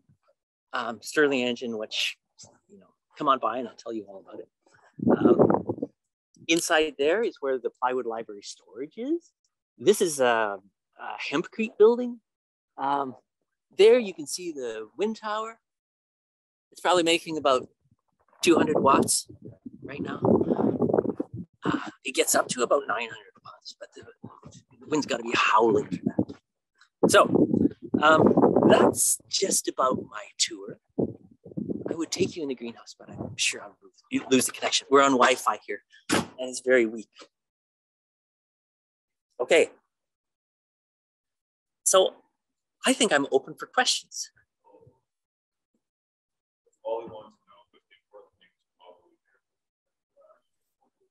Hi, Joe, thanks. Thanks for showing us all the projects and tour. There's lots going on. there is a question here. Can you hear me? Yes. Okay. Um, here's a good question. How would you persuade big companies to use material for energy that has a much lower carbon 14 footprint but provides less energy? But however, it's overall more efficient, just not as much energy all at once. Mm-hmm. Well, that's that's a, the energy thing is a very um, kind of a deep question because we mm-hmm. have gotten used to basically free energy, like oil and gas were given to us. Um, we didn't work for them. The sun doesn't make them on an annual basis. Um, things like you know, if you're burning biomass every year, the sun makes it, or the you know the whole ecosystem on the earth makes it. Whereas oil and gas were made millions of years ago, and um, we've just sort of stumbled upon them, and it's like they're free, but they're not really free because we're paying a huge price now for them. Um, whereas a more balanced system is, uh, you know, alternative energies like like solar, like wind, like biomass, um, that you sort of you have to rein in your consumption because you can't really um, use more than is produced. And so, to me, that's like the main thing about energy consumption. You have to bring it down. Um, you have, you know, try and get along with half of what you get along with now, um, and then try and have it again once you you know get the first milestone, yeah. then do it again. Um, so generally, when something like biomass or wind energy or solar is compared, they're compared with one that is free. You know, it's sort of like, you know, the first oil boom was not fossil fuels, it was whale oil. And it was just seen as like, wow, you just go out there, you harpoon, mm. you know, one of these billions of whales that is swimming around out there, you go to some little island and you render it all down and put it in barrels and bring it back and you you heat your lamps and everything and and your streets with it and you light your streets. And isn't that great? Like but it's not sustainable. Um, it's just uh, it's it's kind of a bad idea.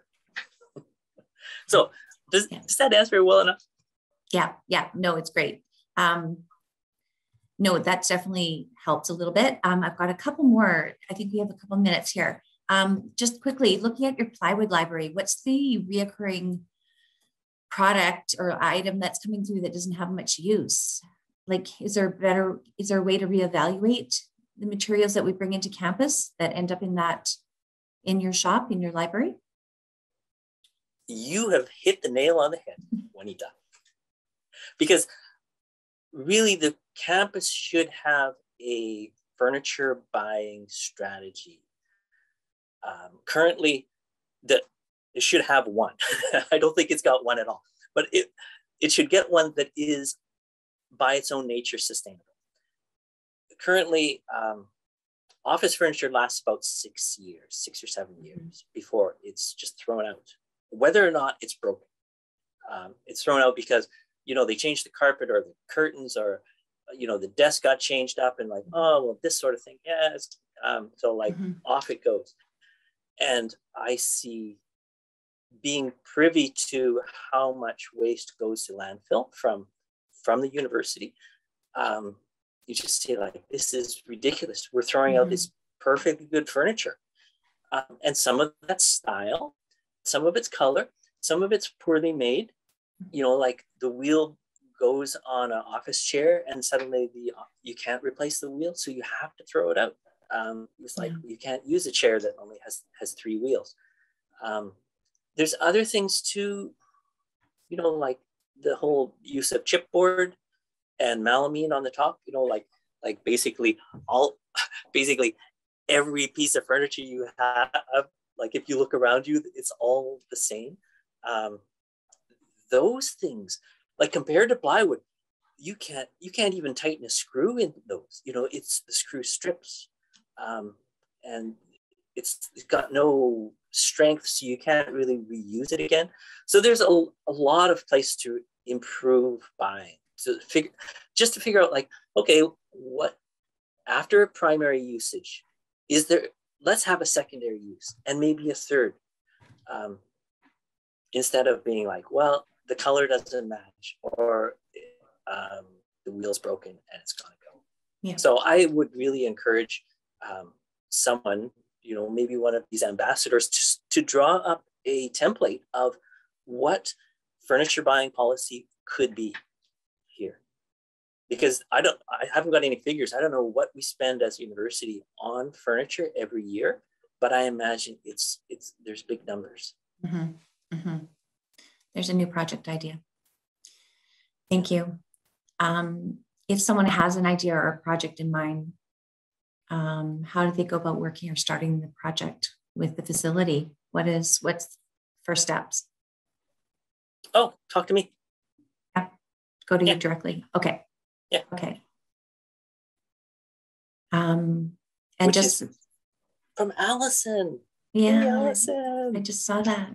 she, she she's like my partner in the uh, in the plywood library.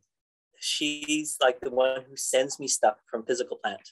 Um, figures out like okay, what's what's been deemed as as useless and um, got to get it out of here. And so she says, okay, Joe could use this and this and this, and she has them send it to me. So, but there's okay. there's yeah. still so much room for for more. You know, I'm I'm doing a little fraction yeah. of what could be done. But a good reminder to visit, utilize the reshop, um, U of M's furniture recycling program too. It's good to reiterate that here. Yeah. Thank you, Allison. I, I don't know if, if what I did was um, recorded, but we made a film about the plywood library. It's called the, and it's on YouTube. It's called mm-hmm. the F Waste Championships. if anyone wants to look it up. Okay. Um, I think we're out of time, Joe. I think we're out of time, but there's a couple more questions. Um, I they're in the chat if you don't mind. Um, okay. Shall I go and just could, type yeah. answers? Okay. We'll we'll type up some answers. Okay. Thank you. Thank you so much. Appreciate Thanks. it. Yeah. Bye bye. Great, Allison. Okay, I think it's back over to me now. So thank you, Joe. Thanks, Juanita. Uh, our next presenter is Kristina Hunter. So Kristina is a former senior instructor here at the University of Manitoba, where she taught sustainability related courses for 20 years and worked with many committees and student groups to advance sustainability on campus and even worked to establish the University of Manitoba's Office of Sustainability along with her colleagues and students. Uh, Kristina served as vice chair of the Manitoba Roundtable for Sustainable Development for nearly 10 years, advising the provincial government on sustainability policies and programs, especially related to waste reduction, green buildings, and sustainability reporting. Kristina now has a podcast and online program where she helps caring, eco conscious early career professionals go from feeling overwhelmed, which happens all too often uh, with the state of the planet and trying to do everything to be confident that they are focusing on the right things so that they can make an impact without burning out. Please welcome Kristina Hunter. So nice to see you.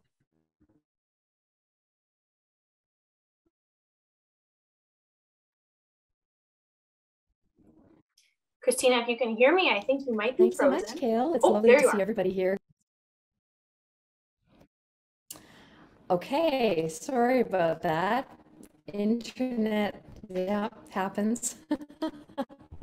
How am I doing now? You're good. A, a little, a little spotty, but I think uh, we, you're you're moving again, and, and so I think we're good. All right, I'm. I don't know. No one else is home. It's just me using the internet, so hopefully we're good for this connection. Um, I'd love to share my screen with you, if that's okay with everybody. Um, I know you guys have been here, many of you maybe all day already, but um, I'm really glad you've uh, stuck around this far. I know you've got some lovely um, awards coming up right after this, so that's beautiful. And um, hi, shout out to anybody who I know already in uh, in the conference. But yeah, feel free to give me a little hello in the chat, and um, I would love to to see any of those familiar faces, but uh, if I don't have a face, maybe a familiar name in the chat would be lovely. So I'm just going to share my screen with you if you're okay with that. And um, just let me give you that one. So as Kale mentioned, I had taught at the university for 20 years and I taught all sorts of courses and so on, but now I do other things. I teach through a podcast and I have an online program called the Eco Impact Academy. And I'm just so excited that the Office of Sustainability and the committee that made the decisions about what to present here today decided to include some discussion about self care. So that's what I'm going to be talking to you about today why it's an essential tool for actually making change in this world. So that's where we are headed. Oh dear, there we go. All right. Um, so that's me, and um, I, I'm really grateful to be here and chatting with you all. Um, I, as you know, taught here for at the university for about 20 years, and I spent my whole career in sustainability, looking at how to make organizations, government, and people live greener lives. And I've taught a variety of courses, including Sustainable Manitoba and Green Building and Planning, and in uh, the MBA program, Managing for Sustainable Development, and all those kinds of things. And um, I noticed along the way that my students and myself have been experiencing something that we tend to call now ecological grief and it's it's a real issue and it's quite a problem and that's really what I wanted to talk to you about today and how to combat that through self-care. So there are some really good techniques around this, but first let's just talk about that a little bit. This concept of ecological grief has come about and we've heard numerous um, other terms now talked about when this concept comes up around um, climate grief, or sometimes it's called eco anxiety, or even solastalgia which is similar to the word nostalgia, but it's a form of sickness that really has to do with your environment changing and um, your feelings about that, the, the sense of loss when we see our natural environment changing or our, our home environment changing um, due to these external forces such as climate change. Um, and, you know, this one paper that came out in January of 2021 in this Journal of Environmental Research and Public Health even talked about some of the surveys that have been done recently about this that found like 56% of, us, of rural Australians were worried about climate change. And even 29% of Americans in a different survey were very worried, and 64 were a little worried. And in Europe, in uh, the countries that were surveyed there, France, Germany, Great Britain, and Norway, found 30% of the population surveyed was very or extremely worried. And these related to having fears around climate change or feeling emotions like outrage and guilt and other, you know, real anxiety about these changes. So if you guys have experienced any of this, please feel free to pop that in the chat because I know that's very, very common and something that I too have experienced. And I wanted to make sure that we have some tools to, to kind of manage it and deal with it.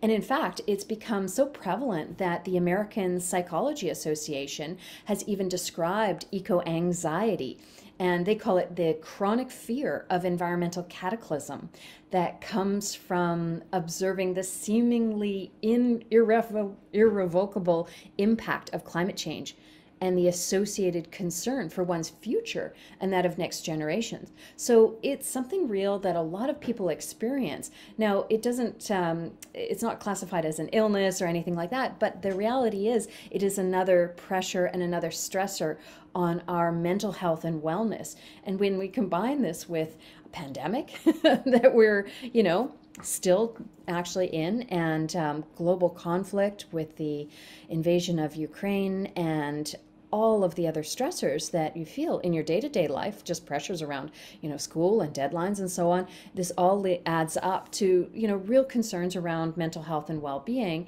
and really wanting to make a difference but sometimes you're just kind of stuck and you don't really know how. So that's just what i wanted to help out with talking about today because i remember very very vividly one day a number of years ago, I was walking my dog in the woods along the river, you know, my, my little river trail here in the city that I love walking and I walk all the time. But it struck me as um, a real insight that to actually care for myself, for my well being, for my body, for my physical health, for my mental health, for my spiritual health, is actually the same as caring for the planet. Why is that? Because we, me, and all of us are also beings of this earth. And as such, we deserve to be well. And when we do self care right in a way that's good for the planet, it's actually doing so much more benefit to us and for our broader interests. So that's what I wanted to get to today how to care for ourselves, understanding that it is a part of caring for the natural world, and how to do it in a way that is good for the planet. So it doesn't uh, surprise us, perhaps, that caring for the planet is uh, important to us. It's actually, we know we are biologically connected to the natural world, right? We absolutely need this thing called nitrogen. And even though the atmosphere is 78% nitrogen, can we just breathe it in and absorb it? No, right? we can't. We can't process that nitrogen. It's not biologically available. Who does that for us? Well, soil microbes. They actually fix that nitrogen and bring it into the food web and process it, and then other soil microbes bring it back out into the atmosphere. And that is all done through soil microbes. And that nitrogen is integral to us, it gets integrated into our DNA. So when we say we are a part of nature, yes, we are philosophically, spiritually, we can be part of nature, nature, nature, but biologically, we are part of nature. We are nature. And so it's not surprising that when we see environmental harm and degradation, it it's difficult for us. It harms us emotionally as well as physically. So that's very understandable. But how do we deal with it?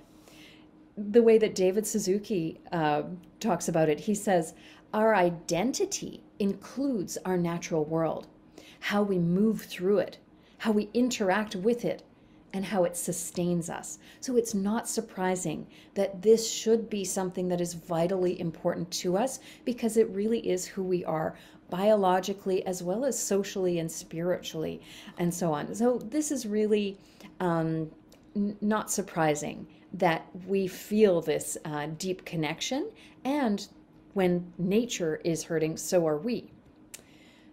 So let's talk about that and how it plays out in our actions.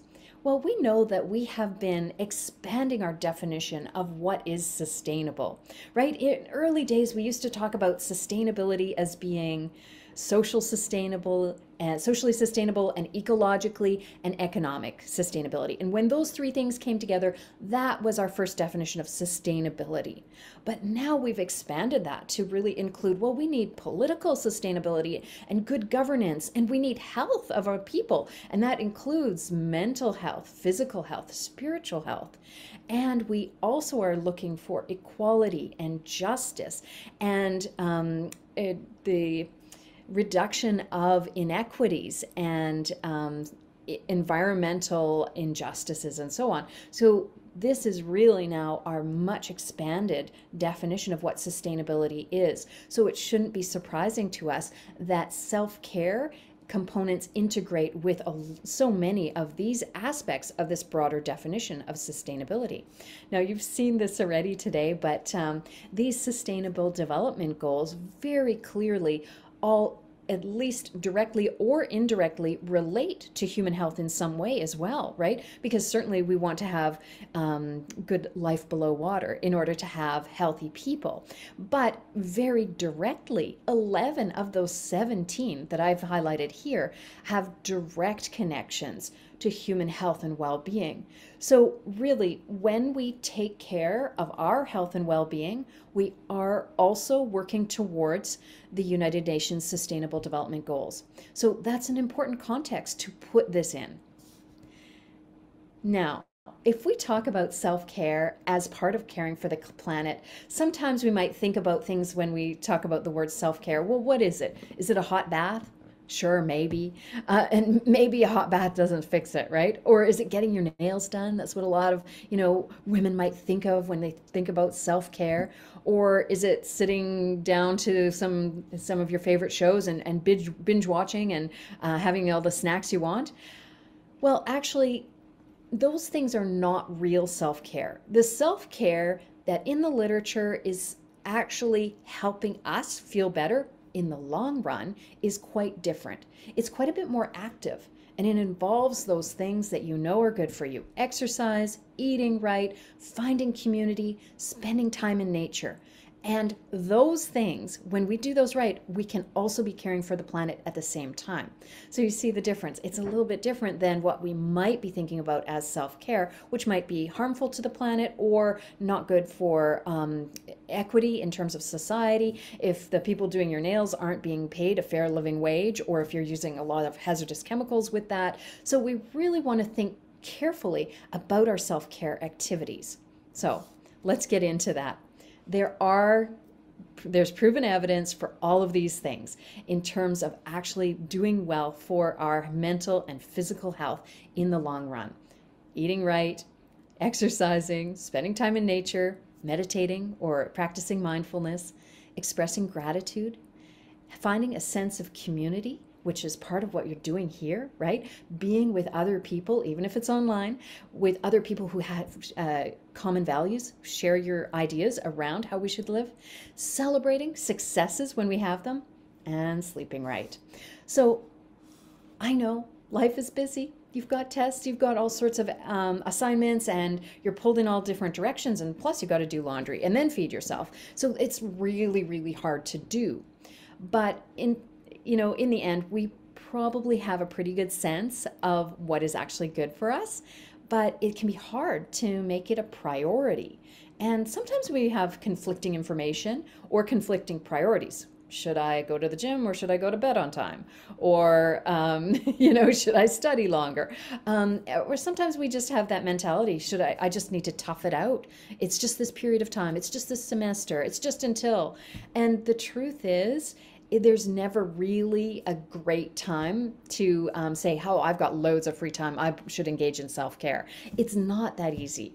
Um, it's very, very common for us to just defer and say, "I'll do that later," and never actually get to it. So let's talk about some ways to integrate really good self care that's good for us and for the planet on a regular basis. So I've got a very simple little mnemonic here for you to remember it by the ABZ or ABZs, maybe. Uh, if I were a better Canadian, I'd have to say Z, but uh, it's easy to remember ABZ. And A stands for acknowledge, B is body and mind, and Z, well, you guess that, right? Put your guess in the chat, please. Let me know. Are you on, on board with that? All right, so here's what it looks like. First of all, I'm really encouraging you to acknowledge you're probably already doing stuff that's good for the planet. And when these things are weighing you down, when these this sense of ecological grief, of solastalgia, of climate grief, eco anxiety, they're getting to you, I really encourage you to go back to this list. I'd love for you to do this right now or later on today is to acknowledge what you're already doing that's good for the planet, for other people, and for your own health. Are you already picking up litter when you see it? Are you already a conscious consumer? Careful to buy things that are not as harmful for the planet? Do you wear clothing from the thrift store? Do you volunteer at the community garden? It's great places to start. I know you're doing something. So, what are those things? Here's the little activity to help you on the acknowledge front.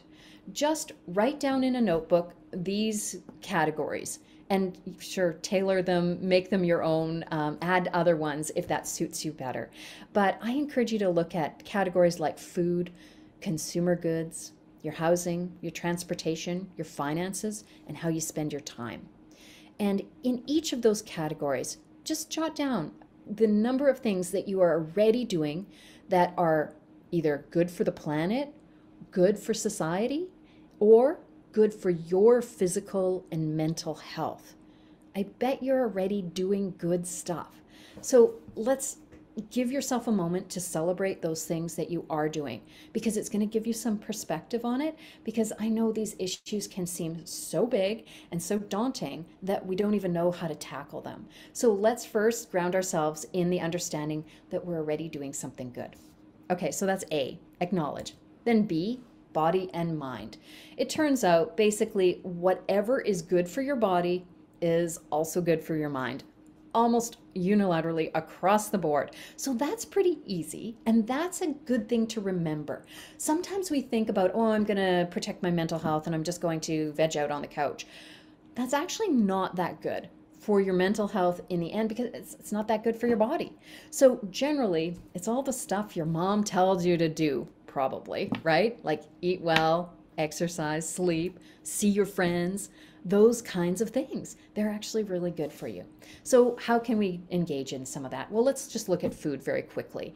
You know, there are lots of reasons to tackle food. From an environmental perspective, we know that large scale agriculture has all kinds of issues. It's depleting the soil organic matter, it's uh, associated with poor animal welfare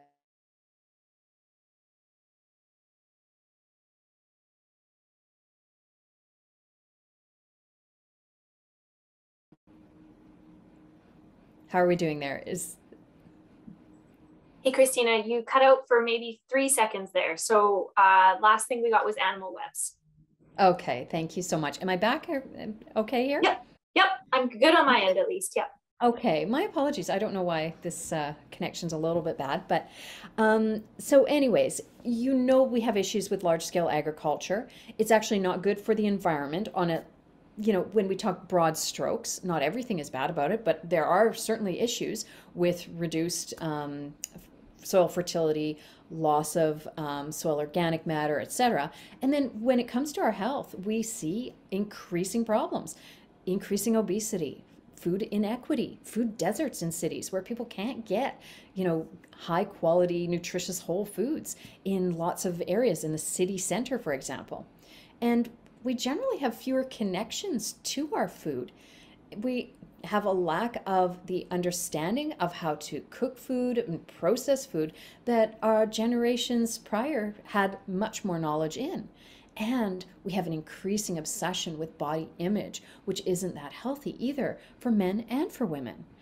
So, what can we do on this front? We certainly have lots of room to move here. I love this quote from Jamie Oliver, and he's the British food guy. You've probably heard of him. And he says, Nourish to me is nourishing food, nourishing your family, nourishing your life. So when we think of food, we can definitely think of it from more than just a caloric standpoint. We really can be thinking of it as what it does for us as a whole, as an individual, how it contributes to social fabric, to getting together with friends over a great meal, what it means to um, integrating our, our culture into our lives. And I know so many people lose that or get distanced from it when they move away from home. And it also means the health and healthy benefits that we get from eating healthy food. So it's pretty simple eat whole foods, eat local, eat fresh, eat in season, cook. simple. Cook. I know it doesn't seem simple, but it actually is. Just go online. Simple recipes. There you go. Um, avoid processed foods. Eat lower on the food chain. I mean, that's that's a, a general for health and for the environment. Eat in moderation. Enjoy your food. Enjoy it. Enjoy it with other people and enjoy its uh, allowing you to connect with the earth. And support local, organic, and small scale producers grow your own food if you can. Um, there are loads of benefits. We're reducing our carbon footprint. We're increasing animal welfare. We're increasing food security. We're increasing equality and improving soil health when you do these types of things. Other basics exercise, it feels good. It increases your energy. It reduces illness and disease, and it improves your mental health and cognitive ability, helps you connect to nature, and provides us with community. It can be a new type of ritual, and it's empowering to be exercising, to move your body. Yoga has been shown to have all kinds of benefits, including to your sleep and body awareness and mental problems and happiness and all that kind of stuff. So, how do we do there? Well, you don't all have to do yoga, but just start with what you already enjoy. Do you love to play soccer? Play soccer. Okay, if you can, right? Um, what What are you already doing? Just getting out for a walk. Do more of it. Um, find some community and just move for the joy of it. It doesn't have to be competition. It doesn't have to be tracked. Um, it doesn't have to be. You don't have to be good at it. You just have to have fun with it. Start very small avoid injury if you can, please. Take a class and just uh, enjoy what you do. Lots of you guys know I still play Ultimate Frisbee. Can you imagine? Oh my gosh. But at this point in my life, I just play to keep playing. I just want to have fun, do something good out there, and keep on doing it. Uh, and I encourage you to play to keep playing. So many people lose their connection to the sports that they were doing in high school once they get into university because they want to get serious about their studies. Now, I know during pandemic it's been wild and crazy, but I really encourage everybody to think about exercise in a way that would add to their life. I did a podcast about how to get outside in nature in under an hour, so feel free to have a look at that one. Um, but spending time in nature is another thing that has been shown to be beneficial to our mental health and wellness. It helps our self esteem and productivity and your mood and your cognition. If you want to do better on a test, spend 10 minutes outdoors first and then go study or come back to it after you have spent time uh, in nature. It's actually shown to be beneficial. So it has all kinds of benefits to our physical health, and um, it's really useful for social cohesion if you go out with a group of friends and do something in nature.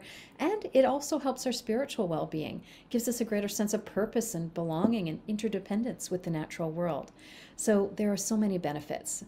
How to do that? Well, can you just reassess where nature is? Do you think it's out in the park where you have to drive out there in the week on the weekend or where you go camping? It's not. I mean, nature is just all around us, for heaven's sakes. You take a deep breath, you're you're taking in nature, right? Um, you want to enjoy it more, look out the window. Spend a bit of time outdoors. Can you just do some reading outdoors? Can you do your um, commuting by active transportation rather than by taking a car or bus? Um, just dress for it. Or just take your coffee outdoors, even when it's this cold. I know. I just did an, uh, um, a birthday dinner outdoors with my friends not too long ago in this cold. Um, we can get creative with it. Um, you can do that. And there are all kinds of interesting challenges a thousand hours outdoors for kids, or doing interesting programs like forest and nature therapy. And as we do these actions, I really want you to think about a broader definition of what happiness is. Happiness, the fleeting kind of happiness that we get from things like consumer goods or um, maybe just having a snack or a treat, is actually not the depth of happiness that we can find through taking on activities that are also good for the planet it turns out there's a term for it, and it's called sustainable happiness that was coined by Catherine O'Brien in 2005. And that's the pursuit of happiness that does not exploit other people, the environment, or future generations.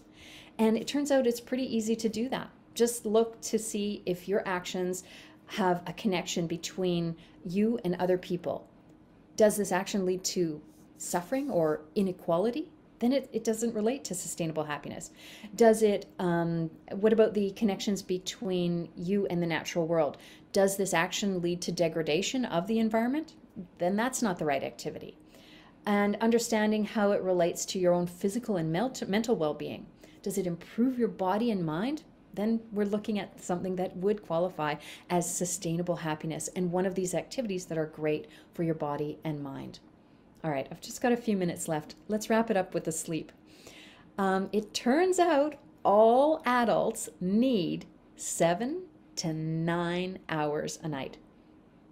Are you getting seven to nine hours? If you are, like, kudos to you. if you are getting that, just put it in the chat. I would love to know, seriously. But it turns out it's not always that easy. We have all these competing priorities, and it's not always easy to sleep for, for some people. Here are some keys based on evidence. There's a lot of interesting research around sleep. Turns out if you stick to a schedule, go to bed and wake up at the same time, that really helps you get good sleep. And um, exercise is great for sleep. Not recommended to do it right before bedtime. Avoiding caffeine and nicotine after 12 noon. You should avoid nicotine anyways, just for your health. And avoiding alcohol before bed. It turns out alcohol, alcohol is a sedative, but it doesn't give you quality sleep. So it's different than having a good night's sleep and avoiding large meals at night, which you probably noticed on your own, and getting outdoors in the morning can help your body see that this is uh, the time for daylight and cue it into waking up properly. And um, just allowing yourself to relax before bed. So being away from screens and being away from the mental work of, you know, your, your homework, your schoolwork, or other mentally taxing things before bed. So those are the basics, but I encourage you to think about just reframing some of these actions because they seem like chores, right? Now I have to cook for myself too, or I have to get out to the gym more, get outside more. It seems like a chore, but can we reframe it? And think about how we respond to these situations in a way as being something that is good for myself. It's a, a gift to my wellness and maybe also a gift to the planet. So I like this quote. We, we can't always change our situation, but we can change our response to it. Okay, so we're busy. How do you want to respond to that busy? By shoving junk food into your mouth? Or do you want to respond to it by taking a beat, making some healthy food, sharing a bit of a meal with friends, and feeling a lot better and then performing better as a result? We can make that choice if we just reframe how we respond to it. All right, you guys. I'll leave you with a quote. This is from Oprah Winfrey. She says, Find your lane, make space for the flow to show itself. Follow the natural rhythm of your life, and you will discover a force far greater than your own. All right. I I love doing this all, and it's um, lovely to see you interested in this. Please find your own best uh, self care practices and create a little plan for yourself. I actually have a little download for you if you want. It's a self care kit that looks like this, and you can download it and fill it in and put it on your phone. I'd love to send it to you. Just send me an email um, through my website. I'm at christinahunterflourishing.com. I've got a website and um, blog and all kinds of resources there and uh, you can just get in touch with me through my contact page. I would absolutely love to hear from you. I'm actually doing a little bit of research on people who are feeling kind of overwhelmed from all of these environmental strains in in the world and um, our responses to that. So I would really love to talk to you if you have half an hour to have a chat with me on Zoom. I would really appreciate that. Um, just put the let me know in the chat here or um, get in touch with me through my website just on the contact page would be the best way all right thank you so much everybody i really appreciate your time Thank you so much, Kristina. That was, pun intended, such a breath of fresh air. So, really appreciate you highlighting all of these really important things and, and just kind of bringing it down to those individual actions that we wouldn't normally notice. So, um, I have one question for you before I introduce our next speaker, and uh, it's a fun one. We were doing Meatless Mondays on our social media for a while mm. just to promote um, you know, accessible, approachable meals because sometimes cooking can feel really daunting. And I know you had mentioned um, just going and cooking in your presentation. So, do you have a favorite meal that, I mean, don't have to share a recipe, but what's your favorite go to right now that doesn't take too much time? I absolutely have a favorite meal, and it's um, I call it my Mediterranean bowl. It's super easy. Okay, if you want, it's it's the easiest thing in the world. You can do some quinoa or any grain. I like quinoa or barley, and uh, but you can skip that too. I use I take a yam, chop it up, toss it in some oil, roast it. I take some chickpeas, drain them, toss them in the same oil with the yams and some seasoning salt, and roast them and then I sprinkle on top some feta cheese if I have it, maybe some olives, and uh, an avocado and some hummus, and have it with a pita. It is amazing. that sounds absolutely delicious. Yeah, and um, so a grain bowl is amazing. That's my Mediterranean one, and um, I posted about it. But if you let me know, I'll I'll I'll give you a, a recipe. I'd be happy to send it to you. That's awesome. Maybe we will when this uh, this will be all recorded and we'll share it. So maybe we'll put that in the little bio, the recipe, if you don't mind. That would be fun. Let's do it. Amazing question. Thanks, Kale. Yeah, of course. So there's a lot of comments coming in, really just saying thank you so much. We miss your teaching, uh, simplicity on the meals. So just thank you in general for for taking the time and joining us today. We really appreciate it. You know what? I, I'm so grateful to be here, and I thank you very much for including this discussion of self care. And um, I'm still teaching. I have a program I've just run the beta version of. It's called the Eco Impact Academy, and um, and I'm doing this research. So I would really love if anybody wants to talk to me, just reach out. I'd love to hear from you and all you wonderful students out there whom I know. so it's really wonderful to see everyone here. That's a really good point. You're not teaching on campus, but you are still teaching. Um, do you mind putting your contact information or your website in the chat just so anyone that's watching has easy access to contact you?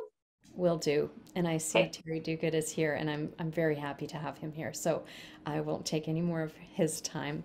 Thank you, everybody. Thanks, Kristina. Take care. You too.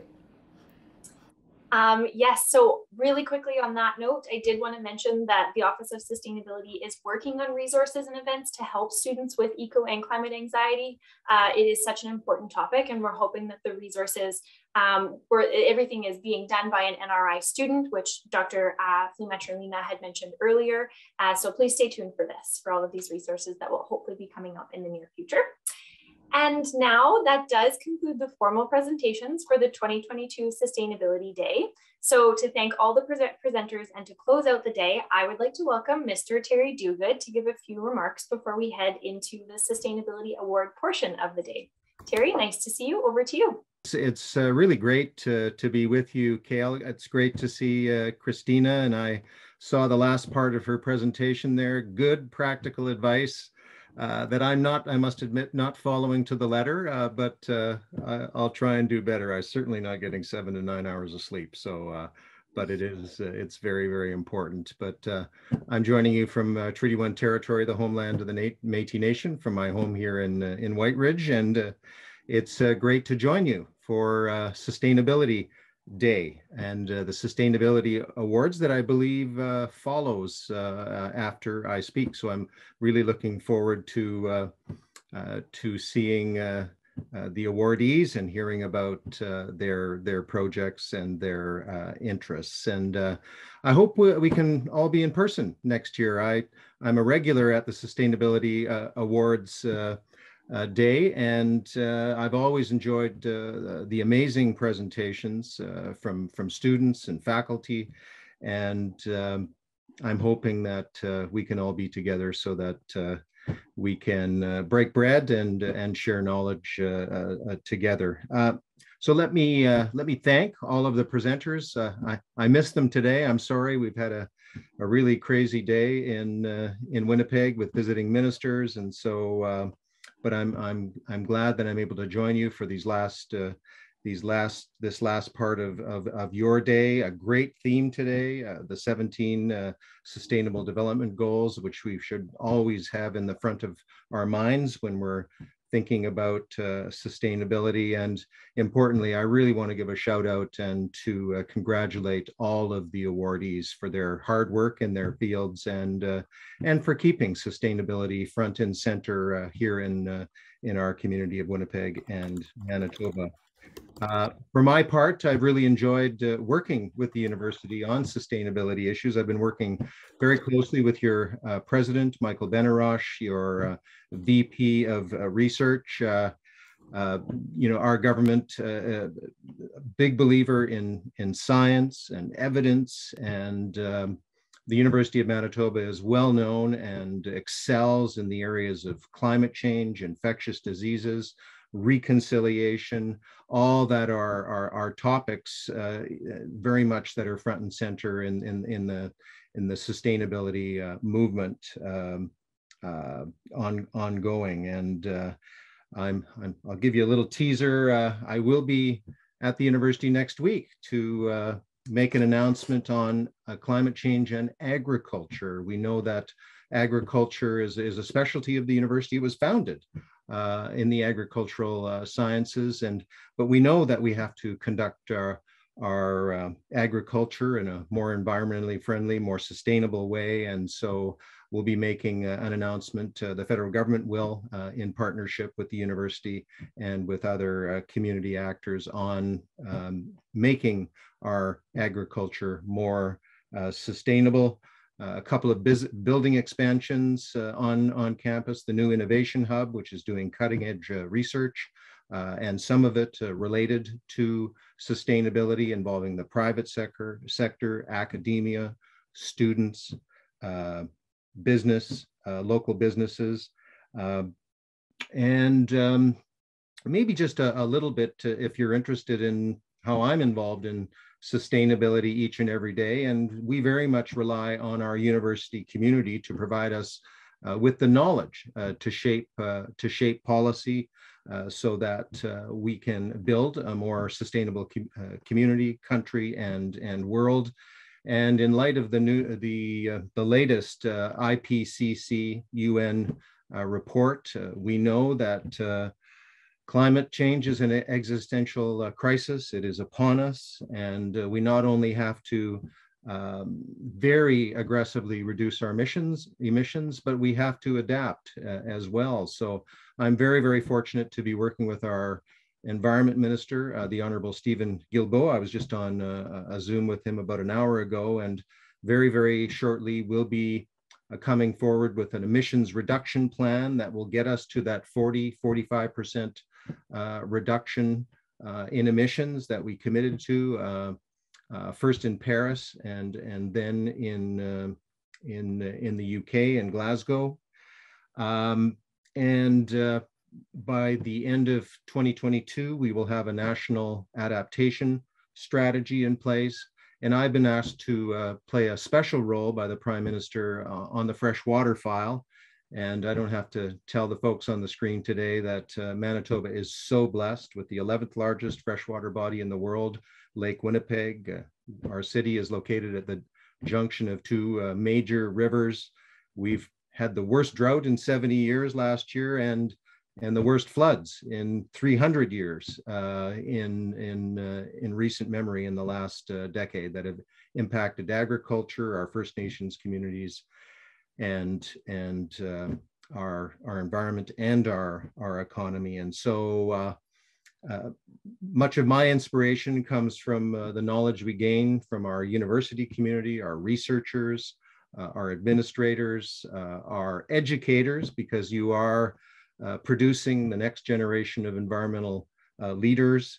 And I think we're going to see that on display when we when the awards are handed out. So I'm uh, really looking forward to, to that. And, um, and I'll be staying on the line for the next little while to see who our winners are. So uh, uh, thank you for listening and uh, do call on me anytime if I can, uh, I can be of help. Uh, I'm on, I'm on campus pretty regularly to interact with both your administrators and your researchers. So happy Sustainability Day. And I think you'll agree every day should be Sustainability Day.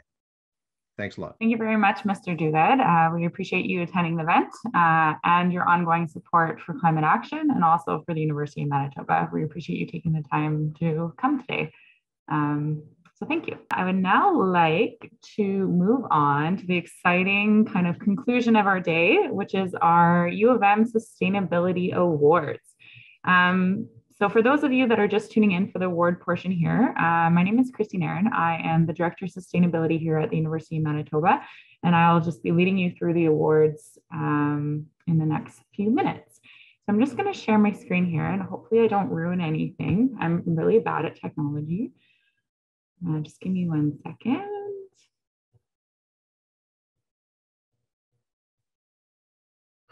Okay. Uh, too many screens open here. All right, can you see the presentation? Somebody give me a good, great. Thank you, Jesse. All right, so the Sustainability Awards happen annually to recognize and celebrate the collaborative efforts of students, staff, and faculty to advance our campus commitment to excellence and leadership in sustainability. It is believed that these award winners efforts on campus demonstrate leadership, advocacy, and a measurable and lasting impact on the Sustainable Development Goals. This year, we will be announcing six awards for undergraduate student, graduate student, student group, faculty, and staff with a bonus category for a collaborative group. The award winners are selected by members of the award selection subcommittee of the UM Sustainability Committee. This group consists of students, faculty, and administrative members. If you happen to be a lucky recipient of a sustainability award, uh, your award will be delivered to you in the coming days. And I have an example here. I'm just going to cover up the winner, um, but this is what it looks like. Hard to see with my background. It's a nice etched piece of wood, um, but it is a very esteemed award on behalf of our, our office and uh, sustainability at University of Manitoba. Um, so when we do call your name, if we do, feel free to unmute yourself and say a few words. At the very least, if you aren't comfortable with that, at least give us a brief wave so that the audience um, can acknowledge you and show our appreciation for uh, what you have done. So first up is our Undergraduate Student Sustainability Award. This award recognizes an undergraduate student who has led an initiative or a project to advance one or more of the Sustainable Development Goals. This initiative or project can be part of their coursework or take place outside of the learning environment. The winning student must be a full or part-time undergraduate student in good standing and currently enrolled at the University of Manitoba. So I would like to congratulate Mr. Justin Langan. Um, Justin, I just have a little bio here. Justin has been a passionate advocate for su surrounding climate change and climate adaptation, especially here at the university. He was recently recognized nationally as one of the top 25 environmentalists under 25 by Starfish Canada. Some of his involvements include participating in sessions with Indigenous climate action, volunteering in dialogue sessions with community elders, and the Manitoba Métis Federation on how to better protect and sustain the environment, especially the boreal forest. Congratulations to Justin. Would you like to say a few words? Um, yeah, thank you. Like it's an incredible honor, um, especially from the university community for this. You know, I have a great passion for sustainability, climate adaptation, and um, just this recognition of the work I've done, especially with the Indigenous community, um, is really, it's really a big honor for me. And I just have to thank you and everyone here for this. Um, uh, for the few hours we've been here, it's just been great listening to everyone, and I'm really inspired more than ever just to put in more work, you know, every day. So thanks again, and it's an absolute honor. So thank you. Thanks, Justin. We appreciate you being here, and it sounds like you've been here all day, so that's an added bonus. thank you very much. Thank you. Uh, next up is our Graduate Sustainability Award. This award recognizes a graduate student who has led an initiative or project to advance one or more of the Sustainable Development Goals. This initiative or project can be part of coursework or take place outside of the learning environment. Nominees must be a full or part-time graduate student in good standing and currently enrolled at the University of Manitoba. I would like to announce that the winner is Mr. William Dowie. Uh, Bill is a 30 year plus environmental consultant. He holds an applied management certificate for nonprofit organizations, a master's certificate in project management, and he's a certified permaculture designer, master gardener, and accredited lead professional. A former instructor in the prairie horticulture, uh, he continues to coach homeowners as an independent ecological landscaper he is the past VP of the UMGSA and has served on several boards and committees within the university, nonprofits, and government. So I'd like to congratulate Bill on this award. Is Bill here to say a few words? I don't know if I've seen his name pop up. I am Christie. Thank you. You hear me? Yeah, good to go. All right. It's been um it's been a privilege to be part of the University of Manitoba for several decades since I'm a, a, proud, mature student. And um, I wouldn't be able to receive any honors if I wasn't surrounded by fantastic people, including my advisors, um, John Sinclair and Rick Baydack, as well as all the fine people at the uh, Sustainability Office, all my former instructors, and the students that um, reach out to me. And uh, you know i'm a proud um, student of riddell faculty. They reach out to me and, and make sure that um, the university of manitoba continues to strive beyond sustainability. So um, I, I, really appreciate the honor and thank you to the people that nominated me. I, thanks very much. Thanks bill and thanks for being here today. We appreciate it. Uh, next up is our student group sustainability award. Uh, this award recognizes a group of students who have led an initiative or project to advance one or more of the Sustainable Development Goals. This group has, all, has also made and will continue making a lasting, lasting positive impact on the environmental, economic, and social well-being of students at the University of Manitoba. This group must be a current student or must be a current UMSU student organization, association, or club. Um, and in good standing. An individual is not eligible to receive this award, and sustainability does not have to be the mandate or mission statement of the selected student group. So I would now like to announce that the winner is the Nursing Students Association. Uh, the Nursing Students Association worked on a project titled Connecting Once Con Connecting One's Conversation at a Time. is firmly aligned with advancing the mental health and well-being focus within SDG 3.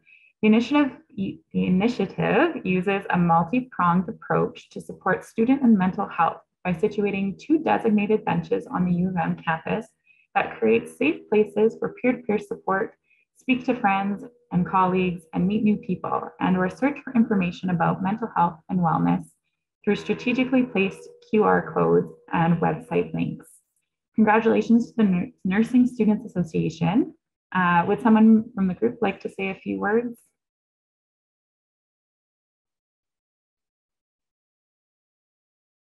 Hopefully somebody's here. If not, uh, you should be able to unmute yourself if you are here. We'll give them a couple more seconds.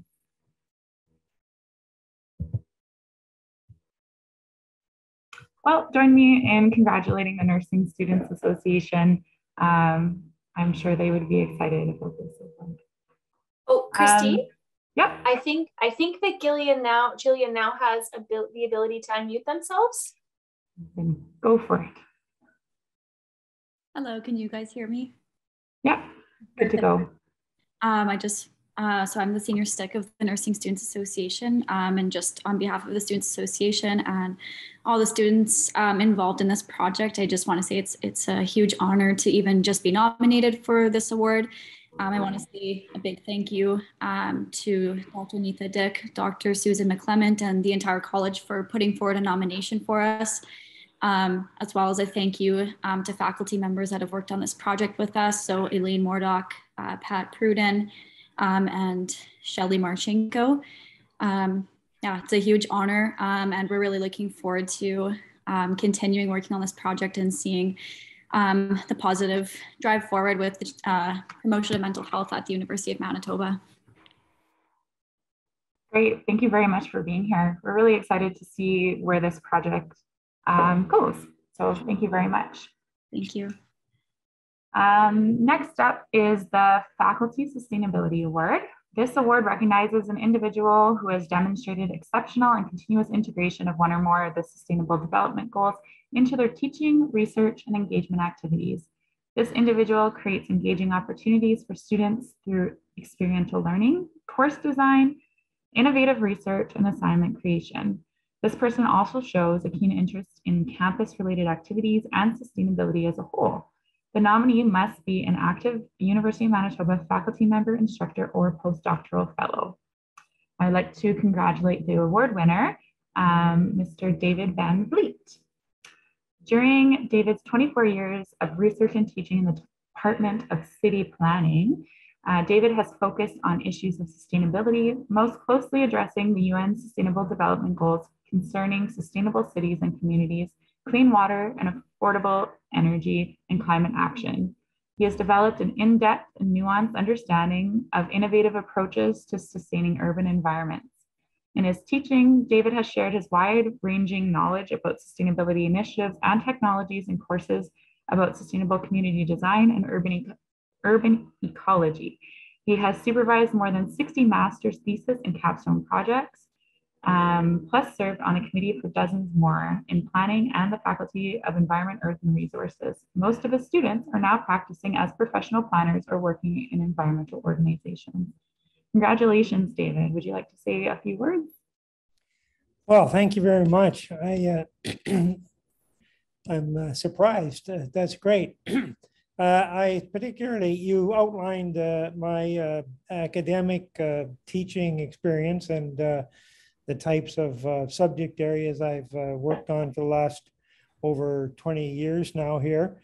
Um, I want to um, express my uh, continuing support for the Office of Sustainability and my uh, long experience working with the Sustainability Com Committee and trying to move, advance various initiatives and projects on campus, uh, sometimes frustrating and sometimes very rewarding, uh, and uh, certainly engaging to be working with other staff and uh, faculty and the students uh, in the process. So thank you very much. Thank you, David. We appreciate all the work that you do. Uh, our second last award of the day uh, is our Staff Sustainability Award. This award recognizes an individual staff member's efforts to educate, advocate, and advance one or more of the Sustainable Development Goals within their department and or unit. This person shows a keen interest in campus-related activities and sustainability as a whole. Sustainability may or may not be defined in this person's job responsibilities, and the nominee must be an employee of the University of Manitoba. I would like to congratulate the winner, uh, Mr. Joe Ackerman, who we heard from earlier today. Uh, in Joe's job as manager of the Sustainability and Action Facility, he shares best practices of sustainable building and educates undergraduate and graduate students through tourism mentorship. He started a program to divert the university furniture and construction waste from going to landfill, which we heard about earlier today. And Joe is a living example of commitment with sustainable principles. He teaches his students and peers with the example with example of his action and goes above and beyond to create engaging videos that can help relate, that we can all relate to. Um, it is through his work at SiAF that we are continually excelling in the sustainability field. So thank you, Joe. Uh, would you like to say a few words? No, let's let's let's keep changing the world, Christie. You know, like we've we've really benefited from your office, so it's been uh, a good partnership we put together, and uh, let's let's let's keep rolling it out. Sounds good. Thank you for all that you do, Joe. We appreciate it. Yeah. Okay. Thanks for thanks for this. Uh, and our last award of the day was a game time addition to the sustainability awards. Um, so this group actually opened up our eyes to a category of award which we were neglecting. So the, ca- the Collaborative Sustainability Award recognizes a unique collaborative effort between uh, that of students, faculty, staff, and community members to integrate one or more of the sustainable development goals in a project or initiative. This unique category puts emphasis on interdepartmental interactions at the University of Manitoba in efforts to find solutions to sustainability related issues and further advance the SDGs. Um, so the winner of this first ever award is the Science Students Association in partnership with Christina Kazansky from the Faculty of Science, Anna Thurmayr and Dietmar Straub from the Faculty of Architecture, Trevor Schultz from Faculty of Science, Vanessa Jukes Strutt from Architectural Engineering Services, and Lyle Warren from Operations and Maintenance. The Sustainable Students Association Courtyard Project is an ongoing lifelong learning and living project that revitalized the outdoor courtyard to the rear of the Science Student Lounge in a unique collaborative effort between students, faculty, science, and architecture, and central admin staff. This new university green space for students was designed as a locus where students can relax and enjoy being disconnected from technology in contact with the beauty of the natural world. This focal point for student welfare was developed as an ecologically sustainable garden space that will serve a research function as it evolves. This collaborative collaboration will continue to bear fruit for the university community. This innovative space uh, engendered goodwill and forward thinking from students, faculty, administrators, staff, construction contractors, and external landscaping firms. So I'd like to congratulate the students or the Science Students Association uh, on being the lead of this project. And I think there should be somebody here to accept the word on behalf of them.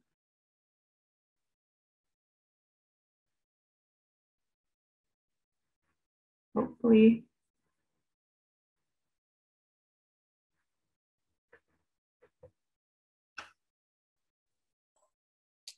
anybody here? I can't really see my screen, so I'm sorry if I if you're not popping up on my end. Christie? Yeah. So if no nobody wants to speak, it shouldn't be me to speak up. So Dietmar, uh, it would be great to have the students, you know, to initiate something like this uh, and to make sure that there's a budget, not just for the labs, for outdoor space. But I would recommend all of you, you are very welcome to come to that space in spring to welcome the irises, which will bloom hopefully in May. In the moment, the entire space is covered with snow, snow drifts, but it's beautiful. That's another aspect as well. So to have the wind and the snow as co-designers. So again, welcome. Uh, try to, uh, you know, to, to, to go for a visit take care and enjoy for the space. But again, it was such a great initiative. So by the Faculty of Science started with the students, it's really unique. And we try to do our best to maintain that space in the future. Thank you very much. Thank you, Dietmar. I believe Chloe is here from the Science Student Association. So Chloe, if you want to say a few words, you can unmute yourself or at the very least just say a hello. Thank you very much. Um, this project has been ongoing through four administrations of our association. So we're really excited uh, to have it open up for students when they return to campus. It's a wonderful space and uh, it's a fantastic initiative that we've all been really excited to be a part of. So we're honored to be recognized in this way. And we really hope that students enjoy the space when they return to campus. Great, thank you very much. I'm so happy you could be here. Uh, we're all really looking forward to seeing this space uh, when it's not underneath snow and um, it'll be a great new addition to campus. Um, so thank you for all the work that you guys have done on this. Um, so with that, I would just like to say congratulations to all the winners and nominees in these categories. The work and effort that you put in on campus does not go unnoticed. Sustainability is a very collaborative effort and we appreciate all that you do. Um, so this wraps up Sustainability Day and the awards. And I would once again like to thank our presenters, our esteemed guests, and all of you for attending to make this a great day. Stay well. Thanks again. Merci and Guch.